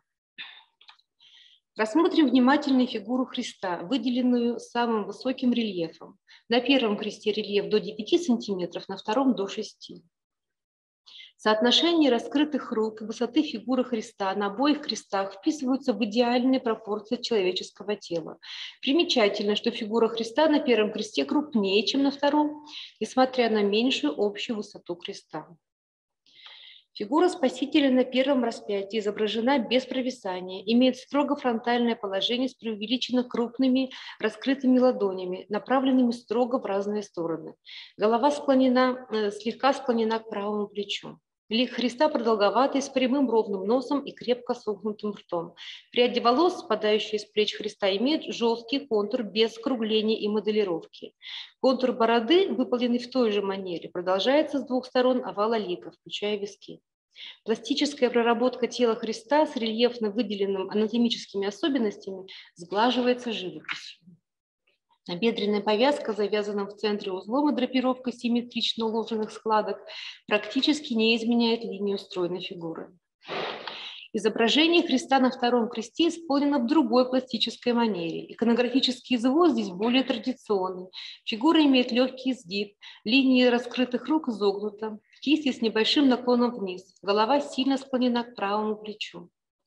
Закрытые глаза и надбровные дуги выполнены уверенным движением. Борода моделирована неглубокими параллельными линиями. Раздвоение на конце бороды, возможно, сделано позже. Волосы проработаны более глубокими плавными линиями. Анатомические особенности тела Христа отличаются большей графичностью и строятся с помощью прорезных линий, а не пластики. Интересны декоративные узоры на бедренной повязке Спасителя, вырезанные в технике неглубокой цировки и напоминающие геометрические тесненные орнаменты. Обратим внимание на более плоскостное решение драпировки ткани без объемных складок. Отличающееся пластическое решение резьбы фигуры второго креста может свидетельствовать об ином иконографическом источнике и, возможно, говорить об использовании других технических и художественных приемов, имевшихся у создававшего его мастера. И в этой связи показательной является орнаментальная резьба. Прежде всего обратим внимание на монограммы в кругах, э, которые на первом кресте вырезаны в плоскости основного объема, а на втором были съемными и вставлялись в специальные пазы, где фиксировались дополнительными гвоздями. Отметим, что монограммы и их декор отличаются между собой и внутри одного креста. Так верхний медальон с надписями «Царь и славы» проще по исполнению, чем украшенные центральные монограммы «Иисус Христос». Это замечание справедливо для обоих крестов. Важно и то, что в центральном перекрестии и в том и в другом случаях буквы вырезаны на ромбе, который в первом кресте вписан в круг, а во втором накладывается сверху и выходит за границы внутреннего обода медальона. Кажется, что ажурная резьба второго креста, явно восходящая к новгородским образцам, существенно отличается от упрощенно грубоватой формы первого. Вместе с тем, Заметим, что орнамент букв второго креста состоит из отдельно вырезанных разнонаправленных извивающихся трилистников, соединяющихся в единый узор. Монограммы первого креста украшают те же трилистники, только единичные и вырезанные на толстом стебле более схематично. Орнамент на обоих крестах используется не только в медальонах. На кресте 1660 года изящная невысокая резьба встречается на монограммах «Место лобное, рай, бысть», «Голова Адама», а также на корнях древа. На первом кресте Крупные стебли с трилистниками на нижней перекладине перестают быть орнаментом исключительно медальонов и проникают в другие композиции «Град Иерусалим» и вкладную надпись. Отдельного рассмотрения требует изображение града Иерусалима, имеющееся на обоих крестах. На первом он располагается сразу под Голгофой, на втором помещен внизу под наклоненной перекладиной, что повлияло на сохранность резьбы и живописной разделки. Принимая во внимание разницу в деталях, мы все же полагаем, что изображение небесного Иерусалима на обоих крестах подходит, если не к одному источнику, то к близким образцам, на что э, указывают схожие размеры, пропорции, архитектурная композиция и характер изображения. Как уже было отмечено, оба креста имеют большое количество пановительских записей, поэтому визуальное сравнение авторского колористического решения памятников на сегодняшний день невозможно. Однако отбор проб, произведенный на месте во время экспедиционного выезда в Кейм и их изучение в лабораториях Русского музея позволили определить важные технологические особенности живописи. Так, в результате исследований выяснилось, что первоначальный слой живописи на основе протеинового связующего в обоих случаях лежит на древесине без грунта. Различается способ наложения металлизированного покрытия. Обнаруженное листовое серебро на буквах и ободках медальонов на первом кресте положено прямо на основу без грунта, тогда как в медальонах второго креста металлизированное покрытие лежит на тонком слое на основе свинцовых белил и протеинового связующего. Отличалась и основная колористическая гамма обоих крестов. Если основным цветом первого креста был синий на основе меди, то второго – железосодержащий красный пигмент. В обоих случаях присутствуют колористические смеси на основе часто встречающихся пигментов – свинцовой белой, свинцовой красной, сурик, охр, киноварий, угля. Отметим тот факт, что во втором кресте из синих пигментов использовано только индиго, которого в авторском слое первого креста не обнаружено. Завершая выступление, подведем некоторые итоги. Два поклонных креста из Успенского Кемского собора могут рассматриваться как авторские произведения, созданные разными мастерами с ярким индивидуальным почерком. Несмотря на сходные архитектурные конструкции, набор художественных и технических средств, применяемых при их изготовлении, кресты не выглядят ни прямыми повторениями какого-то общего прототипа, ни копиями друг друга, хотя и несут следы использования близких иконографических образцов. Второе. Технологии изготовления как самих крестов и их съемных частей, так и живописной и металлизированной разделок говорит о схожем алгоритме работы, что с учетом небольшой разницы во времени поставления, то есть 4 года, и идентичной вкладной надписи может указывать на создание крестов в одной мастерской. Третье. Принимая во внимание использование не только живописи, но и металлизированного покрытия, в нашем случае серебра, а также уровень мастерства резчиков, прекрасно владеющих всеми видами резьбы, предполагаем, что оба креста создавались по заказу состоятельных вкладчиков. Нельзя исключать, что заказчиком мог выступать и Соловецкий монастырь, владеющий во второй половине XVII века Кемским городком. Вместе с тем, данных, что это были именно соловецкие мастера, у нас пока нет. Сказанное об уровне исполнения крестов также может свидетельствовать о месте поставления. Это мог быть монастырский двор, Успенская или Никольская церкви, известные в это время по архивным документам, или специально построенная часовня. Исследование кемских крестов только началось но уже сейчас становится, позволяет расширить наше представление о ранней малоизвестной, яркой художественной жизни, существовавшей в середине второй половины 17 столетия на территории Карельского Поморья. Спасибо за внимание. Спасибо большое. Будут ли вопросы? Э, если можно, э, один вопрос. Да, конечно. Э, вопрос вот какой. Вот эти изображения Иерусалима, нижней части крестов, они где-то еще зафиксированы э, в аналогичных произведениях? А, в смысле, вы имеете в виду в крестах? Да. Я не нашла. Угу. Спасибо. Так, еще Если будут... позволите, да, да. тоже короткий, короткий такой технологический вопрос. А чем объясняется использование разных пород дерева? Хотела бы я вам сказать стопроцентной уверенностью, чем они отличаются. Положение тогда. Мы, а, знаете, у нас получается, я с этого начала, у нас получается шесть крестов, и э, эм, из них э, три имеют вкладные распятия, э, это еще вот один крест из Музерского монастыря, и у них у всех разные породы древесины. Мы, я, да, да, я могу добавить, да, как реставратор, дело в том, что для крупных э, крестов, для, для основы крестов использовалась сосна, это было более предпочтительнее. А для того, чтобы вырезать э, мелкие фигуры, ну, достаточно мелкие по размеру, а, использовалась либо, в данном случае, либо тополь, у нас есть варианты применения топля, либо береза. Потому что это дерево подходит, э, потому что эта древесина больше подходит для такого рода резьбы. Это чисто технологическая история, она, в общем-то, э, повторяется не в одном кресте, мы уже там шесть, по-моему, ну, шесть, три, три точно, да, но и это объяснимо с технологической точки зрения. Но мы пока не влезаем в символические, мы пока не, не влезаем в символическое объяснение, хотя, в общем-то, его тоже можно сюда. А допускаете, да, что оно может быть? Ну, знаете, лучше, конечно, было бы три породы дерева. Ну да. Ну вот да, да, да, да, согласно сказанию об истинном кресте. Да. Ну вот в Муизерском, да, в Муизерском кресте как раз три породы дерева, и мы так как бы настраивали, что и в Кемских нам получится, скажем, медальоны в другом дереве найти, тогда мы были бы абсолютно счастливы, но нет. Пока два. Технологическое объяснение самое логичное ну, и, и первичное, наверное. Я думаю, что да. Спасибо большое. Будут ли еще вопросы?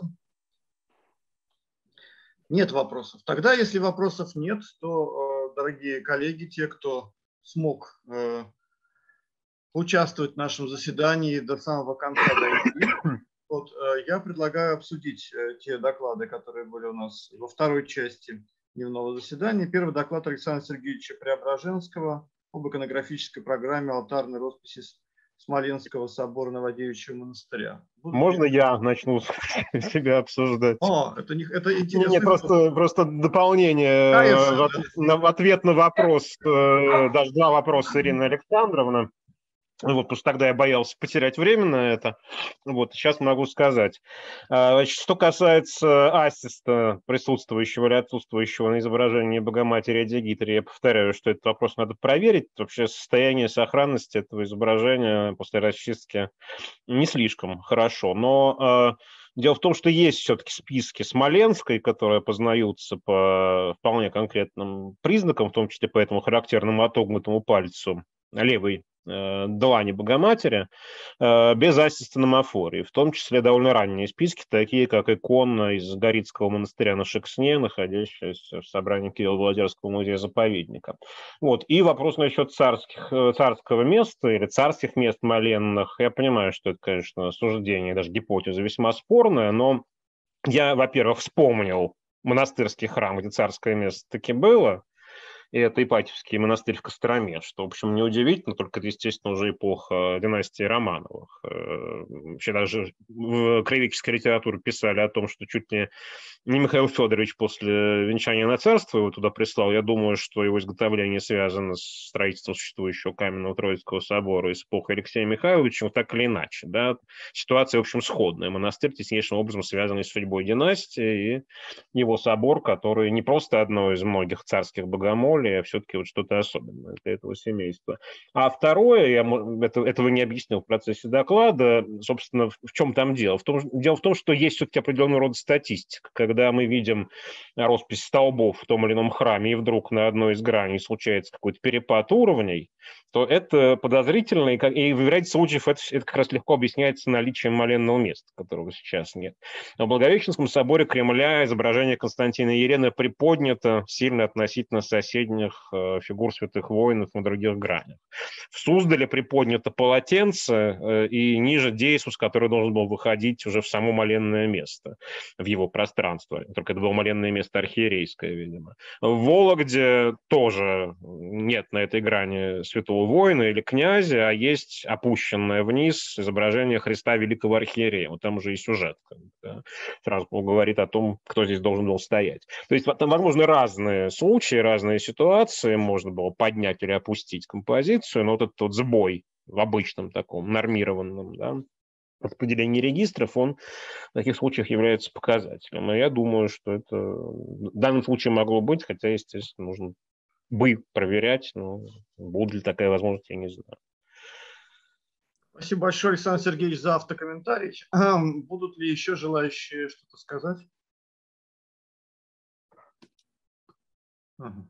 Ну, мне хотелось бы сказать, что действительно Александр Сергеевич представил, на мой взгляд, очень интересную, убедительную картину. И, конечно, а, сам отметил в своем докладе вот этот э, уникальный случай, этот, э, это сочетание, скажем так, во-первых, эм, святых предстоящих, да, связанных с разными, с разными династиями, да, соответственно, с ушедшей уже к тому моменту династии, да, и с новой, да, династии, которая так и не продолжилась. И, кроме того, сочетание вот живых и уже скончавшихся, ну, естественно, не самих живых скончавшихся, небесных покровителей, мне кажется, что действительно каких-то аналогий такому сочетанию тоже нет. Может быть, кто-то меня поправит. По крайней мере, вот это то, что запомнится уж точно из этого доклада. Да, и большое спасибо за такой подарок.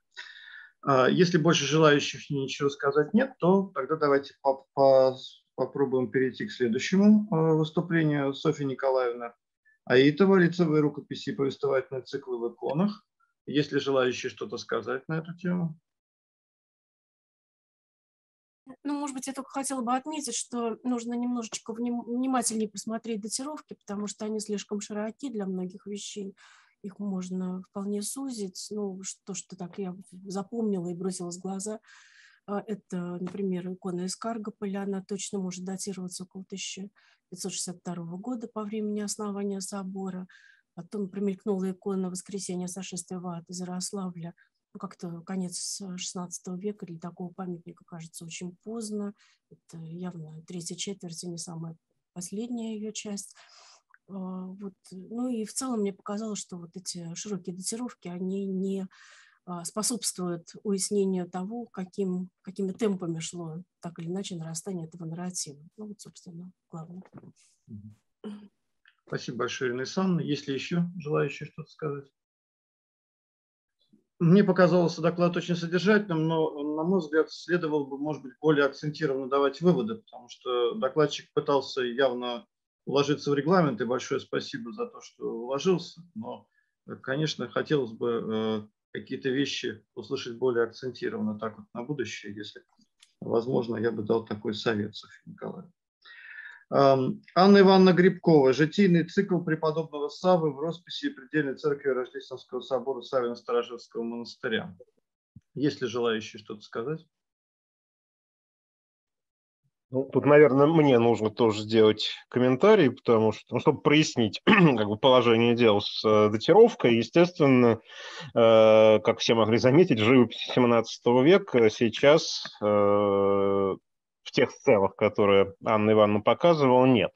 Но э, тут есть система аргументов, которая позволяет э, все-таки говорить о том, что эти сцены были, и что их не в XIX веке придумали. Э, аргументов следующих. Во-первых, роспись древняя там была. И в других компартиментах э, предела, и в соседних участках галереи все-таки связь двух слоев прослеживается. Во-вторых, и в главных, это часть более крупного ансамбля, к которому относится роспись самого собора, и там мы точно можно говорить о том, что поновители XIX века следовали иконографии XVII века, и более того, некоторые части этого слова XIX века, они уводят нас еще в XV, потому что там появляются такие комбинации сюжетов и э, фигур, которые ну, для, даже для XVII века уже были бы архаикой. Ну, в частности, это касается росписи Диаконика, где когда-то был Никольский предел еще в 17 веке исчезнувший, это касается росписи жертвенника и так далее. Когда попадаются действительно такие вот вставки 19 века, сделанные во вкусе 19 века, они обычно резко вываливаются. Ну, там есть такие места, резко вываливаются из этой э, системы. Вот. И, собственно, вот в периферийной этой зоне, то есть в пределе, в галерее, признаков какого-то творческого вмешательства, скажем так, э, мастеров Полишан второй половины XIX века как незаметно. Вот. И поэтому как раз э, привлекая житейные иконы, житейную пелену, можно сделать вывод, естественно, не может считаться доказанным на 100%, а может быть даже на 80%, но тем не менее вывод о том, что все-таки это памятник средневековой традиции, а не реконструкция XIX века, основанная основанная на цикле, цикл житийных икон той же самой Пелины. А логика такая. Спасибо большое, Александр Сергеевич. Я просто предлагаю переформулировать, если будет статья, немножко заголовок. Это можно, да. Да. Угу. Так, спасибо. Будут ли э, еще желающие выступить? Нет, тогда следующий доклад и Федора Никитовича Веселова э, «Сон царя, благословение пророка, миниатюры русских лицевых списков сербской Александрии». Есть ли желающие что-то сказать? Можно я спрошу? Да-да, пожалуйста, конечно. Да, спасибо большое, Федор Никитич, за доклад. Э, интересно было со всех точек зрения, и с филологической даже, и очень интересно было посмотреть на такие разные варианты.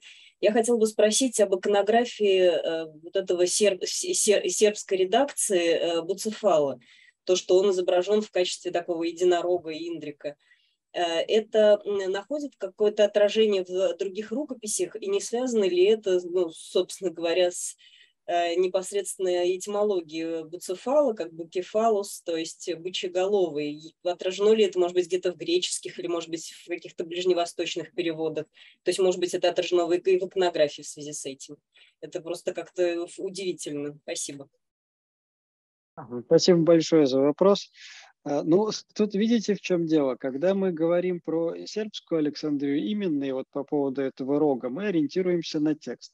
А текст сербской Александрии, вот самый, самый э, для нас э, древний памятник русского перевода, это Ефросиновский список конца 15 века, ну он точно датируется 1491 год, 90 а, и, соответственно, э, южнославянские списки. Там, ну, древнейшие утрачены из-за бомбардировки Белграда в 1940 году. Но вот, э, если я правильно помню, Милош Живкович как раз на конференции актуальных э, проблем истории искусства выступал, но это было лет, наверное, ну, там, 6, может, 8 назад с этими сюжетами. Там в тексте написано, что у него свился свился рог между шима, вырос рог между ушами. Про бычью голову в данном случае нет никаких связей. Вот бычья голова у него на бедре. И это вот совершенно четко, и, и про это бедро мы знаем, вот вплоть, начиная от Ариана, там это все пишется. Но я, я проверял по греческой редакции Альфа, самой старой, там вот это все есть. А рог появляется, вероятно, в какой-то момент э, развития текста романа ну вот э, Афанасьева и Капальда в рецензии на э, труд Маринкович, Маринкович специально занималась южнославянским текстом Александрии Сербской, писал о том, что, вероятно, была какая-то греческая промежуточная редакция. Но, честно сказать, э, хорошо было бы, и я себе это запишу, проверить по среднегреческому тексту, такой там есть роман Филада об Александре Македонском, ну, он совершенно это средневековый греческий, и это что-то вроде народной такой истории. Может быть, там что-то есть, но дальше это действительно все упирается в филологию, а главное, что кроме сербской Александрии я нигде не встречал подобную иконографию, чтобы у Буцефала обязательно был урок, и поэтому я делаю вывод, что когда мы его встречаем э, в хронографической, это влияние уже сербской Александрии идет. Ну, по крайней мере, в ней это точно отражается, да, а там, где у нас это не подтверждается текстом, значит, это идет э, влияние изображений. Да, спасибо большое. Нет, если там действительно написано «Свися рог», это, это правда. Просто да, да. Над, над вашей картинкой было просто написано «Жеребя». То есть он там просто жеребя. Да, ну... да, да, да. И, нет, это интересно, это действительно подтверждается ага. текстом. Спасибо. Угу. Да. Спасибо большое. Есть ли еще желающие что-то сказать? Нет, я только поблагодарить хотел, Федор Никитич. Э, проблематика действительно, мягко говоря, не всем знакомая, но очень важная, в том числе потому, что она позволяет изучение этого всего систематическое, а мы имеем дело именно с таким подходом, позволяет понять механику создания таких иллюстративных циклов и вот все эти глобальные вопросы текста, изображения, изображение и текст, это вот как раз оно. Очень важно. Спасибо. Угу. Спасибо большое, это очень полезно услышать. Ага. Спасибо. Я хотел, если, да. если можно уточнить, а, вот чуть подробнее, может быть, вы это говорили, я недостаточно расслышал, как выделялись вот эти группы, о которых вы говорили, эти редакции, вы на текстологические какие-то признаки смотрели в первую очередь или на миниатюры? Что в вашем случае было первично? А, спасибо. Ну, тут э, я пытался проводить исследование комплексное, Потому что, конечно, когда мы говорим про иллюстрации, тут текст очень важен. Но э, если уж честно признаваться, да, конечно, я глазами, когда насматриваю, я вижу, а, вот, похожий сюжет. И начинается все, конечно, с изображения, с миниатюры. Похожий сюжет, похожая иконография сюжета. И дальше по похожим иконографиям смотришь уже, ага, это совпадает с текстами, и таким образом получается несколько этапов, ну вот такой верификации, разделения на группы текст, а, иконография, иконография вплоть до мелких деталей, которые могут разниться, ну, как я это показывал в сценах там зачатия Александра и, и, и прочее, прочее. Но первично, конечно, это изображение. Дальше уже идет текст, и когда они совпадают, вот тут уже что-то получается. Когда они совпадают, именно поэтому появились рукописи, которые я не могу отнести ни к одной из групп, потому что понятно, что текст изображения вот в таких случаях копируется почти одновременно. Э, речь ведь идет не о памятниках первой величины, да, там каких-нибудь совершенно замечательных, когда работают писцы посольского приказа или там оружейной палаты и, и прочее, и прочее. А здесь вот достаточно провинциальные же вещи, но вы это все видели. Во многом. Есть некоторые, да, если серьезные, но в основном провинциальные, поэтому, конечно, здесь близкая работа писца и художника, э, значит, что ну, это все, все вместе изучается. Да, и, и еще один, один уточняющий вопрос, такой короткий. А есть ли какая-то перспектива а, выявления схемы распространения этих редакций? Может быть, связи с какими-то конкретными скрипториями, художественными центрами в перспективе? И, или уже сейчас что-то понятно? Или и не получится ну, это понять? Нет, ну, как всегда, в науке мы будем стараться. Вот. А что касается э, конкретно вот сейчас, я могу сказать, что ну, поскольку мы знаем о памятнике, это Петровская Александрия, да, так называемая в библиотеке Академии наук, как мне представляется, я нашел ее черновик. И он создавался ну, там по бумаге видно, бумага одного сорта. Судя по всему, в том же посольском приказе в 17 веке, то есть при Артамоне Сергеевиче Матвееве, да, да, то есть это 70-е годы, он создавался там же в посольском приказе, это Москва. А дальше, что касается других рукописей, ну, э, здесь я просто боюсь, что я сейчас могу очень далеко уйти и всех задержать. Да, здесь есть некоторые исследования и коллег из ГИМа, которые показывают, куда можно, ну, по крайней мере, там, по каким признакам можно относить э, появление рукописи там, к центру, к Москве и, или наоборот дальше. А, но когда мы говорим про поздние рукописи 18-19 века, там есть несколько, это, конечно, уже старообрядческие центры. Вот. А, другой вопрос, что у всех у них провинанс очень сложный. А, и многие из них в очень плохом состоянии, вот именно без первой и без последней тетради, без переплетных листов оригинальных, где должны были сохраняться владельческие записи, то, что позволяет проследить историю рукописи. Вот, Хорошо, спасибо. Спасибо. Да, я просто Спасибо. хотел спросить уже э, в связи с, с ответом на вопрос, когда вы сказали, Федор Никитич, провинциальные рукописи, они действительно все, ну, кроме там Петровской, провинциальные в географическом смысле или провинци... Э, провинциальность может быть скорее социальной в каких-то случаях? А, я бы сказал, что и, и то, и другое, Александр Сергеевич, да. потому что есть памятники, ну вот как Дублинская Александрия, где исполнение совершенно ну, провинциальное, а тем не менее видно, что копии делались с очень хороших оригиналов. И ну, вот, мне кажется, это просто такой получалось... тип, такой да. поток пустой книги, который ну, локализуется в определенной социальной среде и да, требует да, да, привлечения да. соответствующих сил, не самых умелых. Конечно. А и вот вообще меньше, касается... меньше затраты усилий даже от хороших художников иногда. Да. Ну да. А что касается э, географически, то это вот поздние рукописи, конечно, они вряд ли производились там в Москве. И, опять-таки, это, скорее всего, старообрядческие центры. Но они связываются с ними, по крайней мере, вот по тем владельческим записям, что можно найти. Ясно. Спасибо. Спасибо. Если еще желающие что-то сказать? Нет, да? Тогда о последнем докладе Ирина Анатольевна Антроповой, Анастасия Ивановна Журавлева и Жанна Аркадьевна Максименко. Два кемских деревянных резных креста второй половины 17 века.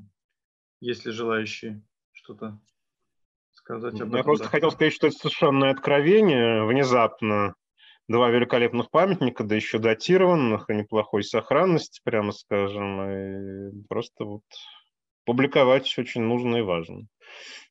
И что касается изображения Иерусалима, то мне сразу вспомнился Ольгин крест в Пскове. Он не резной, живописный, но там внизу изображение города в пейзаже с храмом, с крестом на берегу реки.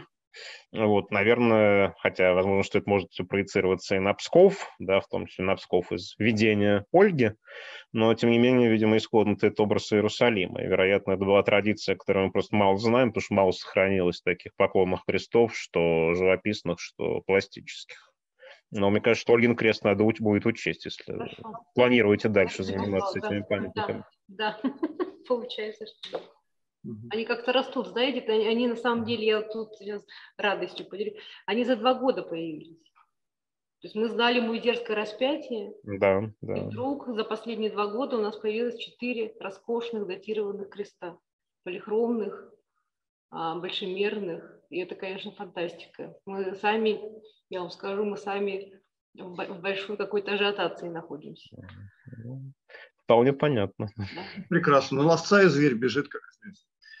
А, Хочу спросить про вот эти да. поклонные кресты и функцию их, удивительную совершенно, э, потому что, во-первых, конечно, поклонные кресты с э, распятиями – это, ну, наверное, какая-то удивительная совершенно традиция, э, и кроме того, вот вы говорили о том, что кресты поставлены на поклоняние, но поклонный крест сам по себе, у него немножко другая функция в, вообще в народной культуре и в фольклоре, и даже ну, и в таком народном православии – он не ставится в монастырском дворе или там в Успенском соборе. То есть, собственно говоря, что за функция такая на поклоняние, вот этот крест, э, потому что поклонный крест, как вы понимаете, это крест, который стоит вне пределов э, церкви, это скорее вообще крест, который относится как раз к народным обрядам. Ну вот удивительно, вот удивительно, и пока тут много у меня, так сказать, всяких мыслей по этому поводу. А, какая-то вот нащупывается традиция поморская, связанная с Соловецким монастырем, потому что еще один крест на поклоняние а, а, в Сумском посаде известен хорошо, нет, два известно, один просто есть фотографии, и он тоже на поклонение, и он тоже датированный. А, и э, ну, вот эти кресты, возможно, я почему считаю, что это возможно, Успенская церковь для нее была поставлена, потому что, во-первых, ну, то, что сейчас стоит, это, понятно, не так важно, потому что храм поздний, позднее, чем кресты, вот, но они роскошные по, по, по созданию своему и они, ну, я не могу представить их на улице, вот в том поклонном состоянии, про которое вы говорите, это, это, это другая какая-то история, и она пока у меня не очень врисовывается, я вам скажу честно. Но вот эта формулировка на поклонении на всех крестах, на всех крестах, и э, локаль, локализация в районе Поморья, это получается Беломорская ну, Сумской посад это не, не очень Беломорье, но это тоже Поморье, такое Соловецкое Поморье сейчас вот как-то так, пока у меня так. Вот, и они все либо, либо в часовне, вот как Муизерское распятие, а, либо как Сумской, э, Сумской крест, это часовня при церкви. То есть все равно локализация, ну, то есть в смысле все равно около церкви рядом. Это не то, что вот там где-то на берегу реки, или вот вся эта другая история, поклонная там около дороги и так далее. Это вот все-таки с храмом связано, очень близко они стояли рядом. Но пока я вам скажу, что я, я в поисках ответа. Почему? Спасибо, очень интересно. Было бы интересно, если бы вы что-то нашли, да, такое. Да, я очень историю, хочу да. я очень хочу найти. Да. Вот такая сфера, где вроде бы с одной стороны все просто, а с другой стороны все сложно и неуловимо.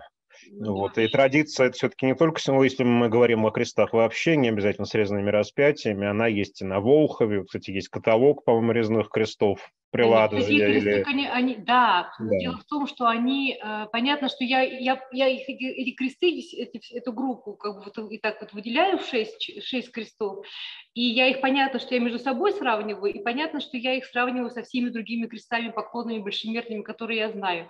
Они какие-то в этом смысле не такие. И связывать вот с этой ладожской традицией при Волховье, которая, которая есть книжка прекрасно издана, это вот как-то не наш вариант. Вот как-то mm. не, не про то немножко. Вот. Ну, вот а что касается... Больше... Да, простите. Не-не-не, все, я закончила. Нет, а что касается этой фразы на поклонение, как она там звучит точно? На поклоняние. На поклоняние. А дальше? христианам. Ну, вообще это, это, этот оборот и бывает в вкладных надписях на иконах новгородских, в том числе и даже сравнительно ранее. корень да. Я вот буду выводить на всякие такие надписи. И, в общем, в любом случае у меня вот пока на сегодняшний день ощущение, что, во-первых, это какая-то а, при том, что это опять-таки резные кресты и, и все остальное, вот очень, очень много аналогий с иконами и очень много аналогий с, а, у меня пока внутренних таких собранных, связанных с, а, с вкладными крестами небольшими, серебряными, какими-то вот, какими-то какой-то, господи, драгоценной утварью, вот как-то uh-huh. вот в ту, в ту, часть. Они не, они не простые, они такие вот, ну, я не знаю, я, я короче, в диком восторге. Ясно, да. Ну, остается пожелать вам успехов в дальнейшем Спасибо. общении с этими памятниками чудесными. Спасибо вам. Спасибо большое. Есть ли еще желающие сказать?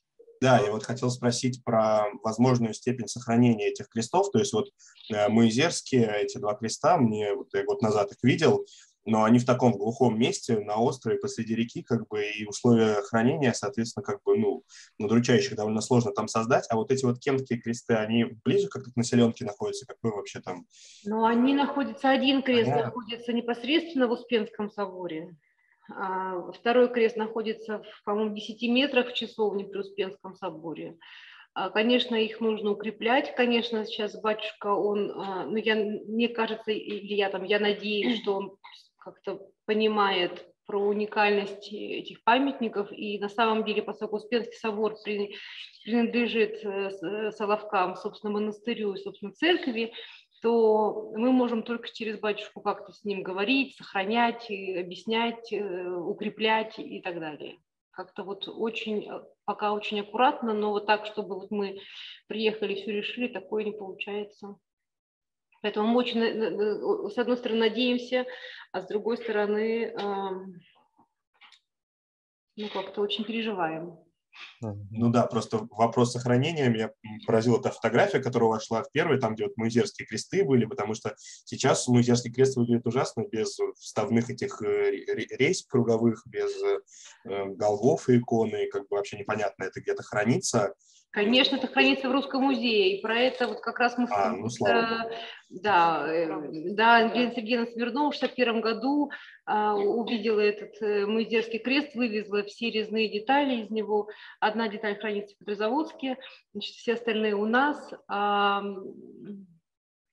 поэтому мы начали реставрацию, да, начали раскрывать, они там потрясающая полихромная живопись, ну просто замечательная иконописная такая э, технология изготовления этого креста. Вот, и мы начали с нее, и вот докопались до химии на самом деле.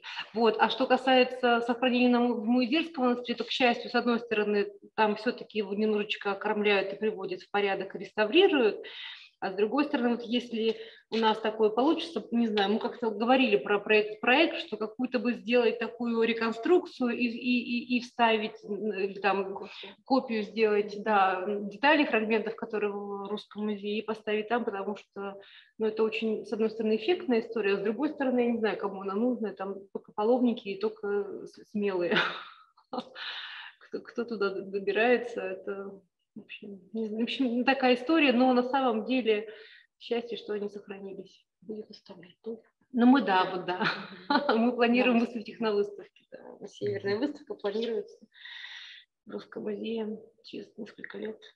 Там попробуем выставить весь комплекс. У нас в Русском музее 14, 14 фрагментов из этого креста хранятся. Спасибо большое. Спасибо. Так, есть ли еще желающие э, выступить по результатам сегодняшних двух заседаний? Может быть, что-то еще накопилось за это время, какие-то мысли? Александр Сергеевич, есть что сказать? Ну, мне кажется, что хотя нас осталось немного, вот, но те, кто высидел весь день, думаю, должны были получить для себя большую пользу. Я лично получил, например. Хотя жалко, что это в Zoom, но с другой стороны, мы смогли пообщаться, не, не приезжая в Москву из двух столиц и так далее. Вот. Но я хочу просто напомнить о том, что древнерусской секции конференции не исчерпывается, и те, кому интересно искусство православного мира, восточно-христианского мира, могут еще поучаствовать в работе других секций по восточно-христианскому искусству, искусству Византии и Балкан. Эм, смотрите программу, там все это есть. И завтра, и послезавтра. Спасибо. Мы можем да. всех поблагодарить, наверное, за участие и должны. Да. Надеюсь, что через два года сможем очно встретиться в Санкт-Петербурге и продолжить разговор о древнерусском искусстве. Итак, если больше нет никаких э, суждений, то тогда мы заканчиваем это заседание. Всем большое спасибо за участие. Всего доброго и до встречи.